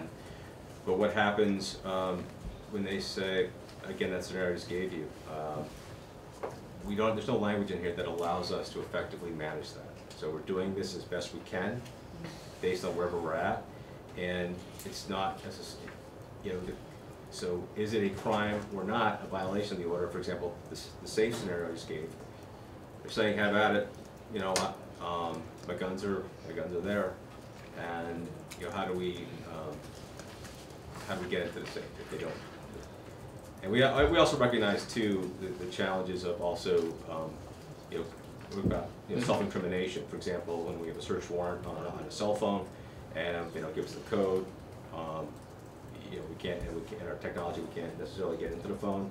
Uh, it happens, uh, even at the national security level, um, you know, we can't compel somebody to provide that information. So, these are just, these are just some of the scenarios we're trying to, and again, these are just some of the concerns that we have while we're dealing with a situation where we know that we're going in to deal with firearms, um, and how do we control that? Because in a tactical situation on a criminal investigation, we do a lot of inform, you know, we do, we do our due diligence to make sure that we have information as far as, you know, who's in the, who's at the premises right now, what are the dangers, children involved, all those other factors, what are we up against, to make sure that we have sufficient resources, and then also we can control the timing of execution of that warrant service. These are the kind of things that we're used to. This is something that we are not, um, totally used to. And that's, um, this bill creates that, that, that common process that we mostly, like, could be faced with. So we're just trying to identify how do we best move forward, um, on that. S- um, so we have language in there, I don't need to, I, I, but that's the purpose of the language that I think everybody has now, uh, regarding, uh, that piece, and so we're looking, to, again, to grant enforceable authority to law enforcement officers to control all people at the scene. Officers have no authority to control the movement of those present during relinquishment. If you add a new crime by amending, uh, impeding a police officer, again, violation of Title thirteen, subsection three thousand one, officers can order a person to remain in a place or leave the residence until relinquishment is completed, or arrest them, uh, if, you know, if, if, um, there's a threat against get compliance if they do not comply. So we're just looking for that tool. We don't, I don't think this is gonna be a common issue, but nonetheless, right now, we, we don't feel that the law, um, in- is adequate as if we would implement, um, six, one- you know, six ten as, as we are, at- we're at now. Um, and so again, that's, that is kind of, yeah, those are the areas we just really wanted to talk about, because in law enforcement, we're doing a lot right now, there's, there's even bills, uh, for example, H eight oh eight, uh, that deals with death of force. Um, and we also, and, and part of the whole process that we're trying to do, we do with law enforcement, how to make sure we're on best practice, how do we look at everything we can, uh, in terms of, at what point could we have de-escalated something? At what point was a tactical retreat, retreat, the more, the more responsible action to take? Um, and so that's why we're just looking for these effective tools, so we can make these as safe as possible without escalating a situation where we know we have guns. I mean, the first thing, whenever, uh, you know, and we, our, my folks are involved with a task force effort, um, you know, we have, a- we have, an FBI task force officer, we report to the ATF, and the Drug, Drug Task Force. First question I ask as a chief, okay, you know, when, when some things are happening, are there guns involved? You know, these are the, these are the standard questions that in the decision-making process to how safely we do that. So a lot of times, we get the person to come out, so we're not going into that environment, those kinds of, those are the thought process. So I just wanna overlay how we're trying to do better all the time for everyone's safety, um, and to make sure that we can effectively also, um, carry out what, you know, what we, um, have gotten so far on this bill. Thank you. Questions? I have a question, but it might be, I'm not sure if it's a question for you or it could be better answered by Beth, but just, um, it's more just I'm trying to understand the process, so, cause these feel like big substantive proposals that are coming to us at this stage, and so the, on the consensus, to support the changes to the underlying bill, you support these changes, but I'm, I think I'm reading that you won't support the bill without these provisions, and did people, like, did those get vetted in the group with the memo? It sounded like the commissioner had a chance to look at them, but did the mm, other So- stakeholders, or that we're all looking at it now? Do you want me to answer that? Yeah. then? Okay, I- I wanna make sure I get on the record for you. Sorry, Tony. So this is uh, Beth Novotny, I'm the, uh, with the Poli- Vermont Police Association. Um, So with respect to what was House thirty that had been on your wall, and may still be up there, which is a similar type of a bill. Uh, when that bill hit the legislature, I began conversations with the network around, you know, this, um, trend, uh, toward, uh, civil relinquishment of, of, of firearms that may be coming either, uh, in connection with, uh, the abuse prevention process, or because we're dealing with an ERPO, or because we're gonna be dealing with, um, there've been some ideas around people have mental health issues in an earlier stage, backing the line up. So the concern, the overarching concern about, look, this is becoming, um, more frequent, and in addition to the just plain storage question, there is the increasing concern that the more contact you're having with people with firearms, you are increasing, just by the sheer increase of numbers, the risk of, of those contacts um, escalating. And that there are many departments, especially in rural Vermont, where backup is literally an hour to two hours away, depending upon what time uh, this is occurring. Um, They don't have the large number of officers working that, let's say, Burlington Police has, or even South Burlington. So there was a discussion, and we had always been willing to come to the table and have a conversation about, let's, you know, what do you, what's the problem you're trying to solve, can we build it together? This bill came in January, and we, um, I think we were soon drawn into the process, uh, having conversations with the network about, about the bill. But we have been very consistent that um, we needed a solution to this safety concern that we really didn't have. To be quite honest, um, I didn't have an answer to the, to the question, but we wanted to try to resolve it. We're in this bill's process. We weren't, we weren't the proponents of this bill, we weren't involved in building the bill. We got, we sort of got landed in a process that's occurring here that's in the control of this committee. So we're doing the best we can on the fly as this thing is moving and versions are changing to try to take care of a number of different issues. The first is what I'll call the underbrush, right? The technical process of, of these orders. The second part of it, and the primary concern for the police association, is the safety piece. Um, I think I had a meeting in here with Representative LaLonde, who was sitting here in this room with me, and I said, I still don't have an answer. Um, and it wasn't for lack of trying. There were a lot of conversations, but you're reacting to what's immediately in front of you, trying to be creative, but you're reacting to bill changes and such. On Thursday, I began to come up with part of an idea around that, that uh, just before our first meeting as a group of stakeholders, shared it just before the meeting, about a half an hour beforehand. Uh, And you're right. Um, On Thursday's meeting, we immediately, we, we, we opened with that concern. We had a, a brief discussion about what that might involve. It, um, to include officer instructions, some ability to enforce that.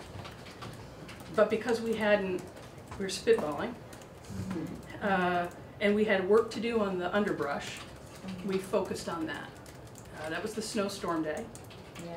And, uh, and so from Friday, Saturday, and Sunday, I will tell you, I spent, Tony can confirm this, um, ten-hour days working on the underbrush, putting together the drafts, and thinking about back and forth with people, what can we do here? What will work? So there were a lot of phone calls, there was a lot of thinking, um, and I came up with the contributions of several people. We came up with embed the officer's, uh, the requirement that the relinquishment has to be pursuant to the officer's instructions, because they're gonna be controlling a good deal of this, so that you actually have authority in this civil process, because that's what this is. If, the per- the worst case scenario, interestingly, in many cases, is gonna be the time when the defendant says, I've got hundred and fifty guns in the basement, and you can take my safe. Technically, they've relinquished, right? They have technically said, you're welcome to the guns in my basement, and you're welcome to my safe. There's no uh, violation. It just puts the officer in this really interesting position at two o'clock in the morning. Right, how is that accomplished? With the ability to uh, provide instructions based upon the totality of the circumstances. You know, depending upon what's going on in that household, the state of the defendant, uh, all sorts of factors, the easiest thing to do might be retreat. Maybe you don't want to. Maybe you actually, under the circumstances, want to make an effort. Maybe the easiest thing to do is to say to the defendant, give me the combination to your safe, so I can do this as quickly as I can. Get out, you go to the local diner, don't come back for six hours. I've got backup coming in an hour, but I can start some process, because you're the only one in the house. So it, it, it is, you can't, there will be no single event that we can describe for you, they'll all be different. And you have to make a call as an officer as to what is the safest way to do this. So the tools, the tools help you minimize the opportunity for harm, just, not just to the officer, but to anybody there. Those tools should be as, as complete as we can, so that they can select among the least um, harmful combination. Instructions might be the best way to do it. So that's one way. But what if the defendant is there and they're having a Super Bowl party? And he wants you to take five guns that you can reasonably take. But you've got drunk people watching the Super Bowl, they're agitated, they're complaining about the plaintiff, and the officer's thinking, I'm the only person in this house. I can't be distracted carrying out guns, but I want to get these guns. So, you know, you're making decisions. The ability to offer instructions, to say to everybody, it might be as simple as, folks, I need you to just, you know, go for a walk. Uh, it might be, depending upon the, the location of the house, uh, maybe they're in the barn, the guns. You stay in the house, I'm gonna go to the barn. There are all sorts of ways that these instructions can be helpful.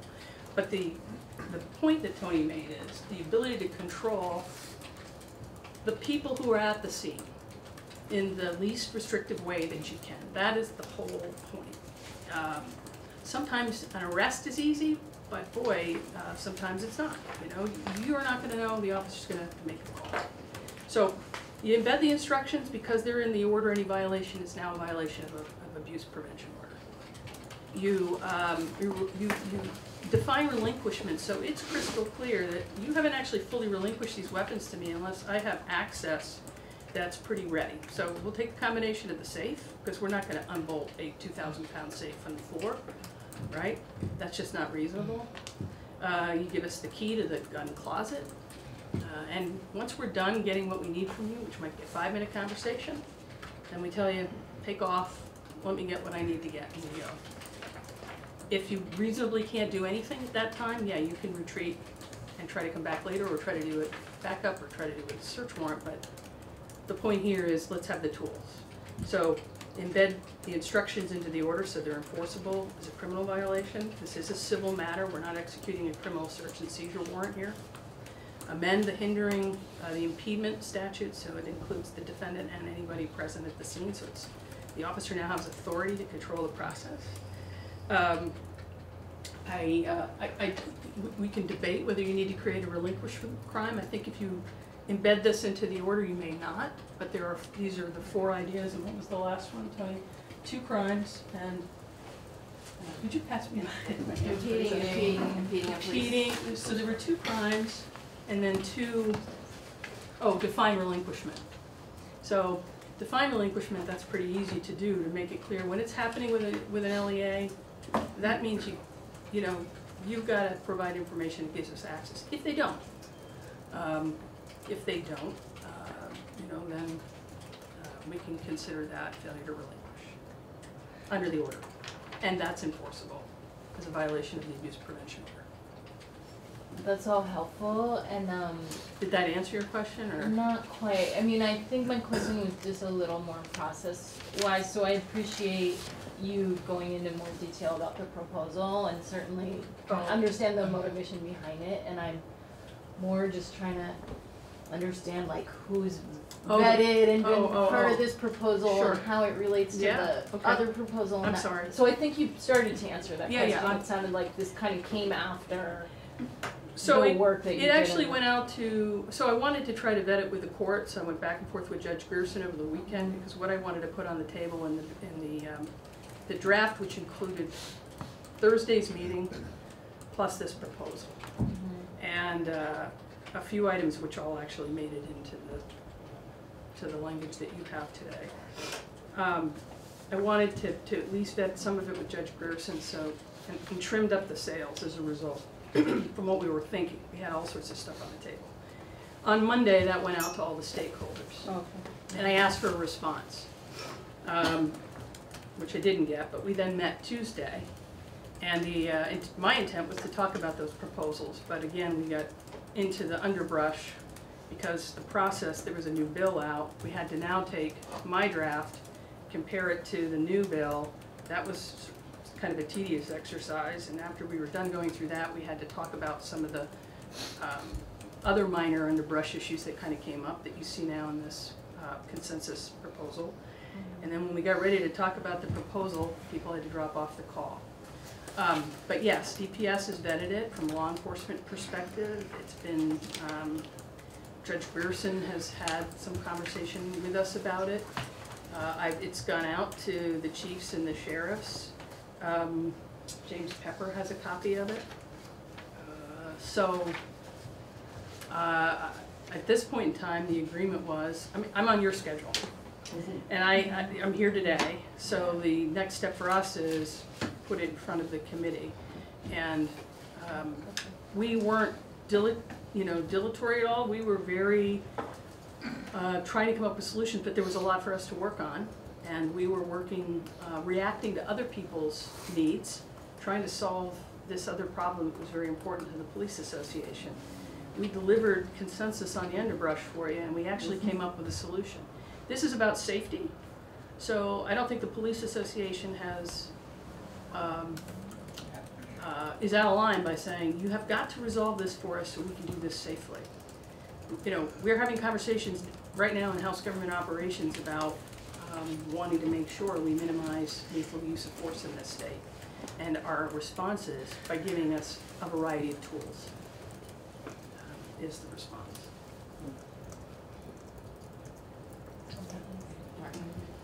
Yeah, uh, just a couple uh, more detailed questions. Um, How is our, I'm looking at uh, the relinquishment of firearms, thirteen VSA ten forty-nine, the proposed new crime. Yeah. How is it not a uh, Fifth Amendment violation or, you know, self-incrimination issue requiring the individual to explain the locations of firearms? Right, well, because at the moment, it's not criminal. Well, wouldn't it be criminal as soon as the order is issued, Well, if they you're are a doing that- prohibited person? The better question back to the committee is if you were going to serve these orders and put people in immediate violation of the law because without notice, they're served with an order and have no opportunity to Yeah, remove they the need an opportunity, I, I like the time, place, manner, And- and- conditions of relinquishment, it's So just this- that, that one. This is, this is in fact that process of getting them out of, as quickly as you can. So I don't see it as incrimination to say to the defendant, you're in immediate violation technically under this order, we need to get these out of here quickly, because that's what this bill contemplates. And, and rather than arresting them, we're now going to work with them to try to get those weapons out by getting some basic information. Uh, It is not self-incrimination at this point in time. If it is, then we aren't in a position to ask them anything at the door. Uh, we're just gonna serve the order and, uh, and then what? So, I, yeah, thank you, that, that's helpful. Uh, I am, uh, a little concerned about something as broad as just saying any other information in, that will assist the officer, um, when you're potentially creating a crime or a violation of abuse or protection order. I just, So I there are don't two know what ways- the answer to that is, but, but uh, that does concern me a little Two bit. ways to do this. You don't need this crime if you embed into the order uh, that relinquishment occurs pursuant to the instructions of the officers, and you couple that with an understanding of what relinquishment includes, meaning we, we expect you to do this in a, in a, in as quick a time frame as can be done under the circumstances. Um, And I think what we're saying is, we're gonna give you a chance here not to be in violation of this law. We're not gonna immediately arrest you, gotcha. We're gonna give you a chance, but you gotta help us by getting to those firearms as quickly as possible.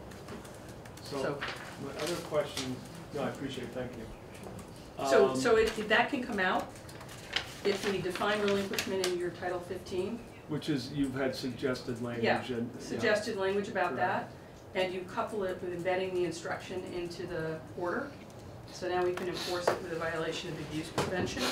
Uh, and you add impeding to allow us to uh, specifically address just these civil process issues with the defendant and those present. And, and as judge, have you, I will ask Judge Grearson on it myself, but I'm just curious if you ran that idea of him So having this- it in the order with Judge Grearson. This was, uh, this was in our VPA draft that went out to folks, and we had a discussion about him. He was on the phone, we were discussing embedding it in the, uh, in the order. Um, So you, I he may, can't he may or may remember. not have gotten a heads up, which is fine. No, no, he's, he's aware of this, here's a copy of this. He had this, he had this before he testified, he had it this morning. Okay. Yeah. So one other question, um, a concern. Actually, Uh, he read from it. Oh, yeah, I recall that. I did see that he read. So- So, so you're, you're feeding him all his testimony? Is that what's happening? No, I wanted, as a courtesy. Okay. to see it. So here's my question, on impeding a police officer. Um, I'm a little concerned I- that you say at the beginning, a person subject to the lawful search and seizure. And then further down, uh, instructions requiring a person to temporarily vacate a location. That seems to broaden it to beyond people who are subject to the search and seizure, and I'm not sure that that's You're looking at the, kosher. you're looking at the old version? Okay. So public safety made a suggestion in here, it was actually um, a, a, a cutting and pasting at about twelve o'clock at night. But that correct on, is online, it's been posted, Mike posted it.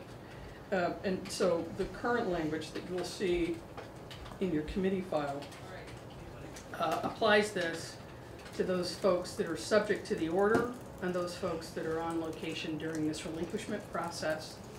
So for a temporary period of time, the officer's instructions to these people. So you have, so you have a crime of hindering now, and it's in A, but it's, it's not in connection with this civil process.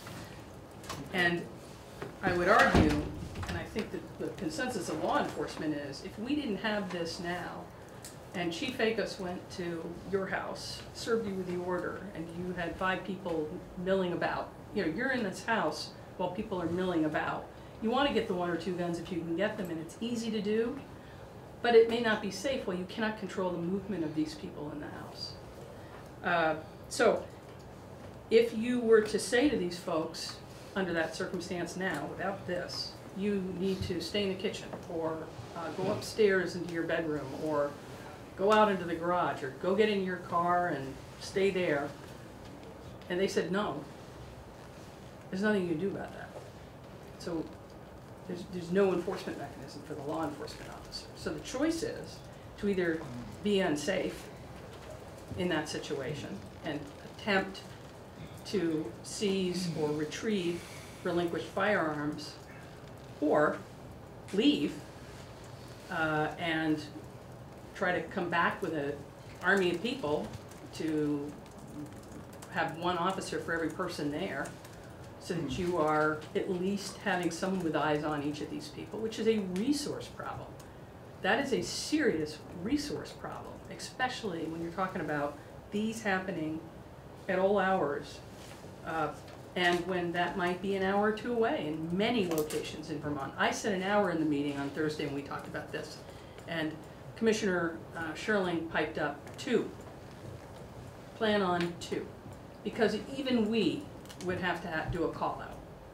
So So, so, no, I, I understand that part, it's just, to ponder a little bit further, um, really if we wanna make a potential crime, that if you go into a, a house and people not subject to the order, that you order them around and they say no, and then all of a sudden they're now subject to this crime. And- and Right. That concerns me a little bit, if there's, it may be the better option that the officer retreats until there's reinforcements, I don't know, I, I have to hear more testimony about that concern. I- I'm just gonna, uh,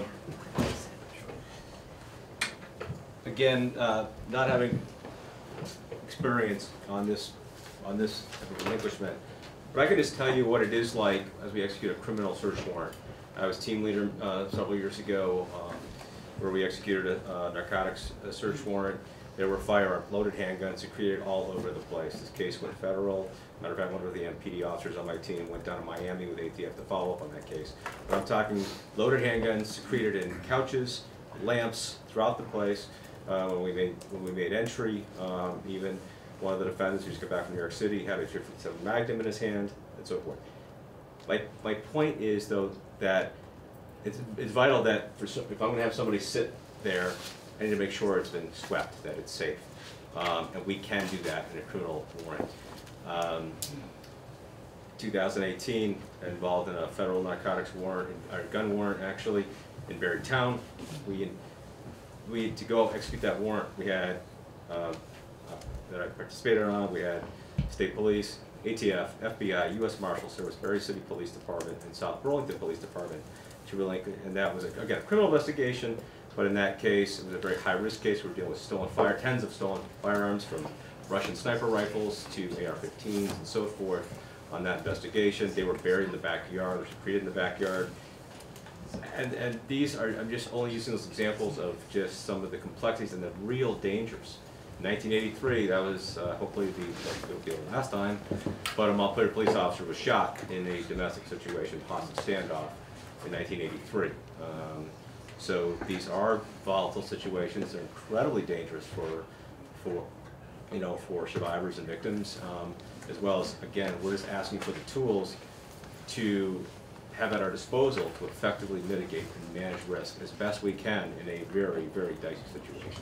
And, and that goes back to, um, whether this is the solution of being able to potentially create a crime when you tell the five people watching the Super Bowl to take a walk and they don't, as opposed to you have the discretion in law enforcement to do all this safely, that you back off and you, uh, I guess the terminology that the commissioner uses, you script uh, the, the seizure, you do whatever scripting you need to make it as safe as possible. And that, that's the balance, I don't, I'm not suggesting, Right, well, I ignore to- the to fact that include the safety people want to planning, go Maybe in. that, you know, well, I want to do what I can to help remove the survivor and family members that could be in harm's way from the environment. These are all the things that we, Sure. right now, we're fixated on the guns, and I just, we just want to make sure that we are not forcing law enforcement to, um, to, to take action when they don't have the resources, training, and equipment to effectively deal with that um, in a timely manner for protection of, you know, potential And, and- certainly that's not what we're trying to Right. do. If you understand where I'm coming from, is it, is it better to not potentially create this crime?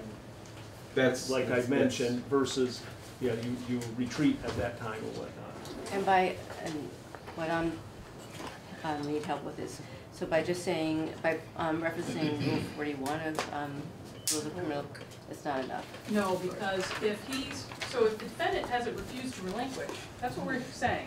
The Defendant says, you're welcome to everything in my basement. You're welcome to everything in my basement. Um, that is, uh, to the civil order, they're in compliance. They, are- they are in compliance in the sense they are voluntarily saying, you're welcome to my, yeah.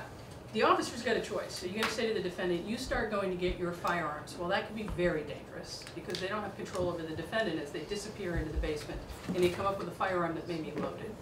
That's not a great option. I mean, it might be, depending upon who you're dealing with. Or, you, uh, you're prepared to accept relinquishment, but you need access, which they're saying you can have. You don't have a criminal basis at this point unless you're going to immediately determine, because they've been served with the order, that they're in possession of contraband, and then you're gonna go get a warrant.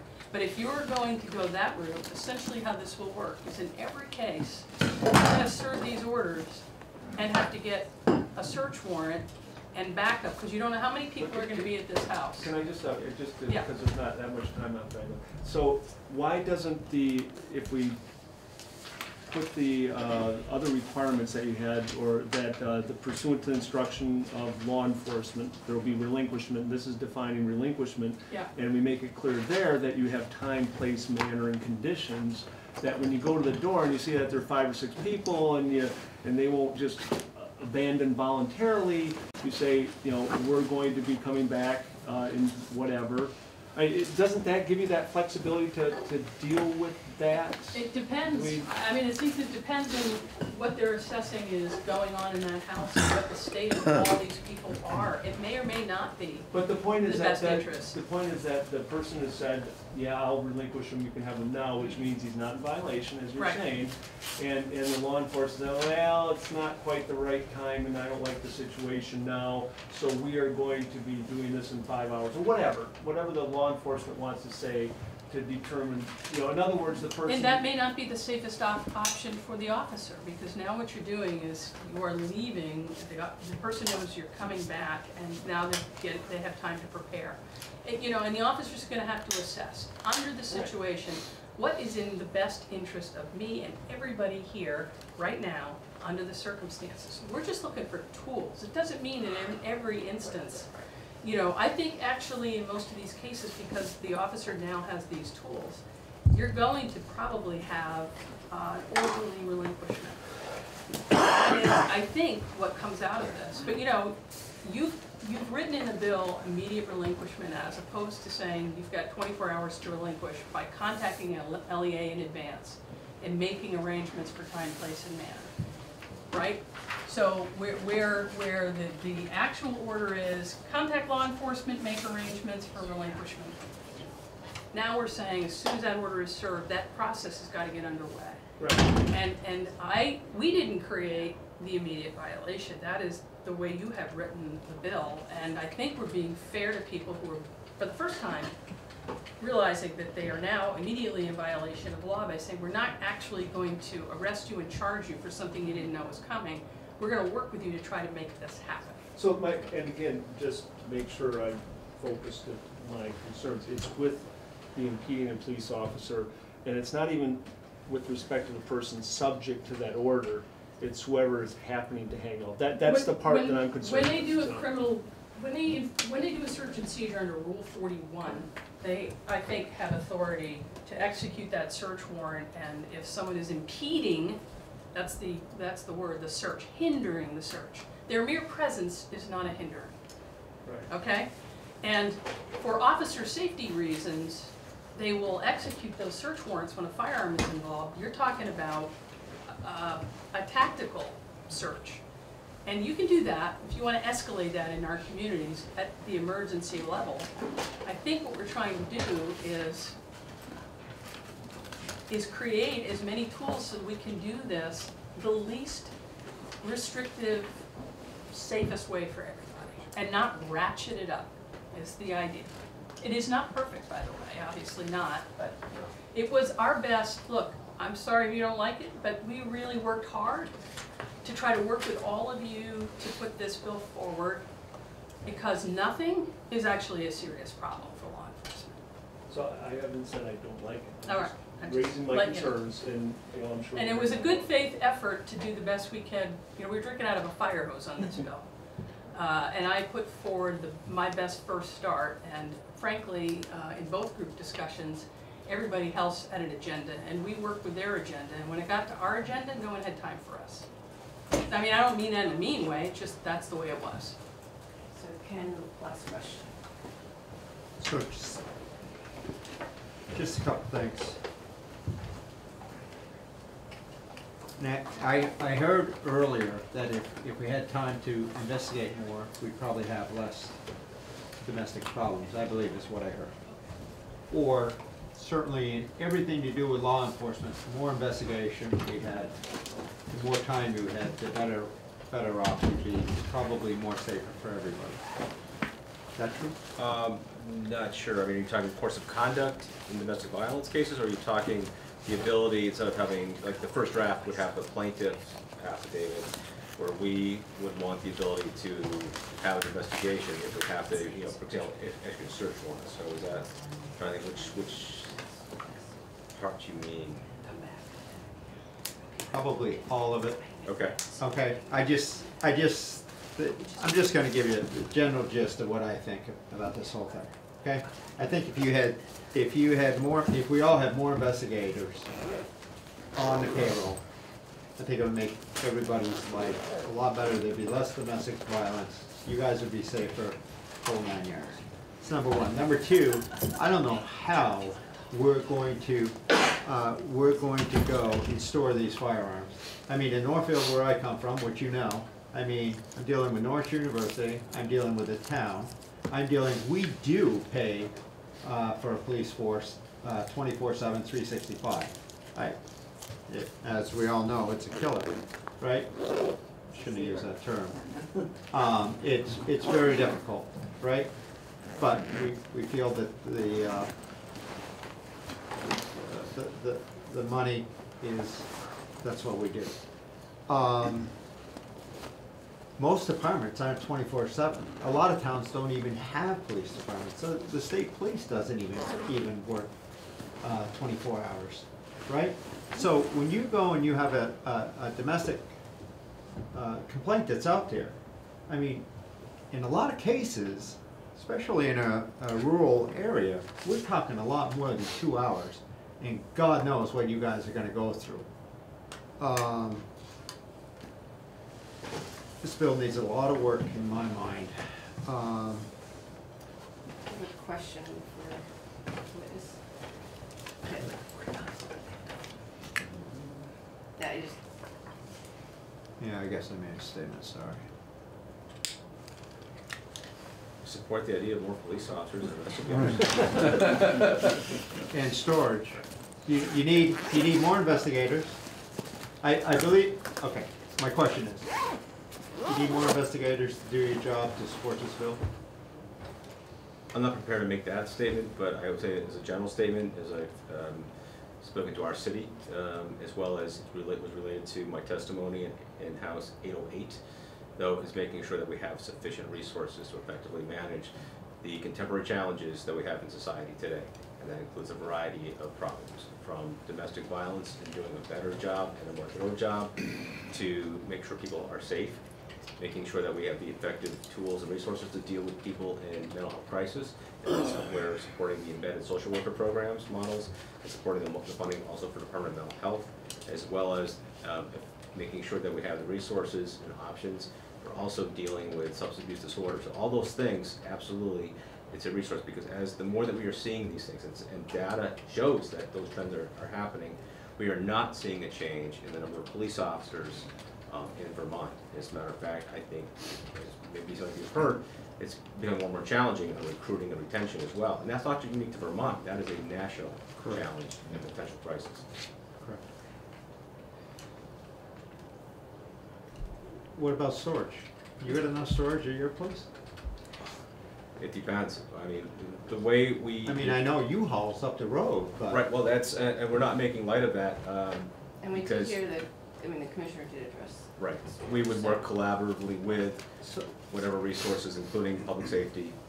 So ju- just to be clear, where I'm coming from, because that's what I do, um, municipalities, I'm concerned greatly. It's, it's, and it, it- and, and again, most municipalities are not twenty-four seven. Certainly your small ones. That's all. Thanks. Just real quick, how, how big's your department and how short are you? Uh, we're, s- we're seventeen, we're actually eighteen, because we have one in the academy anticipating, uh, my reti- my, my de- departure as well as the captain's gonna be retiring this year as well, but we're full staff. Oh, okay. You're Looks retiring this year? Yeah, good for you. Okay, thank you, thank you everybody for.